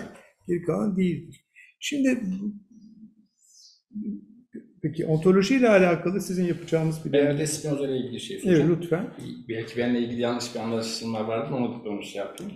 Ee, şimdi Spinoza'ya göre, e, haklısınız hocam, sadece e, immanons var, içkinlik var Spinoza'ya göre. Zaten Spinoza'yı Spinoza yapan ve en önemli e, düşüncesi e, Spinoza'nın e, aşkınlığa karşı olması. E, aşkınlığı reddetmesi yani. Aşkın bir tanrı, transandan bir tanrının olmayışı Spinoza felsefesine Evet. göre. Evet. E, dolayısıyla tabii ki Spinoza tözle başlıyor. E, töz e, işte Tanrı, Tanrı'nın sonsuz e, sıfatları var. O sonsuz sıfatlardan biz iki tane sıfatını e, biliyoruz, algılıyoruz. Uzam e, ve düşünce. E, ve yine o sonsuz alan... Yani Descartes'in e, bu e, iki cevherini tek cevher haline Evet, tek cevher haline Yani düşünce cevheriyle, e, akıl cevheriyle, uzam e, dediğimiz yer, yer tutma, Yer madde cevheri tek cevher haline getirdiğiniz zaman e, birbirinin e, mütemmim cüzü de değil, birbirinin neredeyse aynı, madalyonun iki yüzü olan bir yapıda tek cevhercilik fikrini savunmuş oluyor. Böyle Evet. bir manası var. O bakımdan da hep panteizm, tasavvuf, Evet. vahdeti vücutla karıştırılabilmiştir. Hı. E, halbuki o bak ben Paris 1'de bir e, bir aylık bir ders verdim biliyor muydunuz? E, 2003'te. E, dersin konusu da immanence et transcendance dans le soufisme klasik. Yani klasik tasavvuf anlayışında içkinlik ve aşkınlık ilişkisi. E, enteresandı. Şimdi son diyecek ki onun için tercüme etmiyorsunuz. O metinler var mı hocam o metinler? Yok mu? İstifade ederek hem daha evvel yazdıklarımdan da istifade ederek ama zaten ben bunu konuşuyorum. Devamlı olarak bunu konuşuyorum. Yani de bende aşkın ve içkinle alakalı bizim hep hep bunu, Evet. bunu konuşuyorum. Yani bu şeyde böyle bir şey var ama enteresan tabii fikir enteresan. Çünkü ya immanensçılık deniyor Evet. ya e, transandansçılık deniyor. bunu çözmüş. Şimdi oraya geleceğim. Evet, hocam. evet, evet. Ee, işte Allah, e, Tanrı'nın sonsuz sıfatları var. İkisini biliyoruz. Aynı zamanda Tanrı'nın sonsuz modüsleri de var, kipleri de var. Ee, işte insanlar, evren, bitkiler, işte fenomenler, onlar da modüsleri oluyor. Ama e, İbn Arabi Hazretleri hem tenzihi hem teşbihi ikisini birlikte tenzihte teşbih ederek, teşbihte de tenzih ederek ve bunu işte tevhid çatısı altında tevhidle birleştirerek ve vahdet-i vücut e, anlayışıyla bunu çözmüş oluyor. Ama ben de biraz Spinoza'yı seven ve Spinoza'dan çok etkilenen birisi olarak e, şöyle onu çözüyorum. Tabii Spinoza bunu söylemiyor da yani onu öyle söyletemeyiz. Ben acizane öyle görüyorum. E, şimdi e, zaten Spinoza'nın materyalist olduğunu söyleyenler veya Tanrı'yla hiç alakası olmadığını söyleyenler veya Spinoza Tanrı'yla hiç alakası yoktu, Tanrı'yı hiç gündemine almadı diye okuyanlar e, şuradan yola kalk, ka- şuradan yola çıkıyorlar veya şunu önümüze su- sunuyorlar. E, Deus sive natura. Bunu çok önemsiyorlar bu cümleyi. e, Deus sive natura, Tanrı veya doğa. Tanrı yahut doğa cümlesini Aynı manada. bir dogmatik hale getiriyorlar. Ve o e, Deus sive natura Yani ya birini Evet. yahut değil. evet. Ya, bu ismi ikisi aynı anlamda kullanılıyor. O, o Yani şuur veya eşit bilinç oluyor. demek gibi. Evet. Yani aynı Yani şeyi Tanrı'nın onun yerine Natura'da koysak, doğayı da koysak, doğanın yerine Tanrı'ya koysak yanılmış olmuyoruz, yanlış bir şey yapmış olmu- olmuyoruz diyorlar. O zaman Tanrı Natura oluyor, doğa oluyor, doğada Tanrı olmuş oluyor. Şöyle söyleyelim. Onlara göre böyle. Tabiat olarak Tanrı, Tanrı olarak tabiattan Evet. bahsetmiş oluyor. Şimdi ben bu evet evet. Ama ben e, şöyle olayı biraz şey yapıyorum. Spinoza şunu söylemeseydi yani şu Spinoza'da şu iki kavram olmasaydı e, bu Le Traite'de geçiyor, kısa incelemesinde geçiyor. E, Spinoza e, naturayı ikiye ayırıyor. Bir natura naturans Hmm. var, bir de natura naturata var. Yani tabiat kılıcı tabiatla yani yarat Doğuran evet yani e, doğayla Natüre eden. natura. evet. E şimdi burada ben şöyle yaklaşıyorum. Natura naturans Allah'ın zatı olarak alıyorum. Natura naturansı. Natura naturatayı da Allah'ın sıfatları olarak alıyorum. Dolayısıyla zaten yani Spinoza gibi büyük bir filozof şunu demiş olamaz ki yani doğa nasıl olar? Yani Tanrı eşittir doğa nasıl olabilir? Yani şu masa, şu kalem, şu kitap ben eşittir Tanrı yani bu kadar Spinoza aptal ve ahmak olamaz bana göre yani. Burada natura naturansla natura naturat arasında çok büyük bir fark var. Yani natura naturans her şeyi yaratan, her şeyi var eden, var kılan e, şey. E, dolayısıyla Allah'ın zatı oluyor. Natura naturata da Allah'ın sıfatları olmuş oluyor. Yani bu şekilde Buna zat ve sıfat demen de demeniz de gerekmiyor. Yani bunu bu şekilde değerlendirmeye almak ve bunun üzerinde konuşmak da mümkün olabilir Spinoza'cılar açısından. Şimdi yani ben burada şu metni yazan e, şahıs olarak e, mesela bu bu metin e, İbn Arabi'den bahsettiğim yer siz de bunu görüyorsunuz. E, kısaca anlaşılmış hali gibi düşünün bu metinde İbn Arabi üzerinde. Yanlış da olabilir. Düzeltmek için de bana yardımcı olun. Ee, burada İbn Arabi ile Spinoza arasında bir fark var. Yani burada Spinoza bunu görse ben biraz daha nüanslı düşünüyorum. Veya İbn Arabi Spinoza'yı okusa ben biraz daha nüanslı düşünüyorum. İkisini de tanıyanlar bunun arasında bir nüans e, var diyecekler. Fakat benim daha farklı bir noktada e, Spinoza ile alakalı, Spinoza görüşüyle alakalı pek çok kaba, çok e, köşeli bir e, değerlendirmem var. E, bunu aynı şekilde tasavvuf veya tasavvuf içinde yer alan İbn Arabi düşüncesi içinde söylemek mümkün müdür? Belki de mümkündür. Nitekim İbn Arabi düşüncesinde çok kaderci bir İbn Arabi diyelim ki e, ayağını sabiteleri, ayağını sabiteleri düşünebilirsiniz. E, ama diğer taraftan da çok özgürleştirici. Ya benim içinde kendimi düşündüğüm, böyle söylediklerine anladığım, böyle böyle söylediklerini böyle yaşadıkları için fark ettiğim şey e, ayan sabite fikrinin kendini sizin paylaşta olduğunuz bir anlamda e, açma halidir ayağın kendi halinizi. Açma halidir. Yoksa şimdi ben tam da ona varacağım değildir. Yani çünkü o zaman aksiyon olmazdı. Bak şahıs fikriyle bütünleşme olmazdı. O zaman şöyle bir objeksiyonum var. Yani şöyle bir felsefi anlamda belki de yanlış anladığım için bir itirazım var. O şöyle anlaşılırsa ona itirazım var. Ee, tasavvuf düşüncesinde de e, her birimizin Müslüman olarak kendimizde bulmamız gereken o bilinç itibariyle de insanın e, bir irade varlığı olduğunu düşünüyorum. Yani özgür insan olduğunu düşünüyorum. Özgür varlık olduğunu düşünüyorum. Şimdi Spinoza da özgürlüğe iman ediyor. O da istiyor. O da özgürlükten bahsedecek. Fakat Spinoza'nın özgürlüğü çok kısa, çok kuru bir ifadeyle zorunluluğun bilincidir. Yani baktığınız zaman zorunluluğun bilincidir. Şimdi ben insanın e, zorunluluğun bilinci olduğunu düşünmüyorum. E, zorunlulukla ilgili olarak bir bilinç var. Ama bunun anlamını daha ziyade ontolojinin e, dış tarafı olarak alıyorum.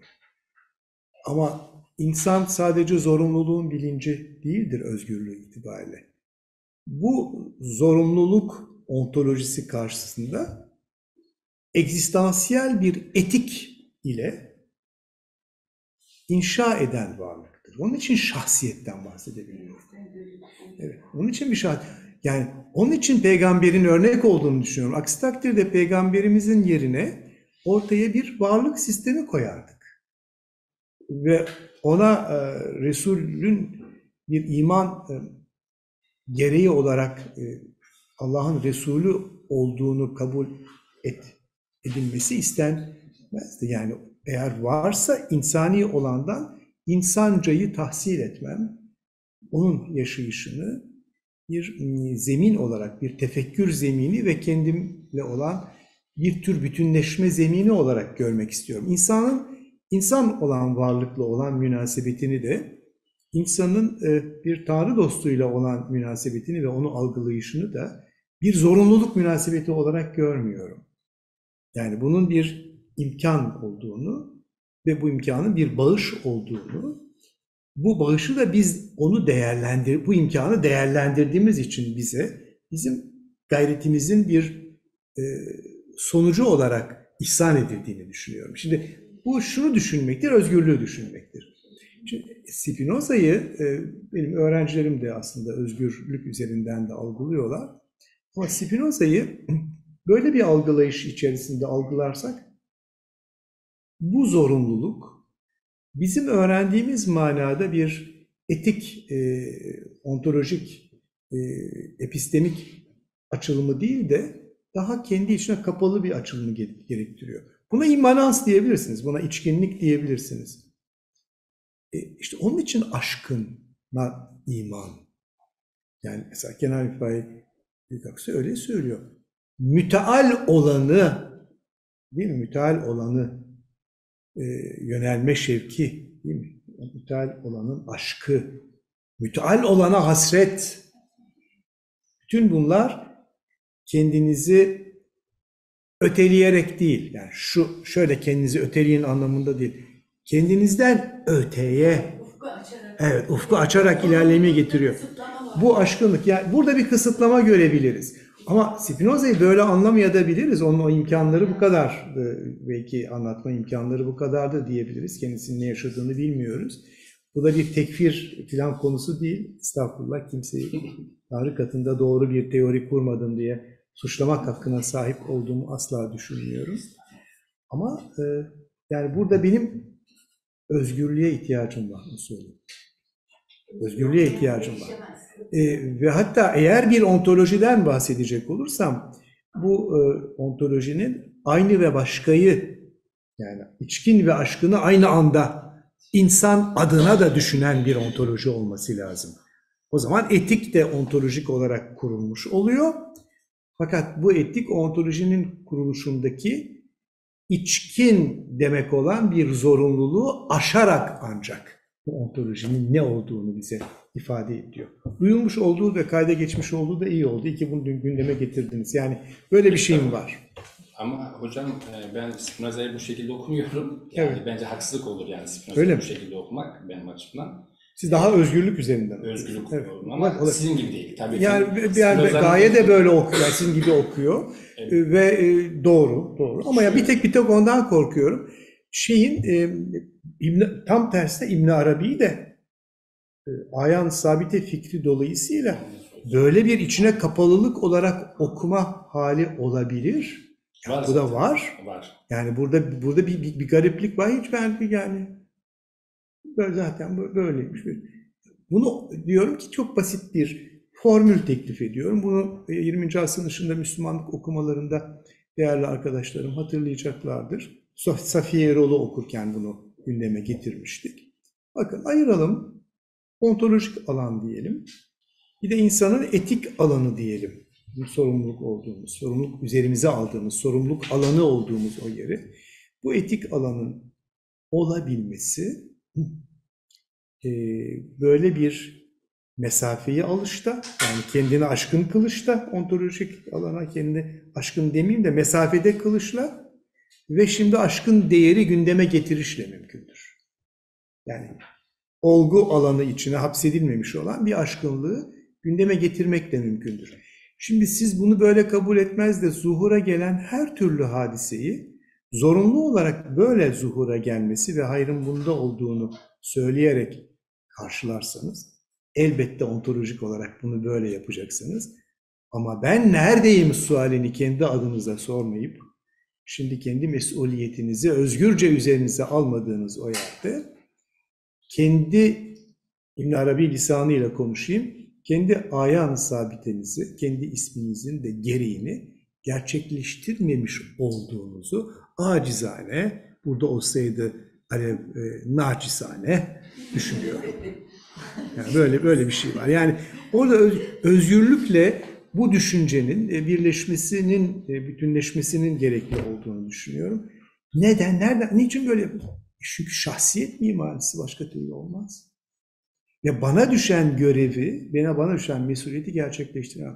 Şimdi bugün Spinoza okuyanlar da benim düşündüğüm gibi e, bu zorunluluğun içinden değil daha aşkın bir olarak düşünüyorlar. Nitekim gayenin de e, gaye e, Çankaya'nın veya eksenin de e, Sartre'la mukayese etmesi yani Sartre'daki ontoloji etik artikülasyonuyla Spinoza'daki ontoloji etik artikülasyonu mukayese etmenin arka planında böyle bir yaklaşım olsa gerektir ve felsefi gelişimde, tartışmalar gelişiminde böyle sağlayacaktır. Yani biz aman bu şekilde başlamaz. Yani ben mesela büyük babamın dahi e, 1970'lerde Mesnevi şerhi çıktığında bir panteist olarak e, ifade edildiğini, üstelik de bunun e, değerli e, hocamız, e, büyük e, alimimiz, edebiyat tarihçimiz e,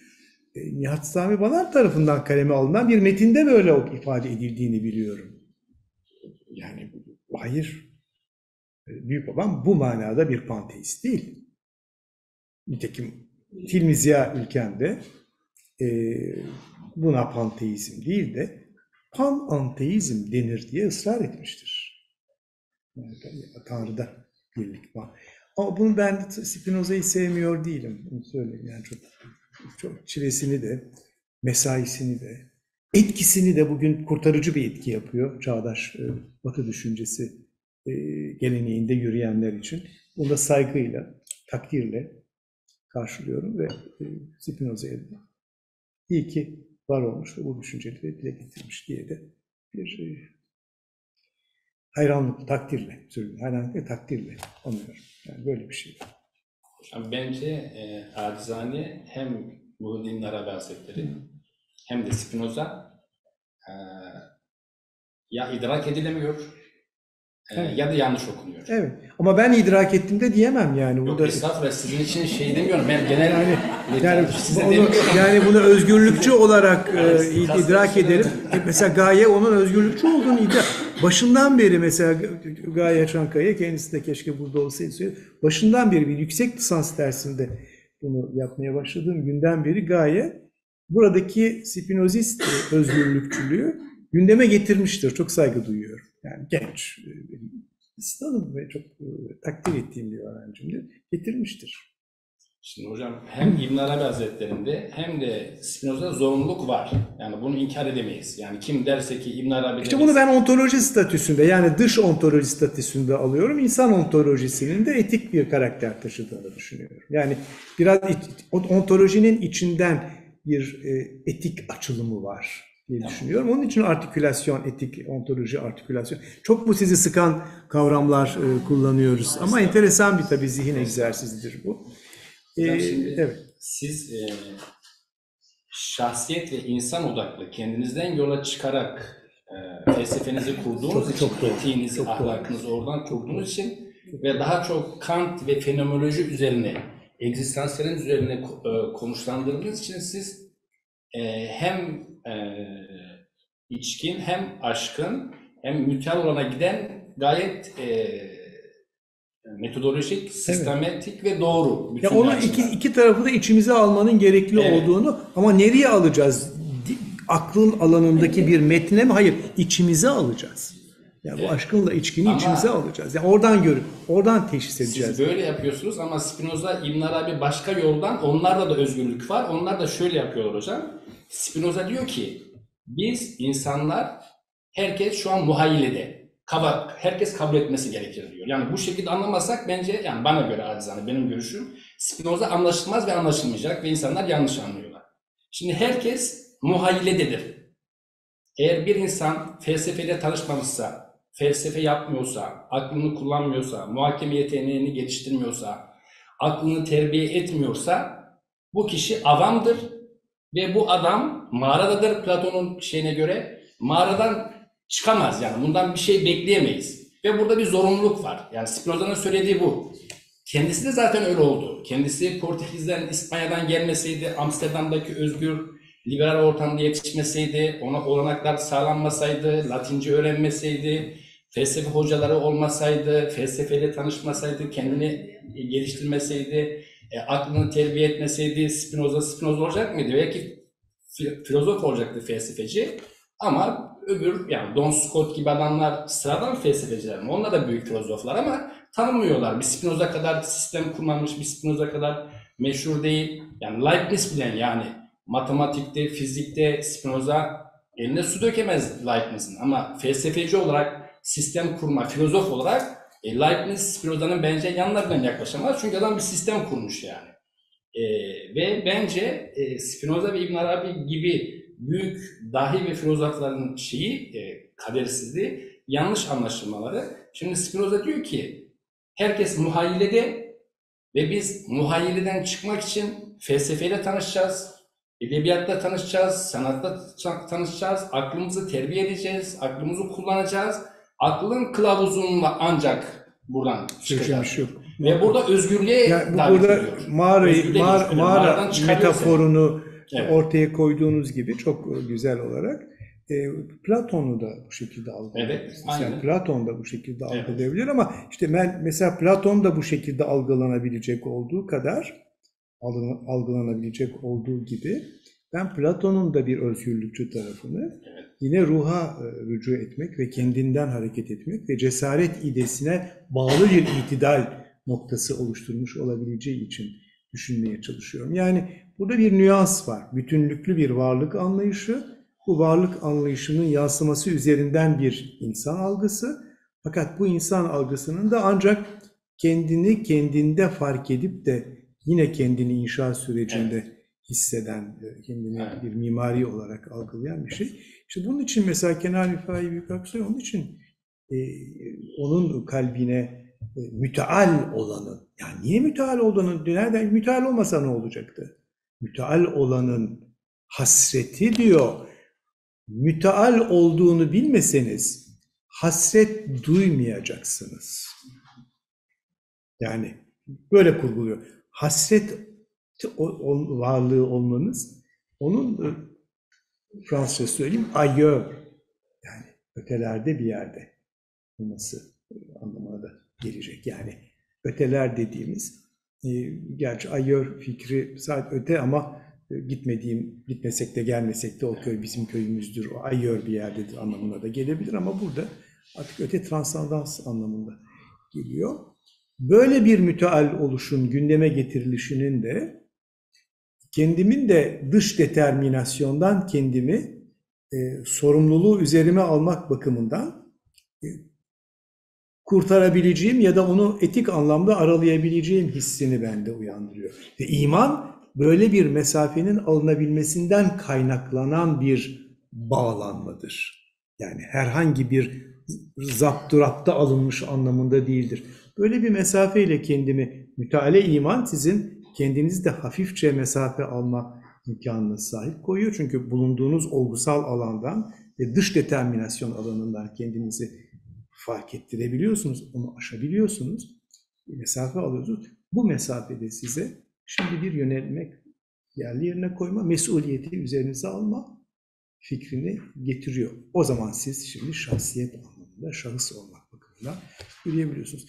Bunu ben e, değerli tasavvufu yaşayan, e, yaşadıklarını söyleyen arkadaşlarımla konuştuğum zaman da sıkıntı oluyor yani. Ama böyle olduğunu gördüğümü, böyle hissettiğimi biliyorum. Şimdi söylem tıpkı bunun gibi. İşte ayağın sabite, işte sen hiçsin ama aslen verilen mesaj kendini kendi üzerine al mesajı. Nerede bu? Ahlak alanında ve Peygamberimiz de bunu istiyor. Peygamberimiz bir inşa, toplumu inşa ediyor. Kişiyi inşa ediyor. Kişiyi inşa etmek adına ona bir e, güven, özgüven veriyor. Yani böyle bir şey var. Böyle çok fazla konuştum. Kusura bakmayın. Tülay Hanım, siz de mi vapöre koşacaksınız? Nasıl hocam? Vapöre koşacaksınız. Buyurun. e, Şey, size söz vereceğim. Hayır, Füsun Hanım'a söz vereceğim. Siz gidiyorsunuz diye gördüm. Evet. Spinoza değil. Hocam ben bitirmedim. Abi bitirmediniz. Peki buyurun. Buyurun. Çünkü Bitirmedik. Spinoza İbn Arabi olunca dayanamamıştım ben. Bir daha sizinle sizinle Spinoza İbn Arabi konuşmayayım o zaman da. Çünkü bak, yine de dersin başında verelim size o imkanı. Hocam Kenan Rifai Hazretleri'ndeki o müteal olan, müteal oluş olayı Spinoza'da da işte intuition'da var. Mesela intuition olmasaydı Spinoza'da e, o zaman bu sizin dedikleriniz haklı olurdu ve e, Spinoza'da o eksik olurdu veya o olmamış olurdu. Ama Intuisyon sezgi. evet, Keşf hali yani. evet keşke. Orada mesela zaten her şey sinot. közle Tanrı'yla başlatıyor ya Spinoza. Dolayısıyla biz her şeyi Tanrı'dan alıyoruz. Ve biz intuition'da zaten Tanrı'ya yaklaştığımız için yani şimdi anlamak için söylüyorum. Yani köz buradaysa, Tanrı buradaysa işte biz geldik, yaratıldık, bura- buradayız. Bizim aklımız şurada olduğunu söyleyelim. Biz işte muhayyildeyiz, mağaradayız. E, artık felsefeyle e, tanıştık, Platon'la tanıştık, Aristo'yla tanıştık, Descartes'la tanıştık, Kant'la tanıştık, fenomenolojiyle tanıştık. Rifai Hazretleri'yle tanıştık. Kenan Gürse hocamıza tanıştık. Geliyoruz, geliyoruz. Tanrı'daki akla yaklaşıyoruz. Mütel ona yaklaştıkça özgür oluyoruz zaten. Ve buradaki aklı kullandığımız zaman zaten özgürleşmiş oluyoruz. Yani sizin söylediğinizin Bu başka bu bir... manada alıyor. Buna entüisyon demesek de kendi tabiatını en olgun halde Evet. açmaya gayret e, Evet. sıratı mustakiminde olmak anlamında. Şimdi İbn Arabi Hazretleri'ne gelirsek zaten şu an hangi kitaba bakarsak bakalım hocam. İster Kenan Rifai Hazretleri'nin sohbetlerine de baksak, Mesnevi şehrine de baksak, Yunus Emre'ye de baksak, Mevlana'ya da baksak, bütün kitaplara baksak zaten ayağının sabite değişmez. Kesinlikle değişmez. Ayağının sabite neyse odur. Ama bu demek değildir ki ayağının sabite değişmez demek biz yan gelip yatalım, e, hiçbir şey yapmayalım, e, orada mutlak bir kadercilik var anlamında değil. E, biz ayağının sabite var ama ayağının sabitenin ne olduğunu bilmiyoruz ki. Ayağının sabite bize sadi mi yakla- yazılmış, e, şey mi yazılmış ne olduğunu bilmiyoruz. E, tabii ki e, biz yani e, İbn Arabi Hazretleri bütün kitaplarında sadece Kur'an'daki ayetler ve hadisler, Kur'an'daki ayetler, hadisler ve kutsi hadislerden yola çıkarak ve insani kamil yani insani kamil zaten peygamberimizin ahlakıyla ahlaklanmak demek. Pe- peygamberimiz gibi olmak demek. E zaten İbn Arabi Hazretleri'nin kendisi e, fütuhatında yazıyor, belirtiyor. Benim ilk mürşidim diyor Hızır Aleyhisselam'dı. Benim ondan sonraki mürşidim Hazreti İsa'ydı. Hud Aleyhisselam'dı. Yani bütün peygamberler adeta Hazreti İbn Arabi Hazretlerini yetiştirmişler. E, seyri sülük yaptırmış, yaptırmışlar. E, ve böyle birisi kendisi sülük yapan ve sülükün çok önemli olduğunu vurgulayan ve e, tasavvufu da kendisi keşfle e, tasavvufu her şeyi hakikat anladıktan sonra felsefi bir dille muhakeme yaparak ve fes, e, terimlerle, terminolojilerle bunu anlatan birisi e, mutlak kadercilik anlamında ya ayağın sabiteniz sizin belirlendi, elinizden hiçbir şey gelmez, hiçbir şey yapmayın, e, yan gelip yatın zaten diyemez yani böyle bir şey olmaz. İşte onu açalım. Yani Bu bunu olmaz. böyle daha Öyle derse zaten daha- yani İbn Arabi sıradan bir insan olur. Yani İbn Arabi o zaman e, bu kadar tartışılan, Henry Corbin tarafından sevilen, Toshiko Uesusu tarafından sevilen, hem Japon, hem Amerikan, hem İtalyan, yani dünyanın her tarafından sevilen bir e, büyük bir alim ve şey olamaz. Evet. İşte bütün mesele onu nasıl açtığımızla alakalı. Mesela yani benim e, buna e, tepeden inen bir e, yapının beni kalıplaması ve bu kalıba uygun hareket etme anlamında hatta Aristoteles de böyledir yani kendi mükemmel formunu bulmak anlamında yola çıkar. Ama e, burada e, sizin e, size bırakılmış olan bir alan var ki bu alan benim çok, çok dikkatimi çekiyor. O alanın işlenmesinin gerekli olduğunu felsefenin de etik alanında e, her türlü sanatında e, buradan hareketle işlenmesi gerektiğini düşünüyorum. Tekrar bir ne fark olabilir diye baktığımda e, genelden özele doğru inmek değil, özelin Evet. içinde asli ve evrensel olanı fark etmekten bahsetmek istiyorum. Bu da insana özgüveni vermek ve o güvende yürüyebilmek açısından. Ve biraz önce çok güzel bir şey vurguladınız hocam. O beni çok etkiledi, onu ben kullanacağım bundan sonra.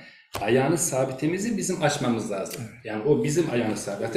Hocam yani kayısı kayısı olacak, kiraz kiraz olacak. Kenan Gülsoy buraya, Kenan Gülsoy olarak gelecek, Füsun abla, Füsun abla olarak gelecek. Tülay abla, Tülay abla olarak gelecek, ben ben olarak geleceğim ve ben kendimi açacağım. E bu, Herkes kendini bunu açacak. izah edemezdiniz. Bu ezber bir şey değil yani. Herkes aynı Yani değil. iki günü denk olan e, Evet. bizden değildir'i izah edemezdiniz. Evet. Ayrıca neyi izah edemezdiniz biliyor musunuz?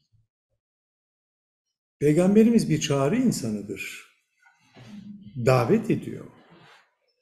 E yani davet etmesine gerek yoktu o zaman. Evet, her şey. Yani her herkes- şey. O işi otomatiğe bağlayıp herkese orada bir beşeri anlamda bizim bir iç mücahedemiz var. Yani büyük mücahedeye dönüyoruz anlamında değil mi? Büyük savaşa dönüyoruz anlamında bir savaşı var. Orada ben başkaları adına değil kendi adıma bu savaşı veriyorum. Ne benim o başkalarının mücadelesine içine dahil olma hakkım ancak talep olursa ve kendi sınırlarım çerçevesinde orada yardım etmeye çabalarım ve diğeri de aynı şekilde benim ihtiyacım olduğunda o bana bu şekilde ama sizin öyle bir yeriniz var ki e, siz e, doğrudan doğruya kendiniz olarak onun e, huzurundasınız ve kendi sınavınızdasınız. Tabii e, oradaki dostluk e, bütünlüğü o da çok özgür bir münasebet açısından çıkacak dostluk. Yani bu bir işletme kılavuzu değildir diyorum daima. Yani işletme kılavuzu aldık da kendime tatbik ettim. Belki dostum yok ama benim bir işletme kılavuzum var. Çip yapayım ondan buraya takayım. Hayır böyle bir şey yok. O mücadelenin anlamlandırılması için o dostluğa ihtiyacımız var.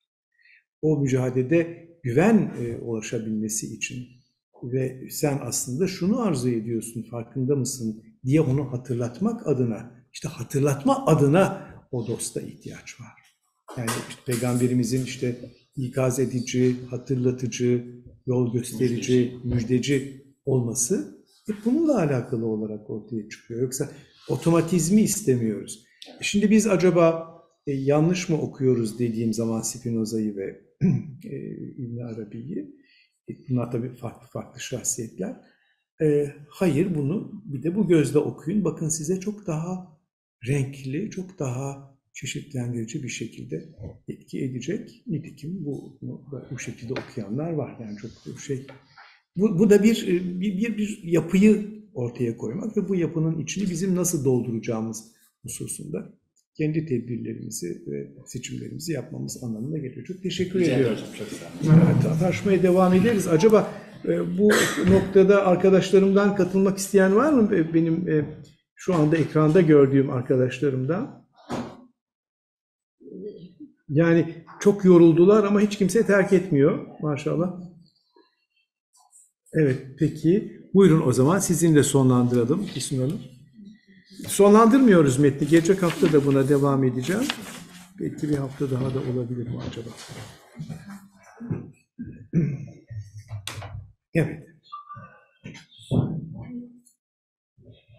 Hoş geldiniz Teşekkür efendim. ederim hocam.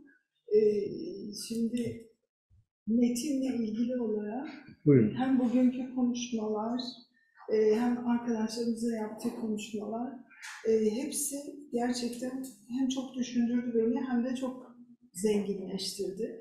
Müsaade ederseniz ben bunu birazcık sindireyim, hazmedeyim ve haftaya Bunu söylemek şekilde için mi kürsüyü teşrif ettiniz? konuşma yapayım eğer uygun görürseniz Buyurun ama lütfen. e, Evet daha bitmedi, metin kendilerine- bitmedi. E, metin bitmedi çünkü epistemik olan birinci bölümü bitirdik. Ontolojik e, yaklaşımları olan ikinci bölüme geçtik ve arkadaşlarımız e, burada bahsettiğimiz filozoflarla ve Efendim teşekkür ediyoruz. Sağ olun. ilgili olan e, düşüncelerini de açtılar. Evet. Ve onlar bize çok e, farklı bağlamlarda çok e, değişik e, zihnimizde e, çağrışımlar uyandırdı.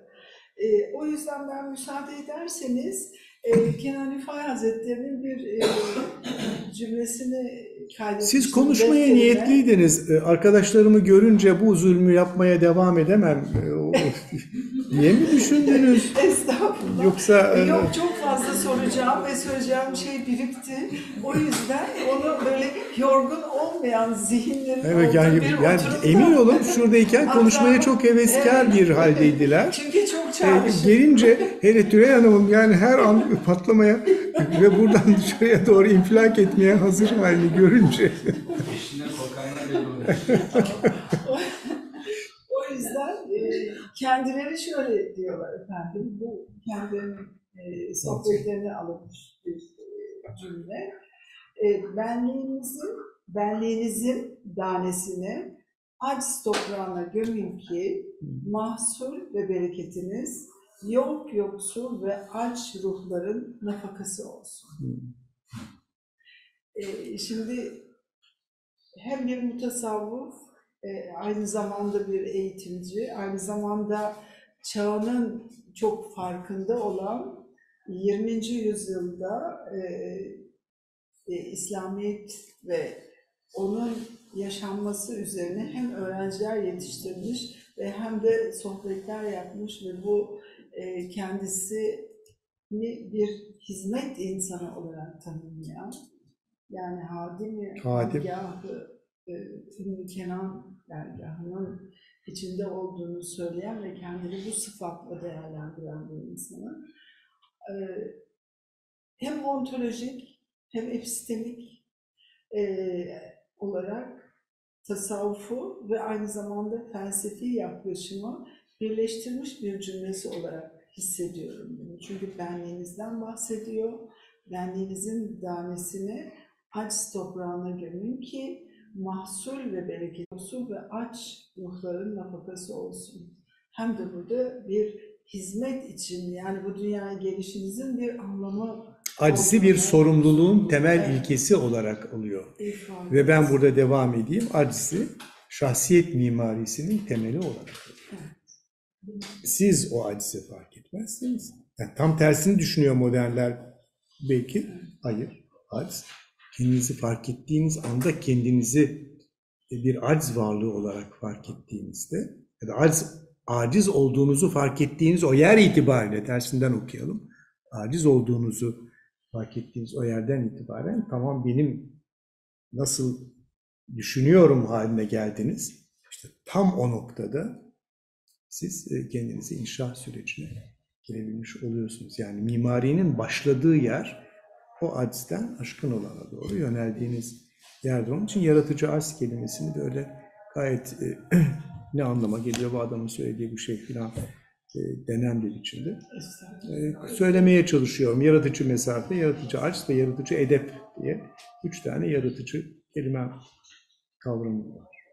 Bu bereketlendirici olarak değerlendirin. Bereketlendirici arz, bereketlendirici edep. O şekilde değerlendirin. Evet. Edebilir şey miyim? diyor hocam. Bir gün sabah akşama kadar konuşsa Spinoza diyor. Spinoza'yı anlatacak sürekli. E ne güzel. Ne güzel. Hakikatten bahsedenden bahsediyor. O hakikatten Evet bahsetmektir. hocam. O da hakikatten bahsetmektir. Evet isterseniz bilirim çünkü kimsenin hal takat kalmadı. Ben de böyle şey deniyorum benim öğrencilerim saat kaça kadar acaba dayanabiliyor diye. Maşallah şeyde de e, ekranda da dayanıyorlar. Yani bir kadro dayanıyor. olduğum için Ha, Öyle mi peki? Sağ olun, hoş geldiniz. Hocam bir cümleniz çok önemliydi. 17 senedir bizi yetiştirirken Estağfurullah. kendimizden hareket dediniz. Çok Evet. önemli. Evet. Bir de burada bana ne veriliyor dedi. Evet. O cümlelerin hepsini kaydetmişim hocam. Hatta e, şeye Vatikan'a geldiğimiz zaman 4 sene sonra anladığım bir şey diye size hocam ben bunu anladım 4 sene sonra demiştim. E siz de ben yani anladınız mı gerçekten demedim mi? Siz siz bir gelişim gelişim insanısınız yani. Kendinizden hareketli.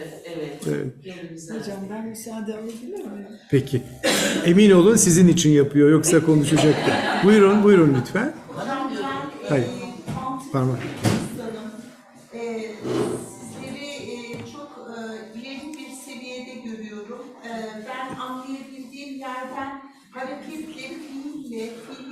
Fiiliyatla kendimi ifade eden birisiyim akıl yoluyla.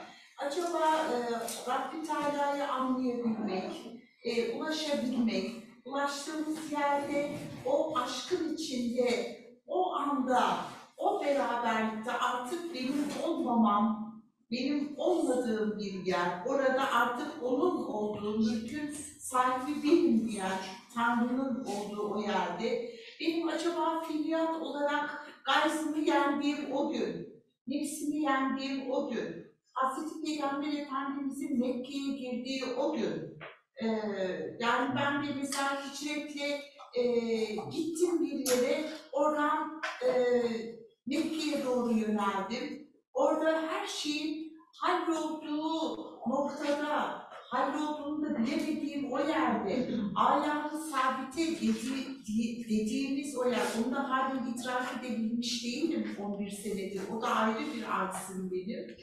Ama e, bütün bunların neticesinde fiiliyat olarak e, Rabbi Teala'nın acaba benden beklediği o anlayış, o e, müsamaha, e, o e, sevgi hali ve burada sadece e, bir süre için e, duran bir insanın, ebedi bir aleme giden, e, gidecek olan bir insanın burada kök salabilmesinin mümkün olamayacağını anlamam mıdır? O anlayışla beraber benim e, o hisle e, asıl ait olduğum yere, o ev, e, işte bugünlerde benim de hemhal olduğum, belki de e, hep o eve varabilmek, o evin hasreti, o e, ben nereye aitsem oraya doğru bir hasret varlığı olarak yöneldiğim o yerde kendimce bir e, sufi diyemeyeceğim ona da işte sufilerin yolunda giden birisi olarak o e, yola doğru gidiş, o e, ruhiyeti haline ben bugün bunları ifade edebiliyorum. Yani sizin söylediğiniz... Evet ama ben ben çok hemfikir değilim sizinle. Öyle mi? Tabii. Yani e, soru halinde soruyorsunuz ama siz kafanızdakini ifade ediyorsunuz. Ben size verilen her bir saniyenin, lahzanın, anın sizi buradan sürükleyici değil, buranın farkına vardırıcı bir hayat bağışıyla bütünleşmeniz gerektiği yer olarak düşünüyorum. Yani tam tersine biz, bu, bu- onun için işte ne olur kendimizden hareket edelim bulunduğumuz o anda biz geçici bir süre için kendimize veriliyor olabiliriz. Ama bize verilen her bir an içinde ebediyeti saklar. Lütfen onun farkına varın. Hakkını verin zamanın. Bir nefesimiz varsa bir görevimiz Evet, var. hakkını verin. Yani ben böyle kaçıp gitmek falan falan bir dakika böyle bir şey sakın ha böyle bir şey söylemedim. Sö- Söylenmemesi gerektiğini habire savunuyorum. Böyle algılanmasın. Bu bütünlüğü, bu tevhidi bize verilen zamanı idrak etmenin buradaki zenginliği kaç sayılarla ifade edilmeyecek kadar yüksek bir imkan varlığı olarak doğuyoruz. Yani kaç milyarda bir bir nasiptir bizim yeryüzünde zuhura gelmemiz. Bunun düşünülmesi bile büyük bir hikmettir. Oraya kadar bize verilmiş olan şu hayatın, şu zeminin, şu tarihin velev ki eleştirelim veya beğenmeyelim, daha iyisini yapmaya çalışalım. Ama ne olur bir fark edelim bize her lahza bir ebediyet hediye ediliyor. Perdeyi kaldırana aksi takdirde bu örtmek anlamına gelir. Onun için e, zuhura gelişin fevkalade önemli olduğunu düşünüyorum. Yani kusura bakmayın yoruldunuz ama bu vurguyu yapmak mecburiyetinde. Şimdi o kadar güzel söyledi ki adaşınız değil mi? Geçen gün e, söz aldı. Siz burada mıydınız Işıl Hanım? Işıl Hanım şeyden e, Masiva'dan bahsettiniz hocam dedi. Değil mi? Masiva diye bir yer var mı? Yer var mı? Yani ne demek? Ee, ilahi olandan ayrı kalmış. Ayrı bir şey yok. Ayrı bir şey var mı ki siz bundan bahsediyorsunuz? Bu size verildiği zemindir. Bir zaman. Değil mi? İki, sizin başkalarına nazaran farklı ve sizin bir Zehra Hanım olarak gündeme gelmiş oluşunuz. E şimdi sizin bir inşa, imar varlığı olarak kendi kendinizle bütünleşme süreciniz. Her bir anı hiçbir devletin, hiçbir zeminin, hiçbir zenginliğin olmadığı kadar e, e, bereketli, zengindir. O bakımdan onu değerlendirin. Değerlendirmenin yolu da aksiyondur. Yani hizmet dedi biraz evvel değerli arkadaşımız. Bu hizmeti e, işte bu ortam, bu meydanda e, yapmaktır. Meydan diyoruz. Meydana girdiğimiz yer ve meydana baktığımız yer ve meydanla bütünleştiğimiz o yer bir saygı zeminidir. E, meydan eğer şimdi dünya zemini ise bu meydanın da lütfen masiva olmaması anlamında onun eseri olmak ve benim kendimi bulacağım yer olmak itibariyle kutsayın. Yani o çok önemli bir şey. Evet. Yani yok ben şimdi kısa bir süre için bana verildi ben buradan böyle kendimi bir, bir, bir yan- yanlış bir şey yapmayacağım. Efendim durumun farkına varın. Yani durum dediğim zamanın, anın, e, bütün bir size verilmiş olan şu güzel ömrün, bütün sıkıntıları, bütün çileleri, e, bütün zorlukları, e, bütün ne yapacağını bilemek. Ama şimdi söyledi değerli arkadaşımız, akılla öyle bir kavrayışta bulunun ki bu evreni sizin için verilmiş olan bu evreni Platoncu terim olarak kullanın bir gölge halinden çıkartıp asli bir zemin olarak benimseyip asıl olana doğru uygun bir hareket olarak kendinizi inşa sürecinde. Yani bunu söylemek istiyorum. Onun için kusura bakmayın aldım. Buna çok dikkat edelim. Yani biz bu dünyanın yani öyle bir yer burası. Yani ne kadar zor, ne kadar güç. Her gün ya Rabbi ben bunların hakkından gelemediğimi düşünüyorum, yapamıyorum dediğimiz o yer tam da bize emanet edilmiş o yerdir ve size bir lütuf olarak ondan başka bir şey yok. Burası emanet edilmiştir. Yani burası dediğim zaman kitap diyorum kusura bakmayın. Ama yani burası bu alan her türlü haliyle. Ha hocam sizin ayağınıza taş değmemiş. Çok büyük bir? Olabilir yani çok, çok da cahilane e, ve cesurane fakat cahilane ve zalimane söylüyor olabilirim. Ama bizden beklenen kendi kendimi hatırlatmak mecbur, size estağfurullah ama kendi kendimi hatırlatmak mecburiyetinde olduğum bu şeydir. Siz zaten beni sınamak için bunu söylediniz. Bundan böyle bir hocadan şimdi böyle bir cevap gelir diye Işıl Hanım buyurun lütfen. Hocam e, tam da aslında ayağın saadete burada girmiyor mu?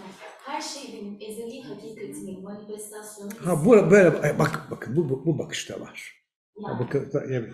Ya o zaman size bu açılım olarak bu çiçeğin kendisini açması olarak verildi. Hakkını verin diyorlar. Hakkını verin. Dikenine takılıp kalmayın. Hakkını verin.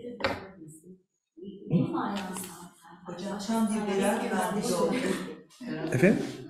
Yani siz sizin siz olmaklığınız vardır. Gözünüzü açın, ayağınızı açın da e, Aziz ay- hocam, görün. tam bir beraat kandili oldu. O kadar bolluk, bereket. E o da olmayacak. Şu insan nedir? Şimdi bildiğimi okumazsanız. Şimdi bir de buraya ne okuyun da. müstakim dediniz. Benim içime o doğdu. Hep dersin başında. Gerçekten nasıl bereketli, nasıl bolluklu, nasıl güzel bir ders. Evet baksanıza buradaki insanların haline yani hangi kandil akşamı Allah aşkına gecesi Allah aşkına bitmiş kalmış vaziyet. Siz şöyle bir nefesinizle bir uyarın onları Allah aşkına. Biz insanları şimdi bildiniz mi? hepimizin, hepimizin regaip kandilini kutluyorum. Amin. Bakın ne güzel. Gerçekten mükemmel bolluklu, bereketli, böyle aşklı bir dersti. Yani Yani demek ki hiç olmamış bu kadar Hayır. 17 senedir çok daha güzeller oldu da belki benim nasibim. Ben bugün çok farklı şeyler algıladım, çok güzel Ayol şeyler. siz düşündüm. ezanı Muhammedi'yi gö- gö- gönderdiniz. Hiçbir yerde eksik değil. Harikulade bir dersti hocam. Çok teşekkür ederim. Buyurun hem efendim. size hem arkadaşlarıma. Ee, Sırat-ı Müstakim sözcüğü çok geçti. Benim de içime bu doğdu bugün hocam. İsterseniz onu seslendireyim. Ama insan insan insan insanı Ona, ona bağlayayım o zaman. Tamam. peki. Har içinde açan gonca güle minnet eylemem. Yani güzel. Arabi Farisi bilmem, dile minnet eylemem. Sırat-ı mustakim üzere gözetirim rahimi. İblisin talim ettiği yola minnet eylemem. Bir acayip derde düştüm, herkes gider kârına. Bugün buldum, bugün yerim, hak kerimdir yarına. Zerrece tamahım yoktur bu dünyanın malına. Rızkımı veren hüdadır, kula minnet eylemem. Rızkımı veren hüdadır, kula minnet eylemem. Ey nesimi, can nesimi, ol gani mihman iken, Yarın şefaatlerin Ahmedi muhtar iken Cümlenin rızkını veren Ol gani settar iken Yeryüzünün halifesi Hünkâra minnet eylemem Yeryüzünün halifesi Hünkâra minnet eylemem İnsan insan derler idi İnsan nedir? Şimdi bildim. Can can deyup söylerlerdi. Ben can nedir? Şimdi bildim. Muhittin eder hakkadir Görünür her şeyde hazir Ayan nedir, pinhan nedir, nişan nedir? Şimdi bildim kendisinde. Buldu bulan bulmadı. Taşrada kalan canlarınca kalbinde olan insan nedir şimdi bildim.